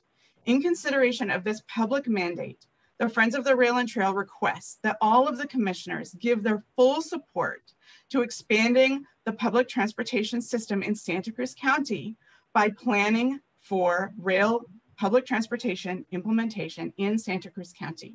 You'll also find a slightly longer version of these comments in your packet. Thank you so much. Good day. Thank you, Mrs. Evans. Uh, a minute, I, uh, you said it just so you know, I see Veronica Elsea's hand. Yes. She's on the she's on the list. Okay, just wanted yeah, to know. So, um, I have Faulkner and then Emily Trexel and then Veronica. Chair recognizes Mr. Faulkner. Hi, uh, thanks for taking my statement. Can you hear me? Yes. Great. My name is Lonnie Faulkner, and I've lived in Santa Cruz for decades in Live Oak since 2005. And I support the business plan for clean, quiet electric rail that runs through Watsonville, from Watsonville to Davenport, and a trail. In 1990, with Prop 116, the voting majority entrusted our representatives to move forward with investing in rail along the north south corridor.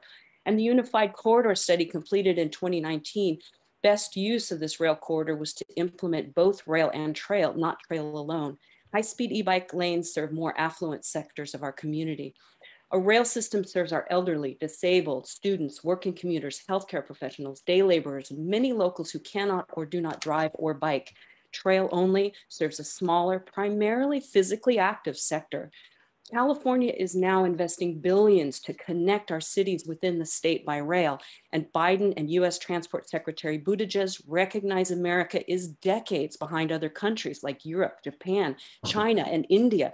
And they are continuing to plan and commit 165 billion in this country to support rail and in-city transit. Rail is the answer to a greener future. Our neighbor Monterey is building a rail system that connects them to Watsonville. Our rail system would allow us to take rail from Davenport to Monterey, as well as rail to San Francisco, Reno, Denver, and cities across California and the country. Rail is our future. Not providing rail to members of this community cuts us off from being able to connect by rail with the rest of the state and the country. We do not need more cars on the roads or self-driving Teslas or polluting gas vehicles. Young people today are moving to cities which offer high quality light rail. Light rail in Santa Cruz County would serve people well into the future and community members would use rail the most who can, cannot attend this meeting today to speak for themselves Thank due to work and school. Emily Trexel and then Veronica Elsea. Emily, Chair recognizes Emily Trexel. Hi there. Can you hear me? Yes. Are you able to hear me? Okay. Yes. Uh, hi. Okay. So the first thing, um, you know, it's been stated that I know the chair originally said, well, nothing happened at the last meeting, but it did. The reality was the six to six vote was a tie. That means it wasn't, it was decided that it wasn't feasible. It didn't you didn't approve the, the business plan. And I think that was the correct decision. I think I support you, and I think that it would be um, not another revote for the same result, determined to not be financially feasible. I don't think that the people who don't support this project at the moment say that we don't want greener options. Of course we do. Absolutely, 100%. But I always have to wonder when we hear the commentary about the wave of the future, greener, um, reducing gas emissions. The reality is, I have to wonder if they read any of the 200 page agendas and information and business plans that appear. The reality is, it was estimated that this would reduce about 3% of the cars on Highway 1.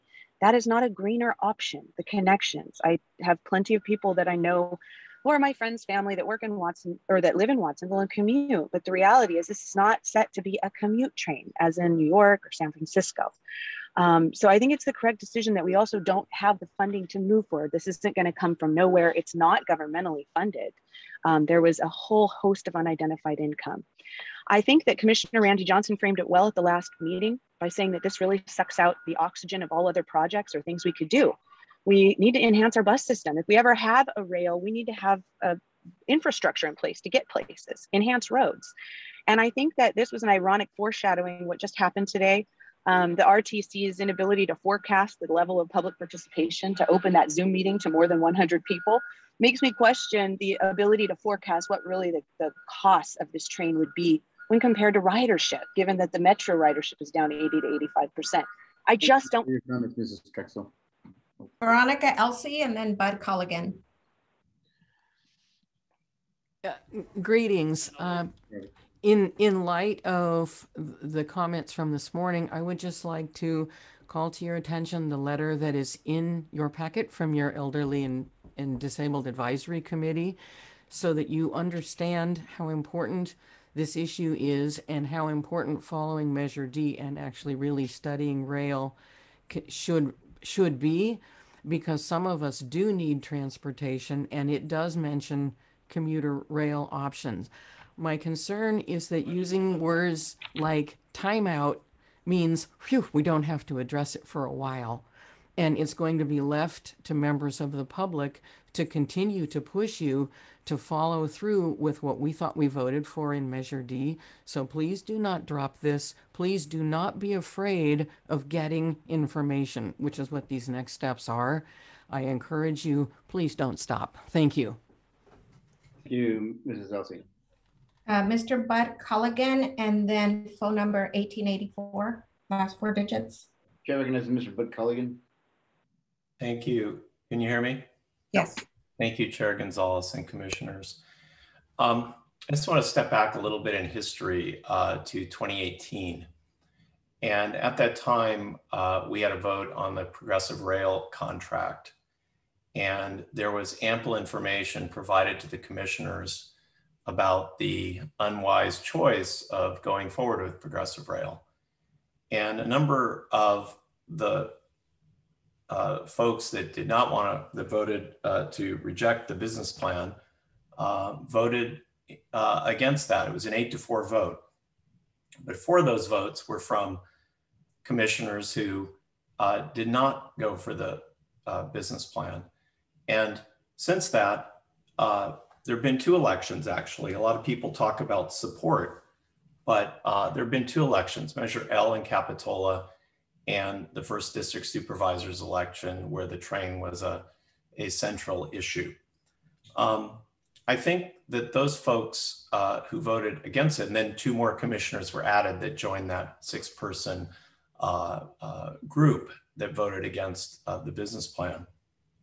So I think that uh, history tells us something. Uh, Winston Churchill said, if, if you don't learn from history, you're condemned to repeat it that they were right and uh, that we wasted a lot of time and money on something that we shouldn't have after Progressive Rail uh, uh, canceled after two years. And all the same people that are talking on this call today uh, in favor of passenger rail were the same ones that said we should vote for Progressive Rail. So let's learn from history. Um, Greenway has been signed by 10,000 people the Ford petition has been signed by 1,475. There's a large difference of support between the two petitions. Okay, uh, last four digits of the phone number, 1884, and then Tina A. Chair recognizes 1884. You're on, there you go. Chair Gonzalez and commissioners, my name is Gina Cole. I'm with Bike Santa Cruz County. I am also a resident of Watsonville. Bike Santa Cruz County appreciates everyone's advocacy um, throughout the years for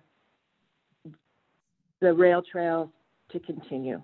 And I, I really took to heart all of the, the comments that the commissioners made today. I feel like with new information um, that we can continue to move forward, we will do so with more purpose. To quote my friend Nancy Falstich from Regeneracion in Watsonville, now is the time to be both brave and bold. And I encourage you all to be brave and bold. Time equals money. Time also we can't take back as far as climate change is concerned. I know that many folks have concerns about the future of rail in the county. And I'm sure that many, many other folks have offered you the facts and figures that support the multiple facets of this complex project. Dis dismissing the business plan as folly, however, is not going to result in a win for anyone. It was a well thought out plan. I know it's off the table, but I feel like we can still abide by some of its guidelines. We all understand that reaching the goal of completing the rail, coastal rail trail is not going to be quick, easy, or cheap.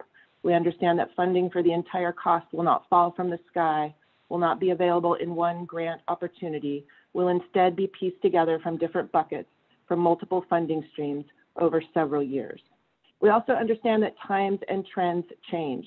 The county residents of 2031 or 2041 may not have the luxury of living in a house with a yard away from the density of our city's downtown centers. They may not have space to park more than one car. They may intentionally choose not to drive, but rather take public transportation across the county. Thank you. Ms. Looking Cole. at comments. Uh, we have Tina A and then David Van Brink. Chair recognizes Tina A. You have two minutes. Hi, this is Tina. Thank you for taking my call. Firstly, I want to address the Measure L. Though our paid staff. Can you hear me? Yes. Okay, so um, I think uh, the delay is a tactic by a small group of very influential and wealthy um, people when the entire community supports really rail and trail. Uh, Watsonville, 86% look at the support from um, during April, uh, the uh, City Council of Watsonville unanimously backs five years of, um, of coastal rail, uh, of supporting the coastal rail trail. And I think we should support them. Also, I think Metro, if we link that with the um, rail, it will be very beneficial. It will be a great partnership. It will effortlessly produce a greater good if they're both linked together. I definitely feel that we need to support, like I said, Watsonville, so I'm a little nervous. Um, and the delay tactic of the anti-rail, this has been going on for a long time. A number of years ago, Greenway actually sued um, as part of the section south of Aptos. And fortunately, the federal, the judge ruled in favor of the RTC. So their tactic is let's do more delays, let's cost more money.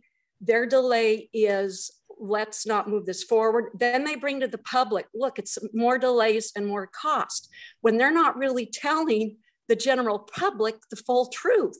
They're the ones that are delaying it. They represent the folks that aren't driving every day to Watson from Watsonville to work. They have the privilege of sitting at home in their beautiful homes and they're not exposed to the horrific traffic jams. Your comments. We have um, David Van Brink and then Joseph Haleen. Mr. Van Brink, Chair recognizes you have two minutes. Uh, hello, can you hear me okay? Yes. Um, hi, I'm David Van Brink. Um, thank you for the clarification from Director Preston. I'm very pleased to hear that we've sort of, you know, officially acknowledged that indeed it is worth staff hourly time to continue to pursue uh, funding sources. Uh, I do hope that under this light, all future planning continues to respect the future of mass transit within the corridor, uh, aligning with the TCA, a locally preferred alternative outcome and all other processes uh, up to now.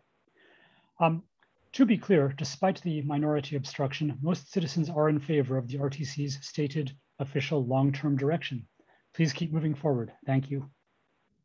Thank you, Mr. Van Joseph Haleen and then Brian Peoples. Chair recognizes, is it Joseph? Joseph. Hi, yes. Uh, thank you for the opportunity to speak. I just want to share some of the organizations who have asked you move forward with rail transportation on the Santa Cruz branch line. The Transportation Agency of Monterey County, the Democratic Women's Club of Santa Cruz County, the Santa Cruz Group of the Sierra Club, Bike Santa Cruz County, Regeneracion Pajaro Valley Climate Action, Ecology Action, their Campaign for Sustainable Transportation, Bike Friendly Watsonville, the California Coastal Commission, the Caltrans Division of Rail and Mass Transportation, the City Council of Watsonville, the City Council of Santa Cruz, the Santa Cruz County Regional Transportation Commission Elderly and Disabled Transportation Advisory Committee, the RTC Interagency Technical Advisory Committee, the RTC Bicycle Advisory Committee, and the Santa Cruz Area Chamber of Commerce. There's a clear mandate from the public to plan for rail transit in Santa Cruz County. I ask that you place the rail business plan back on the RTC agenda. Please take a new vote, accept the business plan, and move forward with planning rail transit for the future of Santa Cruz County. Thank you for your consideration. Thank you, Joseph. Your comments? Brian Peoples and then Jack Brown. Chair recognizes Brian Peoples. Hi, this is Brian from Trail Now. Um, the debate really isn't between a train or trail. Actually, the debate is over when are we going to open up the coastal corridor? That corridor has sat there for 10 years under our taxpayer owned property, and it's a valuable transportation resource. We now know that we can rail bank it, and we also know that those old railroad tracks have to come out. We also know that it's those tracks are actually worth a lot of money they actually uh, recycle value will pay for the interim coastal trail. So we've studied a lot, but now we need to realize that the key here is we need to start using that property. So we need staff to start looking at how can we use that coastal corridor now? What can we do to move forward? And we know what we need to do. We don't have to reinvent the wheel. It's well known. So we need to rail bank that property now, and we need to start building the interim coastal trail. And I'm hopeful that there is no more delay of this because when construction of Highway 1 begins and when Murray Bridge retrofitting begins, we you think traffic's bad now. You wait till those contract construction uh, begins. So it's very, very important for our community to open up the coastal corridor now. Thank you for your time. Thank you, Mr. Peoples. Uh, Mr. Jack Brown, then Barry Scott.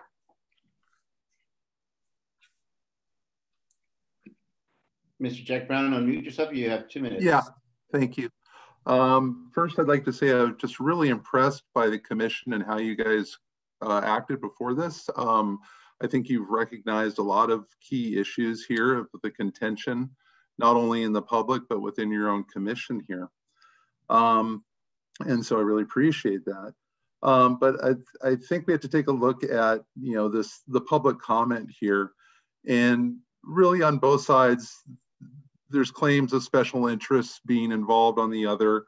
And, you know, we, we kind of see it, especially with Fort, where, you know, they put petitions out where, you know, there's signers on there from Nebraska and Maine and across the country, and they're, they're filling the in, inboxes with non-verifiable email accounts stating that they've got the majority. And there's people on the trail side that say they have the majority. But the big elephant in the room really is, is that there's never really been a vote by the public for rail or trail and how to get through with this. And I think that was a big misconception that Schiffrin and Brown made earlier. Measure D did not account for rail. Um, it made for lots of things. It allowed for a study and maintenance of the corridor, but it, it wasn't a, a, vote on rail. So I really um, would like to, to have the Board of Supervisor members of the commission and, or their alternates that are here to really go back and say, you know, you really need to take this to the public because it's always going to be a stalemate in the commission and it's always going to be a lot of misinformation going back and forth until we really have that vote. Um, so I look forward to uh, a good positive action here and, and that the commission can start moving forward on some real transportation issues here in the county. Thank you. Thank you, Mr. Brown. Barry Scott and then Maria Solis Kennedy. Uh, Chair recognizes Mr. Barry Scott. Uh, thank you. Uh, thank you, Chair Gonzalez, and thank you, RTC uh, and, and, and Mr. Preston for the clarifying uh, comments. I, I, you know, I, I the, division concerns me too, and I see a lot of misstatements on all sides. It's not just two sides. Uh, and I see a lot of uh, logical fallacies used, these, these binary arguments like it's rail or it's trail, you can't have both or it's rail versus metro and you can't have both. And I'm, I'm, of the, I'm of the opinion that you can have it all. We really, in fact, when you put things together, you get a remarkable uh, network. But uh, more than anything else, I'd like to speak to the development of these, the, the, the train technologies, the rail vehicle technologies that are possible here. In 2015, we looked at exclusively diesel, fossil fuel trains. Uh, the unified corridors then came together and looked at rail and trail and found the trail only uh, wasn't wasn't uh, a, a, useful option, but rail with trail was the best use of the corridor. But still, we were looking at diesel technologies. The TCAA looked at 18 different options, including Hyperloop Underground, uh, and came back again and said rail transit's the best return on investment. But the prices were still based on large and expensive commuter rail systems. Only this year, fortunately, the business plan identifies electric power as a requirement, not fossil fuels, and for the first time ever, small light streetcars are included as possibilities. but the costs still apply to the larger systems.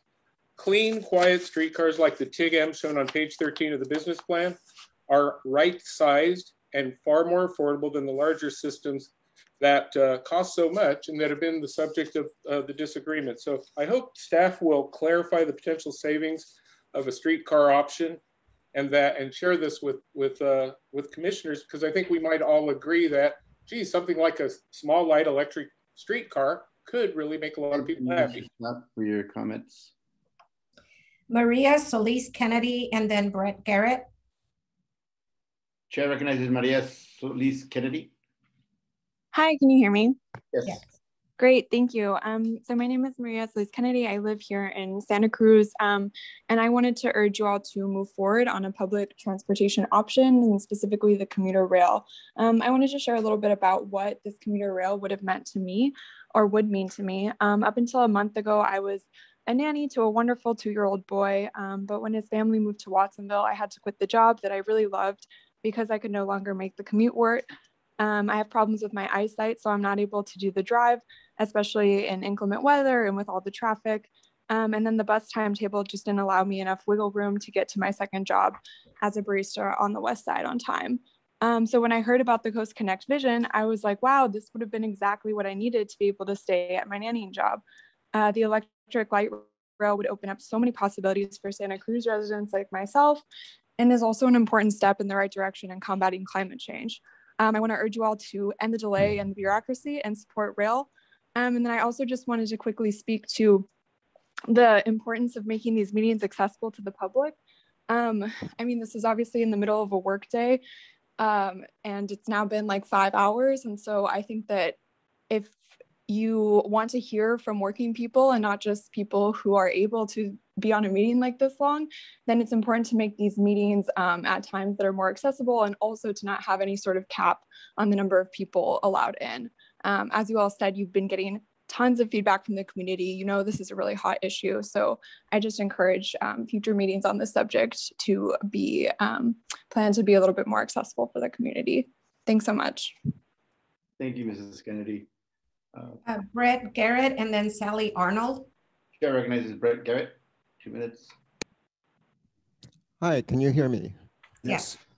Hi, there is a technical difficulty on this meeting. Um, I did not hear the comments from Mark Mesiti Miller, nor from the phone number 1884. The Zoom was completely silent when those two people spoke, which is very odd because I got the impression that you were hearing them. Anyway, back on topic. I keep hearing a wish that the two sides might find a compromise. So I'm here with a possible way. I urge both sides, everyone, to look very deeply into personal rapid transit. PRT is a paradigm shift, better transit without a train. It's the possible consensus option, currently not well understood by many people. Even some consultants don't understand it, but I've researched it deeply, and PRT will provide better transit on the rail corridor and beyond the Glydways project in the East Bay will prove viability. Just please look at the city council meeting just from a few days ago in Pittsburg, California. It shows a, a feasibility study and a, there's a wonderful presentation about how Glydways will work in the East Bay and by extension, it could work here. Um, and there's other uh, providers. I'm not saying that's the only company, but it's the one that is showing viability right now. Thank you. Thank you, Mr. Garrett. Sally Arnold and then Peter Scott. Chair recognizes Mrs. Sally Arnold. Hi, this is Sally Arnold. Uh, can you hear me all right? Yes. Yes. Okay, great. Thank you. Um, well, you know, as many people have mentioned, this is yet another marathon meeting. I'm so ambivalent about that because, like so many of us, I have things to do too. And on the other hand, it's wonderful that we have such an engaged community that cares so deeply that they are willing to pay, spend their time you know, expressing their concerns and their interests and the, their ideas about how to make this community better. And I appreciate all of your patience. Um, I want to just speak for Friends of the Rail and Trail for a moment. Um, we are really pleased to hear from the Executive Director Preston that the staff can continue to seek funding for the locally preferred alternative rail without the commission approval of the business plan. Just because the commission is deadlocked doesn't mean that they cannot continue doing the work needed. And that, and given that, um, and the fact that now once uh, the commissioners understood that, I thought I wanted to commend Commissioners Montesino and Hernandez for withdrawing their motion. I appreciate their flexibility in the light of new information. Um, and I just really want to, um, you know, encourage the staff to continue their excellent work to bring clean light rail to our county. As you can see, it's a very popular thing. You know, people have listed all the organizations that are in favor and the hundreds of people that write and attend these meetings that are in favor. I, I know there's a desire for 100% consensus. We're not going to get that, but we are pretty darn close here in terms of um, uh, the number of organizations and individuals who support Clean Light Rail for our county. There will always be a small minority of people who will object. We can't stop that, but really, we're darn close to consensus right now. Thank you. Thank you, Mrs. Arnold. Uh, Mr. Peter Scott. Oh, Peter sorry. Scott, then Keith Otto. Yeah, Mr. Peter Scott. Chair recognizes you. You have two minutes. You, okay. Can you hear me? Yes.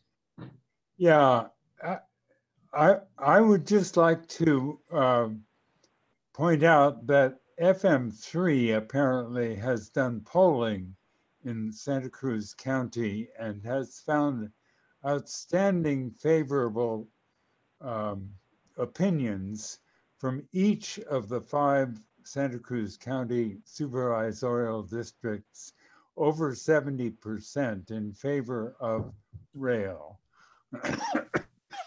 I'm not sure where Mr. Colligan gets his statistics from, but I would urge you to do your own polling and see whether those polls that you do agree with the previous polling done by FM3. So uh, I would urge you uh, support for either commuter rail or um, other options on the rail tracks in the rail corridor. We are very fortunate to have that rail corridor available to us and fortunate to have it owned by our local um, RTC. And thank you so much, commissioners, for all your hard work. Thanks. Bye. Thank you, Mr. Peter Scott. Um, Chair Keith recognizes, Otto, and then Jeremiah Daniels. Chair recognizes Mr. Otto. You have two minutes. Yeah, can the commissioners hear me okay? Yes. Excellent.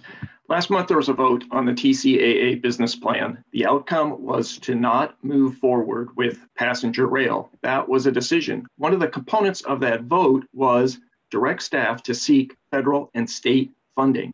That was voted down. Today, one commissioner said something like, staff will do what they will do in reference to continuing to seek rail funding, and then said that staff actions will align with direction from the commission. So my ask of the commission is to do just that and provide clear direction to staff. Do you really want staff and the director to pursue funding for rail? I hope not. If we're serious about evaluating public support, let's have a county-wide vote. This month, just like last month, the underlying facts remain. A train north of Watsonville does not make sense for Santa Cruz County. Let's move on from this train idea and focus on real plans that move Santa Cruz County forward. Thank you. Thank you, Mr. Otto. Jeremiah Daniels, and then Ryan. Chair recognizes Je- Jeremiah Daniels. You have two minutes. Hello, uh, this is Jeremiah Daniels. I'm a resident of Santa Cruz. Uh, I am. Uh, I wanted to correct one of the um, uh, incorrect statements made by Mr. Colligan earlier about uh, hearing the same voices over and over again. I was not part of this uh, debate. I became part of this. Uh, I, be- I became very uh, distraught with the situation uh, when I saw how much outside money was being put into the anti-rail campaign, and it seemed very dubious and devious to see that. This is a new voice, and I plan to stay in Santa Cruz County for a long time, and I want you to urge you to accept the uh, business plan and, and to move forward with light rail uh, using our rail corridor for the people. Uh, is clearly the most equitable and most environmental solution. And uh, it'll help strengthen all of our other public transportation options. It'll help improve uh, everyone's electric uh, bicycle movements and their personal rapid transport solutions that they choose. Uh, but none of those are actually public transportation options, whereas a rail is a public transportation option for everybody, accessible to everybody. And uh, yeah, uh, please, supervisors, make the right decision and, and move forward with the, the, the, the rail. Thank you, uh, Jeremiah. We have Ryan and then Doug. Chair recognizes Ryan. You have two minutes.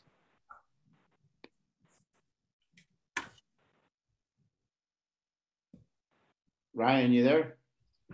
Can you unmute yourself or? You're unmuted, Ryan. Okay, thank you. Sorry about that. Um, I want to follow Mike Rotkin's lead uh, in saying you got to come up with something that's going to move one out of six commissioners or you know somebody.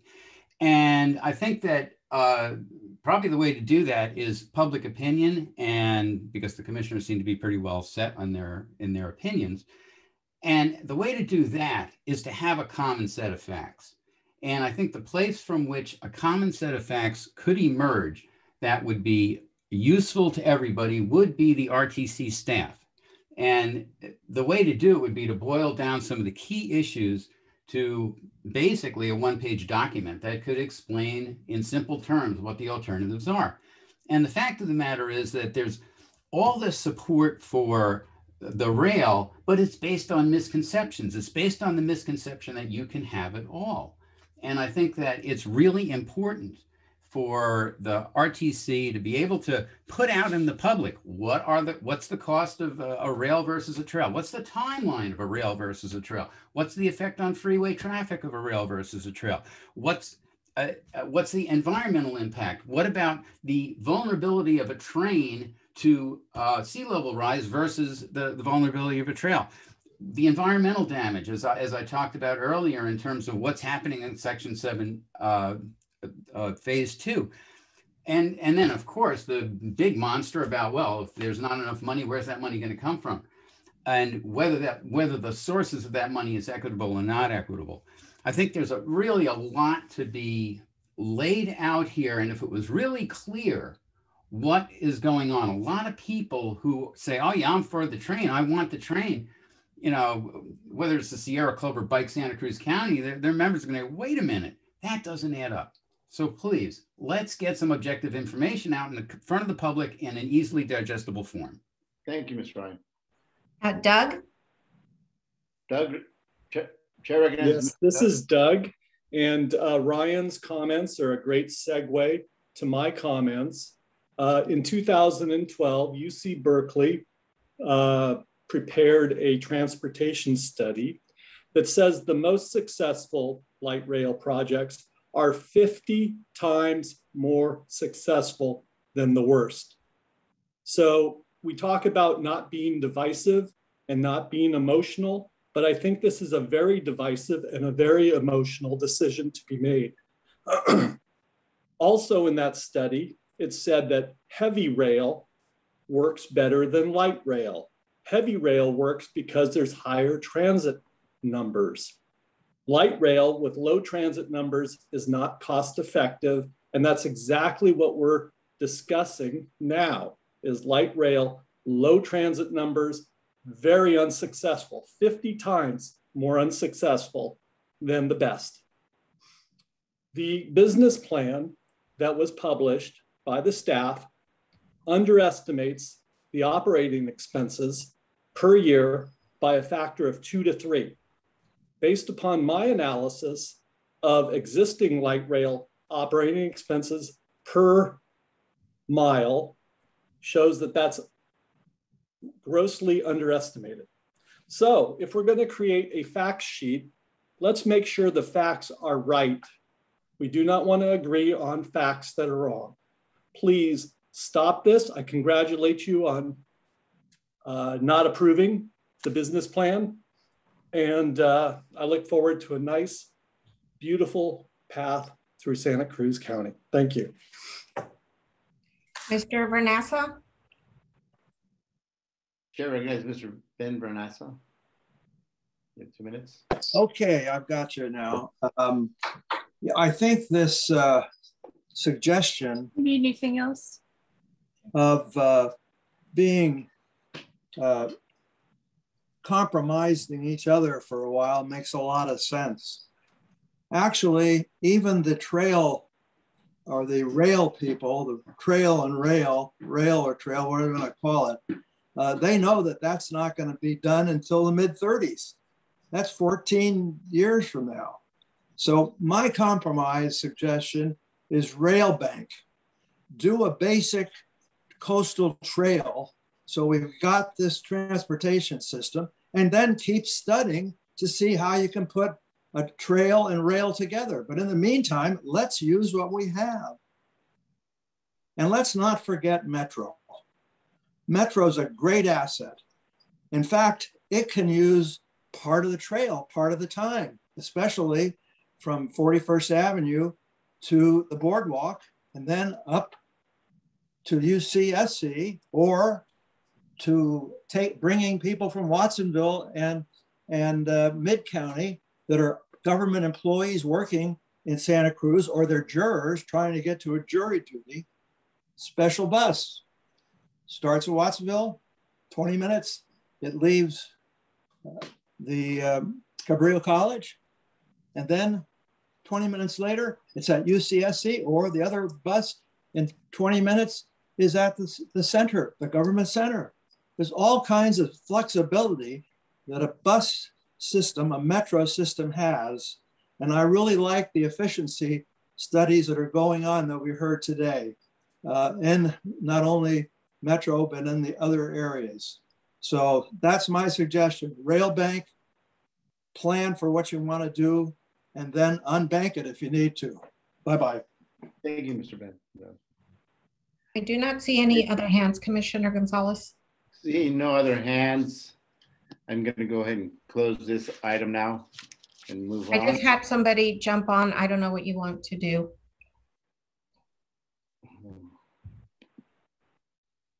Um, we'll we'll take the last person, uh, Stephen Wells, is that correct? Correct. This will be the last individual. Stephanie? Hello, thank you so much. I thought I had raised my hand earlier. Um, my name is Stephanie Wells. I am a resident of Santa Cruz. Um, and I just wanted to, to say, like Jeremiah, who spoke earlier, I'm also a new voice.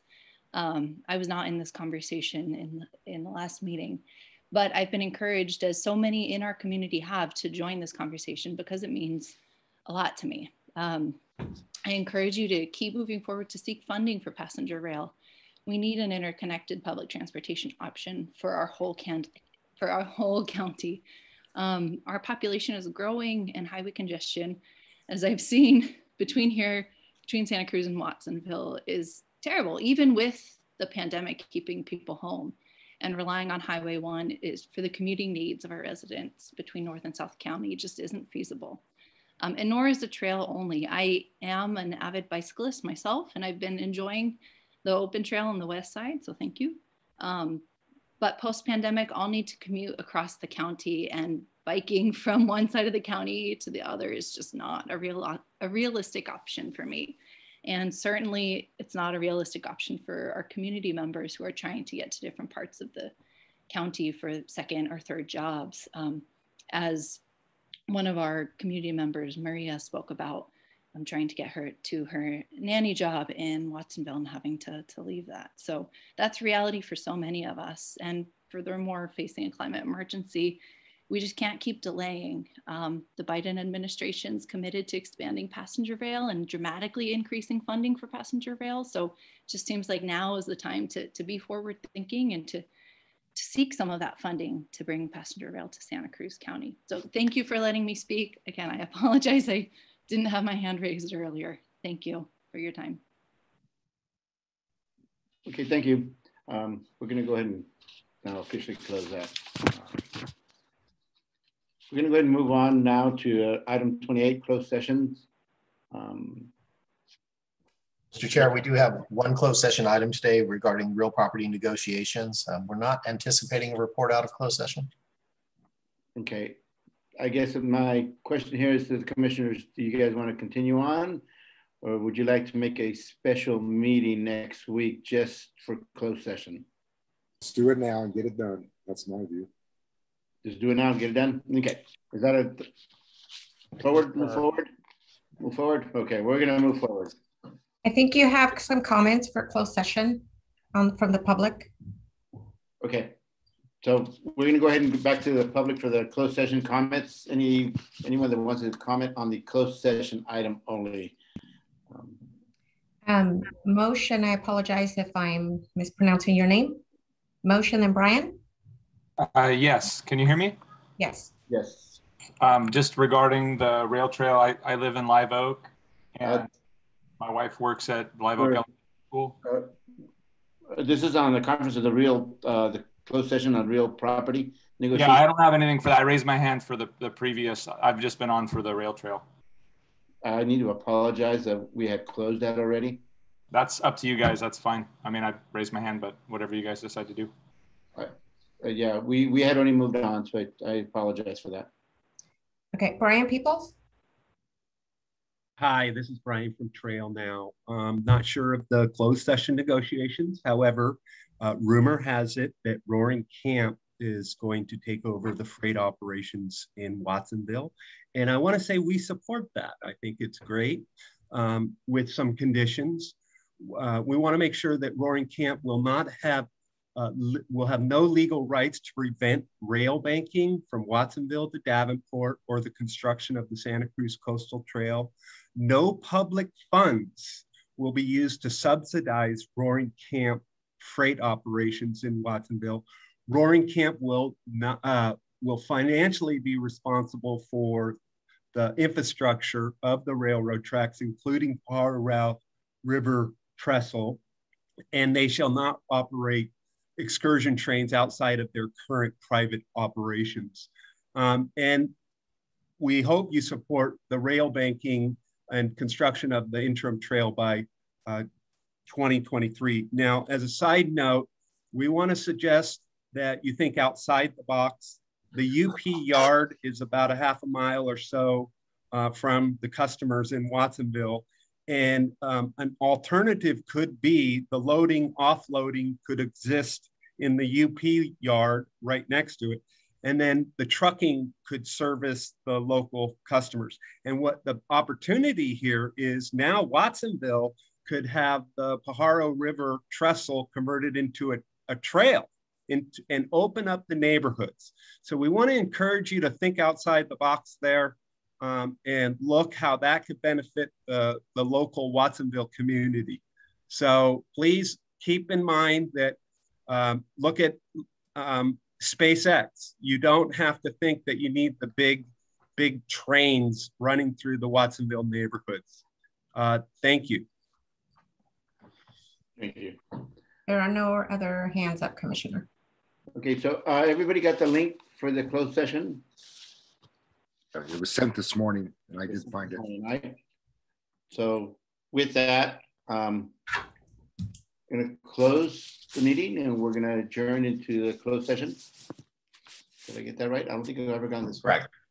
All right, sorry, I apologize for that. Um, so I guess we'll see each other in the closed session. Okay, bye. Thank you. Business or comments or? None? Everybody's going to closed session.